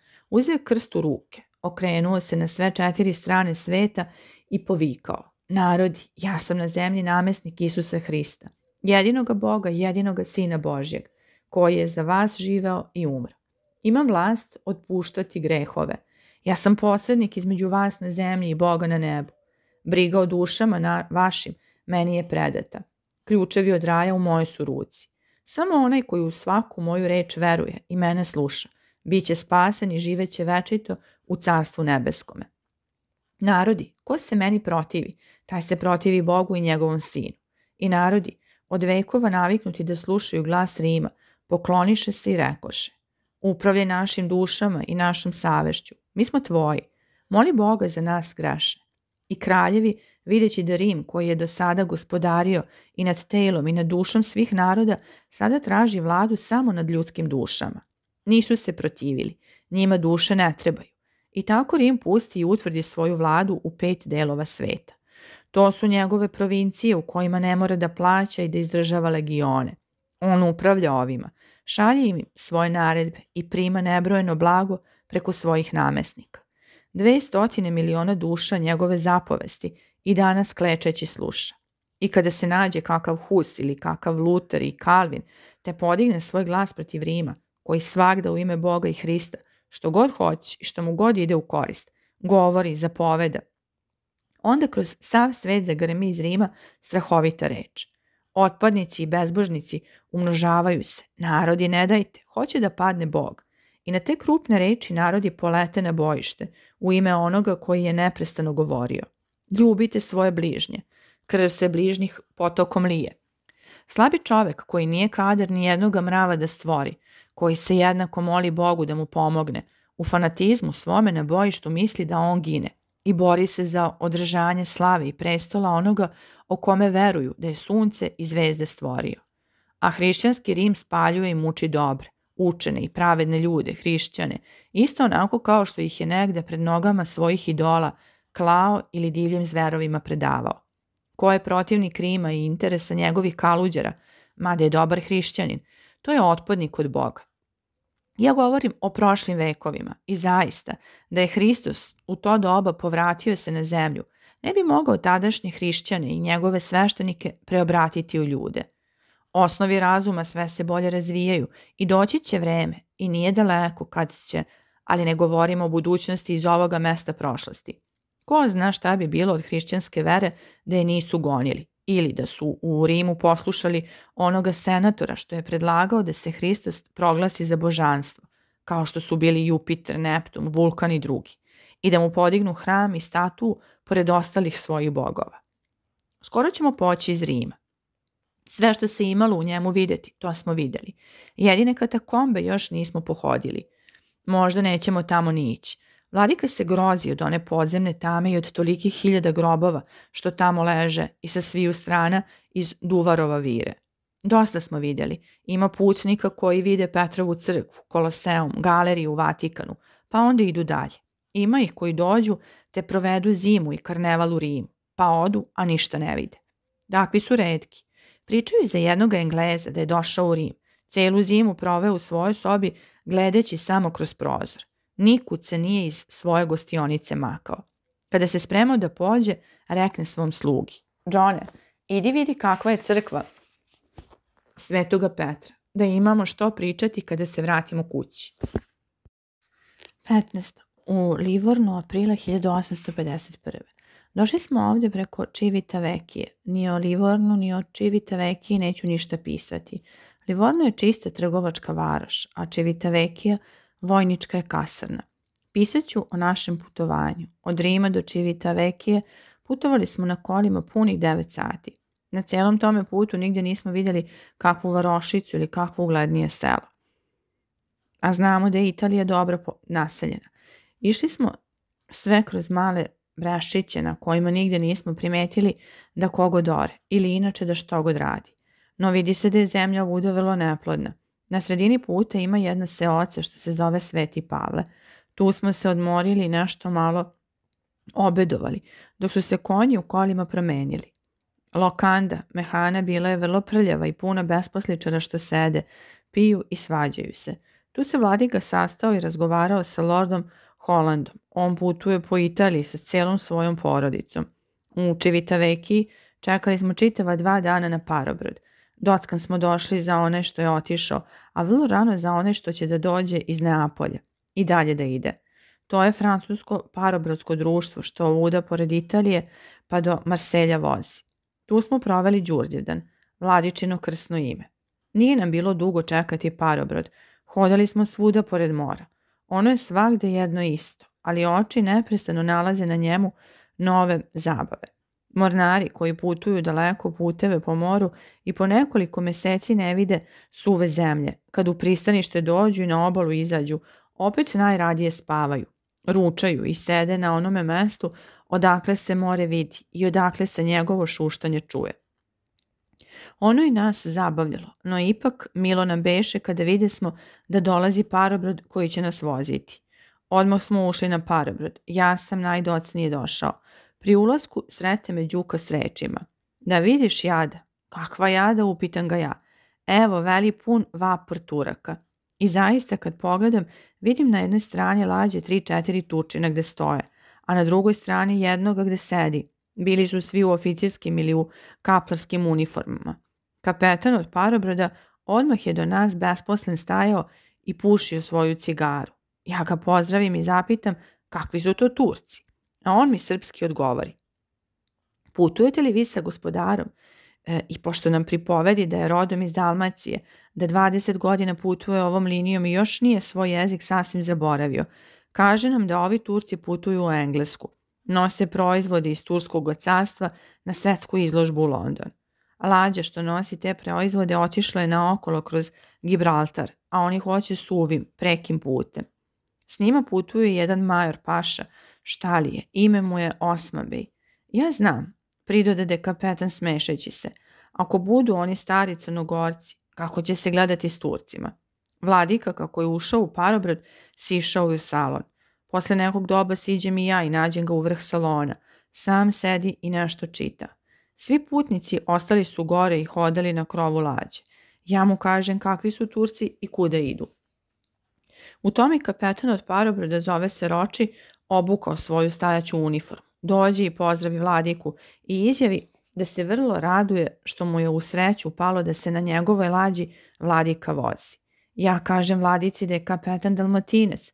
Vladici beše milo i nastavi s njime razgovor. I kad je doznao da on plovi do Marselja, predade mu zapečećen i adresovan na Belanžea u Pariz rukopis, što je Zimus o Crnoj Gori i uopšte o srpskom narodu napisao, s molbom da isti rukopis u Marselju na poštu preda, što je kapetan vrlo rado primio.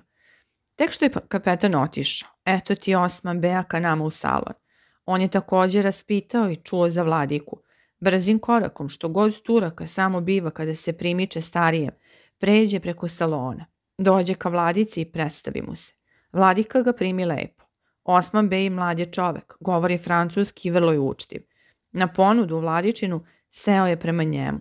Pri prvom njihovom razgovoru ja upotrebih priliku i pođoh da izađem gore, da gledam more i obale i da budem na krovu kad lađa pođe. No, vladika me vrati, govoreći mi, nećeš božati vjera ići, nego sjedi ovdje da čuješ šta ćemo se razgovarati. Vladika zna da ja pišem putne beleške, a čitao je i neka moja pečatana putnička pisma, pa je mislio, ako se sa ovim Turčinom štogod sporečka o srpstvu, neka ima kogod ko će njegovom narodu pričati kako ga na svakom mestu, i na domu, i na putu, i na suvu, i na vodi, brani. Ja uzmem jednu malu stolicu i sednem. Oni su razgovarali o Neapolju, o Vezuvu, o izložbi londonskoj i proizvodima koje Turska šalje na tu izložbu. Paša je, to se vidjelo na njemu, birao reči koje će izgovoriti i čuvao je vladičinu osetljivost. Obojice izbjegavali su politiku. Vladika jedino zbog toga da se ne naljuti. No Turčin pri polasku pogreši, usta da ide i nehotice dirnu vladiku. Bosfor je, reče, i Carigrad lepši od Neapolja, a i klima je dobra. Pa kad vaša svetlost tako rado putuje, zašto koji put ne svrtite u Carigrad? A kako će vladika Crnogorski u Stambol doći kad u Stambolu sultan sedi? Odgovori mu vladika. Sultan bi sve što je moguće činio da vam zadržavanje u Stambolu bude prijetno, nastavi Turčin i ne mogaše primetiti da se vladika poče ljutiti. Dokle god je moja braća pod njegovom vladom pište, reče vladika malo jačim glasom, i nemilice se gnječe i istrebljuju, dotle se mi ne možemo gledati. To su izuzeci, odgovori Turčin, i to biva u udaljenim krajevima carstva i preko volje sultanove. Sultan uvodi reforme gde god može, no ne može sve na jedan put. Kako na jedan put, upita ga vladika, a gde su vam 500 godina u Evropi? Treba priznati, reče Turčin, da su i narodi nad kojima Turci vladaju vrlo surovi. Vladika mu na to odgovori. Oni su pre vaše vlade bili pitomi. Od turske surovosti postali su i oni surovi. Turci su smetali te Srbe.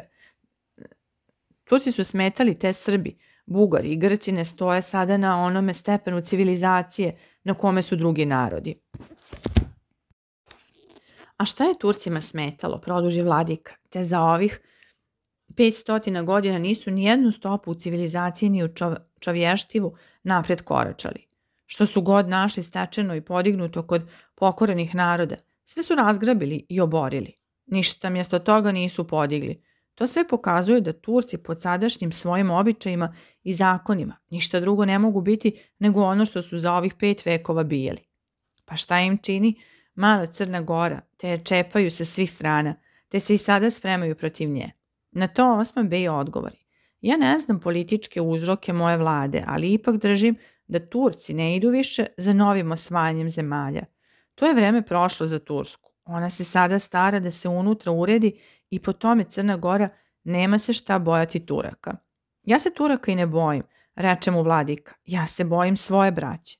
Turci nisu nigde mogli, mogli Crnu Goru pregaziti, ali su me braća moja često pritjesnila. Ne razumem vašu svetlost, odgovori Paša. I zaista, ni ja ga nisam razumeo šta hoćete ime da kaže. Nisu li, produži vladika, sve one paše i veziri što su Crnu Goru krvlju oblili, srpsko mlijeko sisali, pa me ostavili i otišli za većim komadom. Nije li Omer Paša, koji vam sada carstvo drži i koji se sada na Crnu Goru sprema, moj sunarodnik? Nije, odgovori Paša. I malo mu rumen udari uz obraze. Nije gospodaru, monsenjer. Omer Paša je Turčin. Neobično ljuljanje parobrada, koji beše već izašao iz pristaništa, prekide dalje razgovor. Putnici mnogi sišli su u salon i tražili mesto gdje će koji leći. Talasi lupali su naglo u rebra lađe i svaka je daska tako škripala da bi rekao čovek sad će se sva lađa raspasti. Nije se moglo bez pridržavanja za duvar nigde maći. Ja pomognem vladici te dođe do svoje kabine, gde je odmah legao u postelju. Nije mu bilo dobro. Ljuljanje leđe, lađe smutilo ga. Morska bolest koja je jako podložen, već mu je počela dosađivati. Još nekoliko putnika kunjalo je. Neki su ječali, a neki su već i rigali. Svi smo bili neveseli i bledi. To su pojave od morske bolesti. Kad dođe na čoveka, treba leći pa ćutati, a pre toga najbolje ići na čist vazduh. Kako sam dopratio vladiku do njegove kabine, Odmah sam istrčao na, kro, na krov lađe. Želeo sam da vidim kako sunce zalazi u more. Noć nije daleko bila i sunce, što se više moru približavalo, tim se brže ozgo kobrljalo da padne u valove morske. More se sve belilo od pene. Vidjelo se kako talas iz daleka jure, kao poplašeno stado belih ovaca na zelenoj livadi. Parobrod je išao kao strela. Vetar je bio udesan. Za parobrod bilo ga je onoliko koliko treba, a za putnike bilo ga je malo suviše. I jedrila su bila razapeta. Time obično štede ugalj.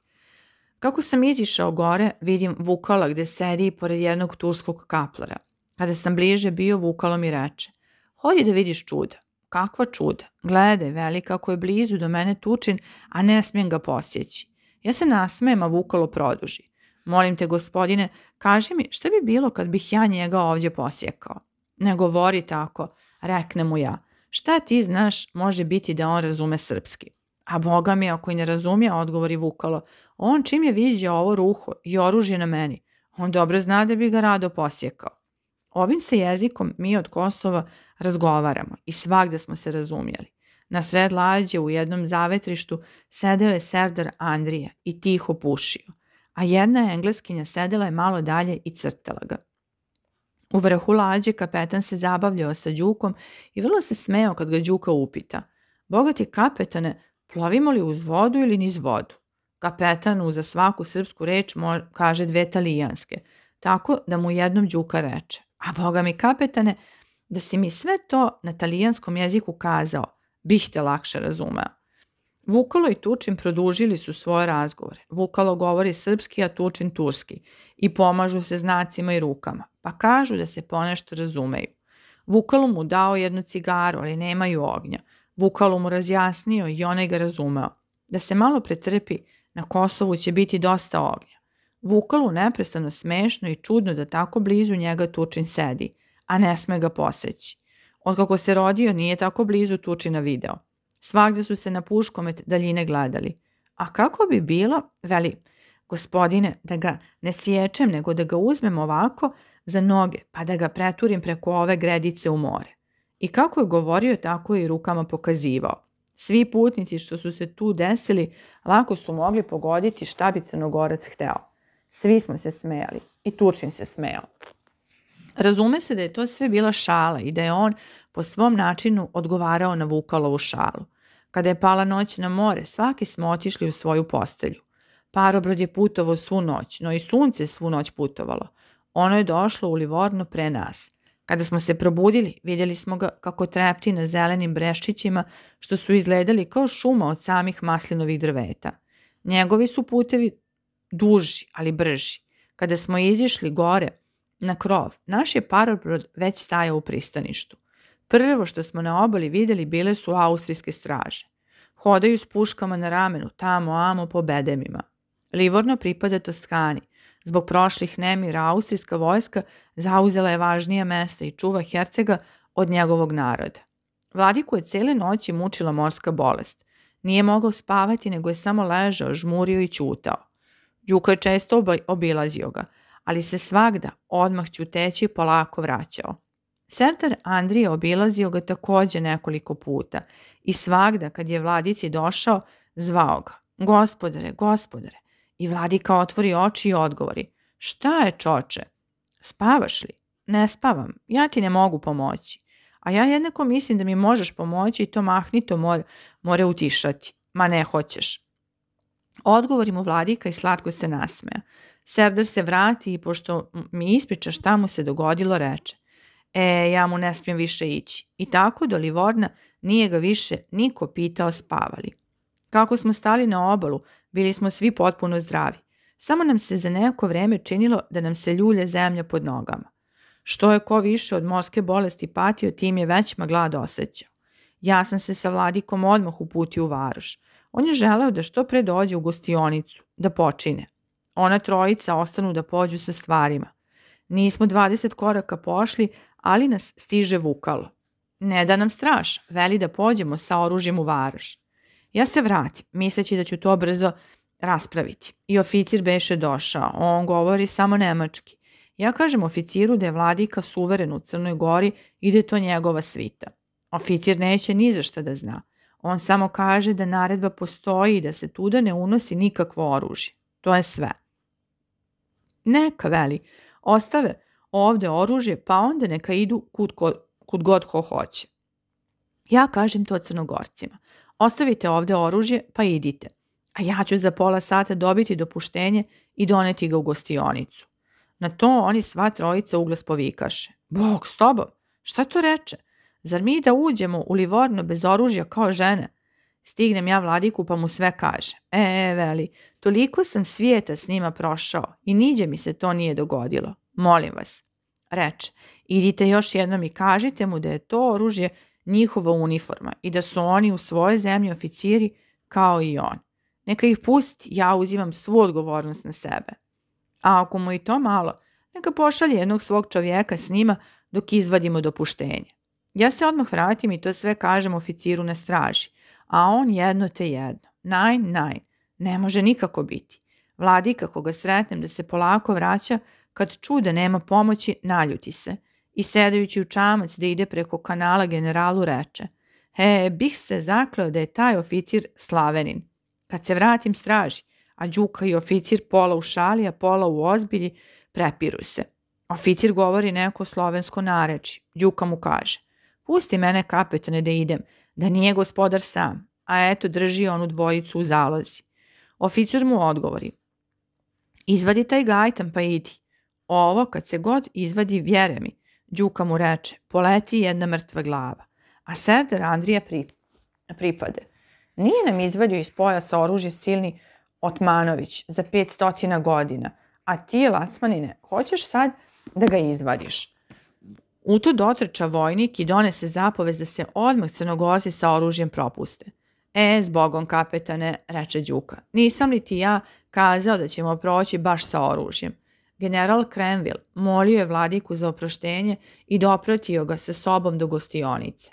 Livorno je dosta velika varoš, ima široke, lepe ulice i vrlo dobro pristanište na moru.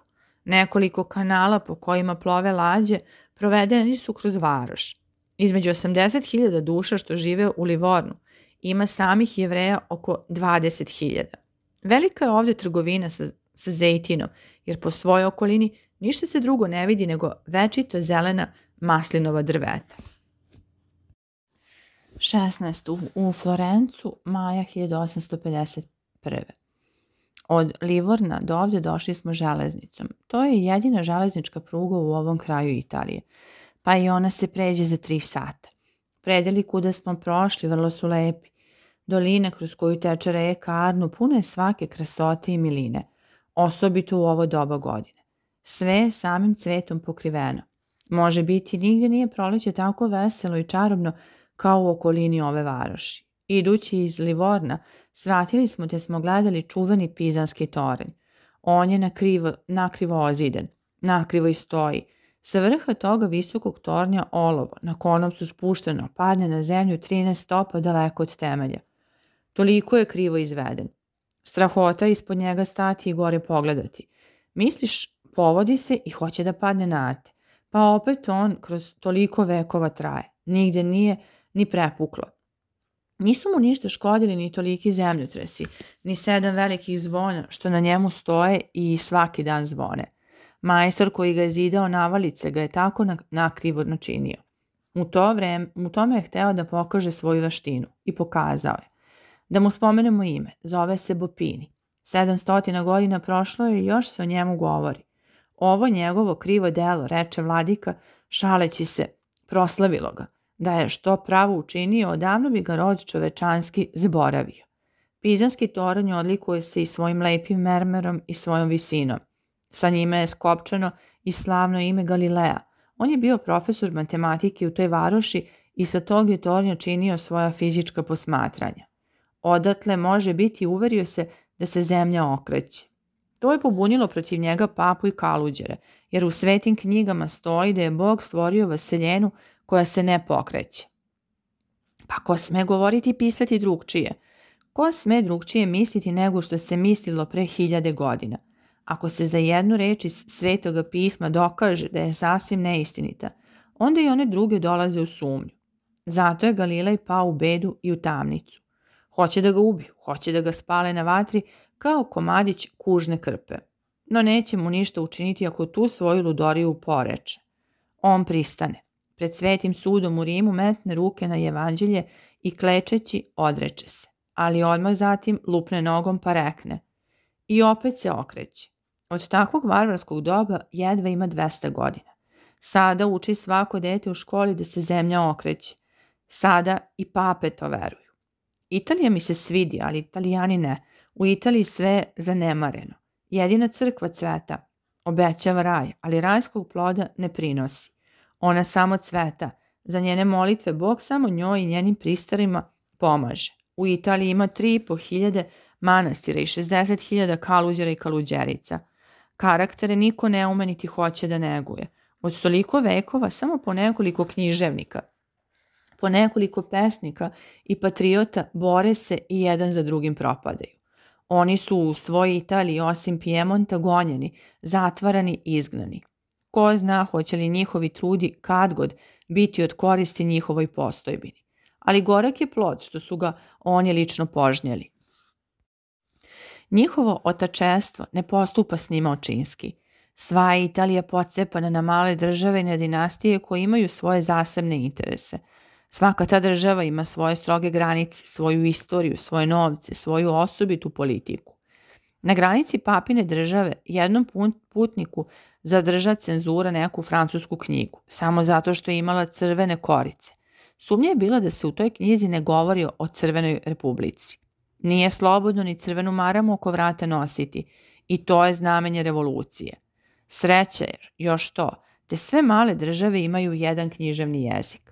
To će ih može biti dovesti do državnog jedinstva za kojim svi patrioti žude. Među nemačkim državama nema tako velike razlike kao među talijanskim. U Nemačkoj putnik i ne primeti kad pređe iz jedne države u drugu. Italijani suviše mrze Nemce i sve što je nemačko. Kod Nemaca ne vidi se da ima želje spram Italijana. Pre više godina u okolini Rima nastanio se biše, beše za vreme jedan nemački princ. Učen i mudar čovek. On se upoznao i živeo u prijateljstvu sa mnogim talijanskim velikašima i bogatašima. Zajedno su lovili i častili se.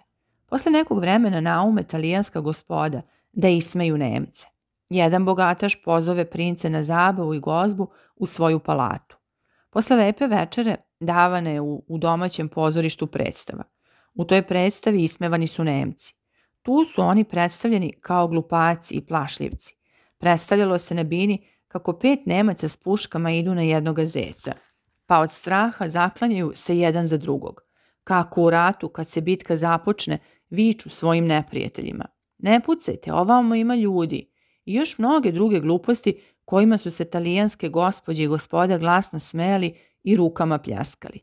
Pri toj predstavi svi su često na nemačkog princa pogledali i on se smejao i pljaskao. Posle nekog vremena pozove princ to isto društvo na veselje i gozbu u svoju palatu. Između ostalih zabava bude takođe i jedna predstava davana. Na pozorišnoj bini ukaže se u svom ogrtaču stari rimski Ciceron.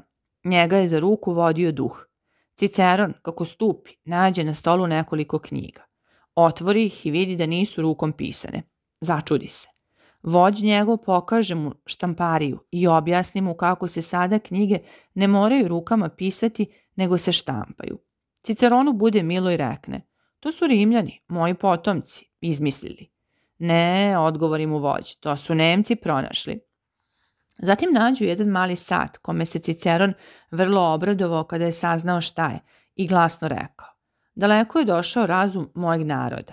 Ne, odgovori mu vođ, to nije njihov posao, to su Nemci izumeli. U isto vreme prođe pored njih jedan lovac, opali pušku i ubije prema sebi jednu pticu. Ciceron uzme pušku i počne zagledati. Vođ mu pokaže barut i razjasni mu kakvu snagu ima taj sitni crni prah.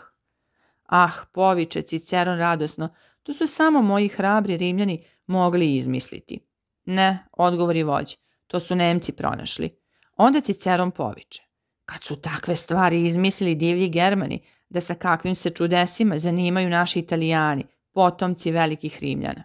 Eno tvojih potomaka, odgovori vođ, i u isto vreme iskoči pred njih na binu jedan dronjav talijan sa dva majmuna. Za njim se ukaže iz daleka jedan savojard, zviždeći i svirajući u neku muziku. Potom prođu nekoliko bosi kaluđara. Zatim odmah istrče nekoliko dronjavih lazarona vičući i proseći. Ciceron se sneveseli, pokrije lice svojim dugačkim skutom, obori glavu, preda se i ode. Celo je društvo ćutalo, niko se nije smejao ni pljeskao. Nije to činio ni nemački princ. Sutradan otputovao iz Italije. U celoj Italiji mnogo varaju putnike lažnim starinama. Rimske novce, slike, oružje, bogove od mermera i bronze, različite sudove od pečene zemlje i drugo koje što tako načine, kao da im zaista ima više od 2000 godina i prodaju ih putnicima, naročito bogatim englezima, za skupe novce. Ima dosta Italijana koji od toga žive. Često najbolji antikvari u Londonu jedva mogu poznati da to nisu starinski predmeti. Nema putnika koji će iz Italije poći, a da ne ponese sobom štogod za spomen od starinskih rimskih stvari. Englezi su vrlo zaneseni za tim. Vladika ništa nije hteo kupiti od tih starina. Ja sam ih imao prilično. Iz svakog mesta poneo sam po štogod. U Rimu za tri talira jedan talijan odbio od Cezareve palate lepe mermerne ukrase i doneo mi. Kada ih vladika vide, on se nasmeja, pa reče, šta će ti to kamenje? Ja mu odgovorih, hoću da ponesem za spomen. Svakome ovom kamenu ima 2000 godina. Vladika se opet nasmeja, pa reče, u Crnoj Gori sve kamenje staro milione godina. Dođi pa tovari pune lađe, ništa nećeš platiti. Na to Đuka veselo uzviknu. Boga mi sam u gospodare i ja to isto govorio. Što on gleda na Ingleze? Inglezi su maniti, ali imaju manitijeh novaca. Ja ih poslušam i pri polasku iz Rima celu tu svoju zbirku prodam jednom putniku. Stari Grci ostavili su u Italiji više i lepših spomenika nego u samoj svojoj zemlji. Kako u Rimu, tako i ovde, našli smo mnogo njihovih stvari. Ona dva konja, dve na svetu najstarije i najčuvenije statue što stoje na Montekavalskoj pijaci, to su od Fidija i Praksitela. Ona dva lava na stepenima kapitola od grčkog su majstora. Isto tako i lepe statue Kastora i Poluksa Grci su načinili. Kad otvoriš knjigu da doznaš ko su bili arhitekti Panteona, kupatila, palata i drugih znamenitih građevina, vidit ćeš grčka imena. Ko potraži da vidi ko su bili učitelji najvećih rimskih pisaca i poeta, vidjet će da su to bili sami Grci. Rimljani su samo vojevali. Svakog drugog zanata oni su se stideli. Sve su ostavljali svojim robovima, Grcima. Oni su im i suvača okretali i decu vaspitavali. 17. U Florencu, maja 1851. Ovde smo ocili u lepoj gostionici Italije. Kako smo došli, gostioničar je otvorio pet najlepših soba i išao je pred Ladikom i pokazivao mu redom. Ovo je salon za primanje, ovo je soba gdje će vaša svetla spavati, ovo je kabinet za oblačenje. Pa u isto vreme pobroji nekoliko hercega, knezova i lordova koji su u tim sobama sedeli kada su u Florencu bili. Vladika vidi da će to preskupo biti, pa mu smešeći se reče. Ostavite vi te sobe kad vam oni opet dođu. Oni uzimaju od naroda na pretek, a ja što uštedim dajem narodu. Zatim gostioničar otvori druge, takođe lepe i bogato nameštene sobe. Ja, kako sam putovao za sebe i o svom računu, uzmem sobu na trećem katu. Odakle se vidi sva varoš što leži sa leve strane reke, a reka Arno teče ispod mojih prozora. Kako smo se smestili u hotelu, odmah smo uzeli kola i išli po varoši da gledamo znamenitosti. I ovde su nas najviše zanimale galerije slika. Svaki dan gledamo po nešto drugo. I ovde smo našli dosta Rafaelovih dela. Ima takođe prekrasnih statua od mramora i bronze. Ovde, kao u svakoj italijanskoj varoši, mnogo, mnoge su crkve. Ima ih upravo 87. Najveća i najlepša crkva Sveta Marija. Ona je i svojom veličinom i lepotom monument 13. veka. U njoj može da se smesti 24.000 ljudi. Kube je visoko 380 stopa. Pred crkvom pokazuju jednu stenu na kojoj je obično sedeo pesnik Dante, pa gledao i divio se ovoj građevini. Na jednoj pijaci podignut mu je lep spomenik. On je ovdje rođen, a sahranjen je u Raveni. U crkvi Santa Croce, Sveti krst, vidjeli smo lepe nadgrobne monumente Galilea, Michelangela, Alfiera, Fantona i mnogih drugih. Zaustavi smo se duže pri jednom spomeniku koji izgleda kao kakav oltar i sve od samoga kararskog mermera. Prekrasna statua tu na njegovom grobu predstavlja politiku koja u jednoj ruci drži njegovu sliku, a u drugoj terazije. Na istim terazijama stoji sa jedne strane mač, a s druge strane jedan zavijutak hartije. Ispod toga spomenika stoji napisano Nema dovoljno hvale za ovako veliko ime. To je ime Nikola Machiavelli. 300 godina različito o njemu misle. Većina ga osuđuje, smatraju ga da je on svojim knjigama učio tirane kako treba da vladaju i da se na prestolu drže. Ne bih rekao da su svi italijani o njemu tako mislili. Bio je dobar talijanski patriota i republikanac i zbog toga bio je gonjen. Ljubio je slobodu, a zbog toga je bio lišavan slobode i zatvaren. Bio je u Florentinskoj republici prvi državnik, napisao je više lepih stvari, osobito je pokazao veštinu u pisanju istorije. Ko zna zašto je napisao onu knjigu po kojoj danas svaku lukavu, sebičnu i nesavesnu politiku nazivaju njegovim imenom. Mnogi vrlo naučeni ljudi pisali su docnije da je on baš time što je u toj svojoj knjizi predstavio kako treba svaki tiran bez ikakvog obzira da vlada, želeo svojim zemljacima, italijanima, oči otvoriti, da se od tadašnjih svojih ugnjetača oslobode. No čovečijem jeziku trebala je jedna reč kojom će svaku nesavesnu, nemoralnu i bezdušnu politiku označiti. I stvorio je reč, makijavelizam. Njegovi savremenici i lični poznanici, koji su ga kao rodoljuba poštenoga karaktera opisivali da ustanu sad iz groba, čudili bi se kako je nemilo značenje skopčano sa njegovim imenom. Sve znamenite crkve, mostovi i velike palate u Florencu zidane su pre 400 godina, u ono vreme kada je Florentinska republika cvetala, kada se ona u svemu mogla ravnati sa Venecijom i Đenovom. Florenc kao državu, kao slobodnu i jaku republiku, spominje istorija još godine 1198. Odmah posle toga doba počeli su napredovati različni zanati, veštine i nauke. Godine 1438. osnovan je univerzitet. Godine 1582. osnovana je učena akademija Kruska, Mekinje, koja se samo tim zanimala da prave brašno, jezgru, talijanskog jezika odvaja od Mekinja. I tako pročišćen florentinski, toskanski jezik postao je lepi književni jezik cele Italije. Na tom jeziku pisali su Dante, Petrarka, Machiavelli, Boccaccio i svi najbolji pisci. Pravo imaju oni što ovu varoš nazivaju talijanskom Atinom. Svojim redkostima, svojim veselim izgledom, svojom lepotom začudi stranca. Neapolj je raskalašan, Rim je sumoran, a Florenc je kao lepa i okićena nevesta u kolu. Kud se god okreneš, sve samo cveće. I u polju, i u varoši, i na prozorima, i u dućanima. Gde god sedneš da se odmoriš, gde god sratiš da ručaš ili kafu da popiješ, svuda cveće.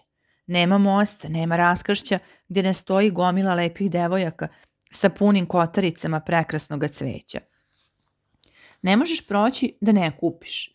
Florenc je zaista u svakom pogledu divan. Talijani ga zovu Bella Firenze, lepa Florencija.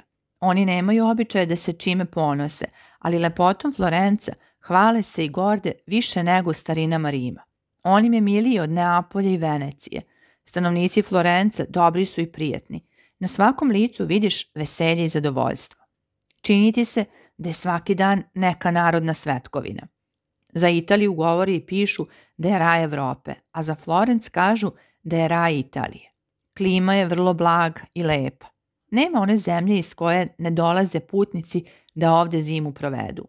Sve što ima novaca i ume uživati, zaustavi se ovde. Samih Engleza u ovoj varoši i okolinama njenim računaju na deset hiljada. Isto toliko i Rusa može imati. Pored sve ove množine stranaca, opet nije skupoća u Florencu. Kad Florenc toliko privlači i zanima strance koji nisu slikari, koliko mora biti milo onima koji taj zanat uče i toj veštini sav svoj život posvećuju. Njihova je duša u pravom raju kada uđu u palatu što se zove piti i zaustave se pred onim čudesnim slikama slavnih slikara. Sve druge veštine manje su lepe. Poezija, to je kopija slikarstva. Slikarstvo je starije od slikara. Prva misa u mozgu prvoga čoveka to je slika. Od takve slike stvarana je pesma. Stvarani su bogovi. Po onim slikama što je misao naslikala Misao naslikala stvoreno je sve ono čime se čovek ponosi i čemu se on sam divi. Vladika ne nosi u Florencu ni crnogorske haljine, ni crnogorsku kapu i tako može vazdan hodati po varoši i gledati znamenitosti, a da ga niko ne pozna. Pored svega toga što je vladika želeo ovde ostati nepoznat, opet sutradan po dolasku našem cela je varoš znala da je on tu. Novine su javile da je došao i, i gde je oceo. Gomile sveta svakde je bilo pred gostionicom kada smo izilazili da sednemo u kola.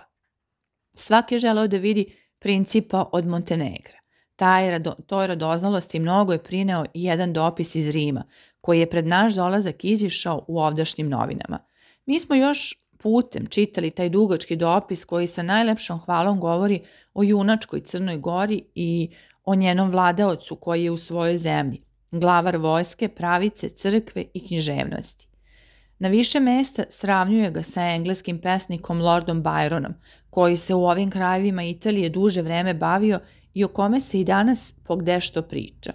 Opisuje ga kao prebogata kneza, kome se sva pratnja u samom srebru i zlatu blista. Veli da ima svoj parobrod, na kome putuje. Priča da je jednom u mlađe doba sa četom od 50 crnogoreca preobučen, putovao kroz turske zemlje da vidi Kosovo. Pa su ga Turci poznali i silnom vojskom opkolili. No on se junački kroz njih protukao i zdravo se u Crnu Goru vratio. Dalje veli, bije puškom kao Byron, pravi lako stihove kao Byron, ljubi Italiju kao Byron, sumoran je kao Byron. Ko izbliže pozna Vladiku, vidjet će da između njega i Bajrona nema nikakve druge sličnosti do te što su obojica, svaki u svom narodu i svaki na svoj način, veliki pesnici. Baron je lakomisleno, čudljivo, raskošno, sujetno stvorenje, najveći poetski dar, razmažen bogatstvom i gospoštinom svoje rodbine. Gord od postanka mrzeo je na svet i na svoju postojbinu Englesku. Sumornost i nestalnost pratili su ga još od detinjstva. Osjećao se da je potpuno nesrećan samo zato što po svojoj čudi nije potpuno srećen.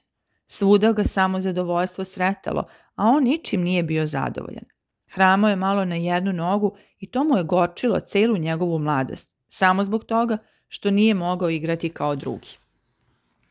Vladika ovde nikome nije išao, ali su njega mnogi pohodili. Austrijski poslanik, baron Cigel, nuđeše ga da poseti vladaoca, velikog hercega, koji nedaleko odavde u svome letnjem dvoru sedi. Vladika se izvinio svojim slabim zdravljem, ali se ne mogaše uzdržati da tom prilikom ne rekne. Ja putujem po Italiji samo zbog mrtvih, što znači mene zanimaju dela onih što su pomrli, a oni živi nisu ništa učinili. Poslanik se osmehnu na te reči. Dolazilo je nekoliko viših austrijskih oficira, Srba i Hrvata koji su se ovde desili. Takođe, nekoliko ruskih knezova i bogataša koji ovde neprestano žive. Došli su i molili vladiku da se izveze u goste, u njihove letnje palate. To su bile sve učtivosti ili radoznalosti. Same etikete ispunile su trajanje ovih poseta. Svaka reč bila je izmerena. Dolazak, odlazak, sedenje, ustajanje i svako pokretanje glave i ruku bilo je po nekim usvojenim opštim pravilima. Drugčije nas je pohodio neki Dimitrije, stari stražmeštar, srbin iz Vojvodine. On, pošto je najpre raspitao da ne spava gospodar, da ne ruča ili sam, da ni u kakvom poslu, prijavi se i uđe ka vladici s rečima. Čuh, veli gospodaru da si ovde i dođu čisto od srpske želje da vidim i da poljubim ruku tako slavnog gospodara od slavne Crne Gore. To nam je sve što naše imamo i suze obliše njegovo junačko ozbiljno lice. Vladiku su vrlo darnule te reči i te suze. Dade mu ruku da poljubi, što inače nikom ne daje, pa mu potresenim i neveselim glasom reče. Jadni moj narode, rasijao si se po najmu tuđina, služiš tuku i manđuku i na tvom ognjištu vatra se gasi. Oprosti mi, gospodaru, reče on brišući suze. Ja sam se vrlo rastužio. Osam godina nisam bio kod svoje kuće. Nemamo je niđe, odgovori vladika. Izgorjela je na Kosovu. Jednog dana posle podne izvezli smo se da vidimo okolinu Florenca. Kuda smo god prošli vidjeli smo same bašte, parkovi i na sve strane bezbrojne letnje palate u kojima živi toskanska aristokratija i bogati stranci. Svi breščići pokriveni su zelenom šumom. Na te šume samo su maslinke, pomoranđe, smokve, kestenovi i drugo voće. Ovdje nema mrazeva. Kad padne malo snega, sva je varoš u veselju i radosti, jer su redke godine kad to biva. Svake rade vidi sneg na ulici, svi trče i grudvaju se. No, ta im radost ne traje dugo. Sneg se tog istog dana rastopi i palme rastu ovuda, ali ne rode. Nema za njih dovoljno toplote, one hoće afrikansku vrućinu. Od palmovog lišća pletu i prave različite stvari. Dolina kroz koju teče reka Arno je vrlo plodna. Leti kad nastupe žege, na sve strane vode u kanalima, te zalivaju livade, bašte i razne useve. Sratili smo na ono mesto gdje se od slame pletu čuveni florentinski šeširi. Kako ovdje, tako i celoj okolini prave se različite stvari od slame. Rekli bismo da je to opšte zanimanje sviju.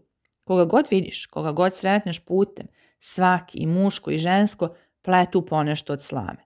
I ovčar čuvajući svoje stado i gospodje sedeći na prozoru i trgovac pred svojim dućanom i slabi starac šetajući po parku i seljanka idući na pijacu. Svi pletu slamu. Ova mala Toskana, državica od milion i po duša, proda na stranu za 15 miliona franaka stvari od slame izrađenih. Onome koji je taj laki i lepi zanat uveo i ovdje domaćio, podigli su spomenik. On se zove Miheluči. 18. U Florencu, maja 1851. Pod mojim prozorima šušti bistra reka Arno. Tihi jutrenji vetrić raznosi mirise cveća. Po ulicama vrvi svet peške i na kolima. Čuju se veseli pozdravi lepih devojaka što na mostu cveće prodaju. Svi su putnici davno već ostavili gostionicu i trče po galerijama slika ili uživaju majski vazduh u lepom parku u Kašini. A ja, podnimljen, sedim na prozoru. Lepi izgled na varoš nimalo me ne zanima. Osjećam dugo vreme. Vladika i njegovi crnogorci prekjuče su otputovali. Navikao sam bio na društvo i na razgovor, pa mi je sada neobično. Među putnicima što su u ovoj gostionici imam nekoliko dobrih poznanika. Ali to su tuđi ljudi, tuđi jezik, tuđi običaji. Sa crnogorcima bilo mi je milije i veselije družiti se i razgovarati. Njihove priče o Crnoj Gori zanimale su me. Putujući u njihovom društvu, činilo mi se da nisam u tuđoj zemlji. Naročito poznanstvo sa vladikom i njegovi razgovori ostaće mi kao najlepši spomen celoga života. Ovo putovanje bilo je kao kakva šetnja, kao dugačka šetnja kroz čitavu poznatu prošlost. Proći kroz Italiju, to je toliko koliko proći kroz 20 vekova. Svaki vek ostavio je spomen svoga života. Ko vidi i provuče sve znamenite ostatke, čini mu se da je živeo 2000 godina. Istorija bez ovakvih ostataka pretvorila bi se u basnu, postala bi Ilijada, o kojoj se može reći da je sva izmišljena. Za slavu i veličinu latinskog plemena u Rimu se podižu iz zemlje gorostasni stubovi i spomenici i svakome putniku jasno govore. Odavde je svetom vladano. Videti Italiju, to je videti okamenjenu prošlost ljudskog roda. Rim je mumija koja govori. Vladika se vratio u Livorno, a odande će preko Đenove i Turina u Veneciju. Ja sam u tim krajevima već bio, a rad sam da vidim Bolonju, Ferraru, Padovu i Veronu. Zato sam ostao ovde. Ovo putovanje ima svoje teškoće. Velike i puste planine treba preći. Dva Engleza s kojima ću u društvu putovati kupili su ovde oružje, jer u tim bregovima ima bandita, hajduka. U Ferrari želim ostati duže vremena. Govore da je to lepa varoš i puna istorijskih spomenika. To je mesto gdje su italijanski pesnici u slobodi pevali i u tamnici plakali. Pri polasku vladičinom došlo je desetak kola različite gospode, a najviše Rus, da ga isprate. Pred gostionicom beše se iskupilo mnogo sveta i Dimitrije, stari stražmeštar, nije izostao. Došao je da posljednji put vidi gospodara slavne Crne Gore – Kada je vladika seo u kola koja su bila otvorena, Sa više strana oko njega padalo je najlepše florentinsko cveće. Svi koji su se tu desili podigli su kape i pozdravili ga. A Dimitrije stojao je po vojničkom redu i držao je neprestano desnu ruku na svoje kapi. Na železnici dve deputacije pozdravile su vladiku. Jedna je bila od strane varoši, a druga od neke učene akademije. Dve ruske grofice predale su mu jedan veliki, neobično lep venac od samog proletnjeg cveća. Vladika je svima zahvalio i seo u kola. Mi smo stojali na 15 koraka prema njemu. Konduktor mu priđe bliže i kaza. Imate još vremena. On me zovnu k prozoru od kola, pa mi preporuči da pišem u trst i na cetinje za neke njegove naručbine i da javim da se krenuo iz Florence i da je dobro se zdravlja. Zatim pruži mi još jednom ruku iz kola i jasnim glasom reče. Hajde pođi ravnoj šumadiji, pozdravi mi srpske vitezove, nek ne pašu sablje od Jordama, već nek jašu konje od Megdana, na Kosovu da se sastanemo, da mi, da mi naše stare pokajemo.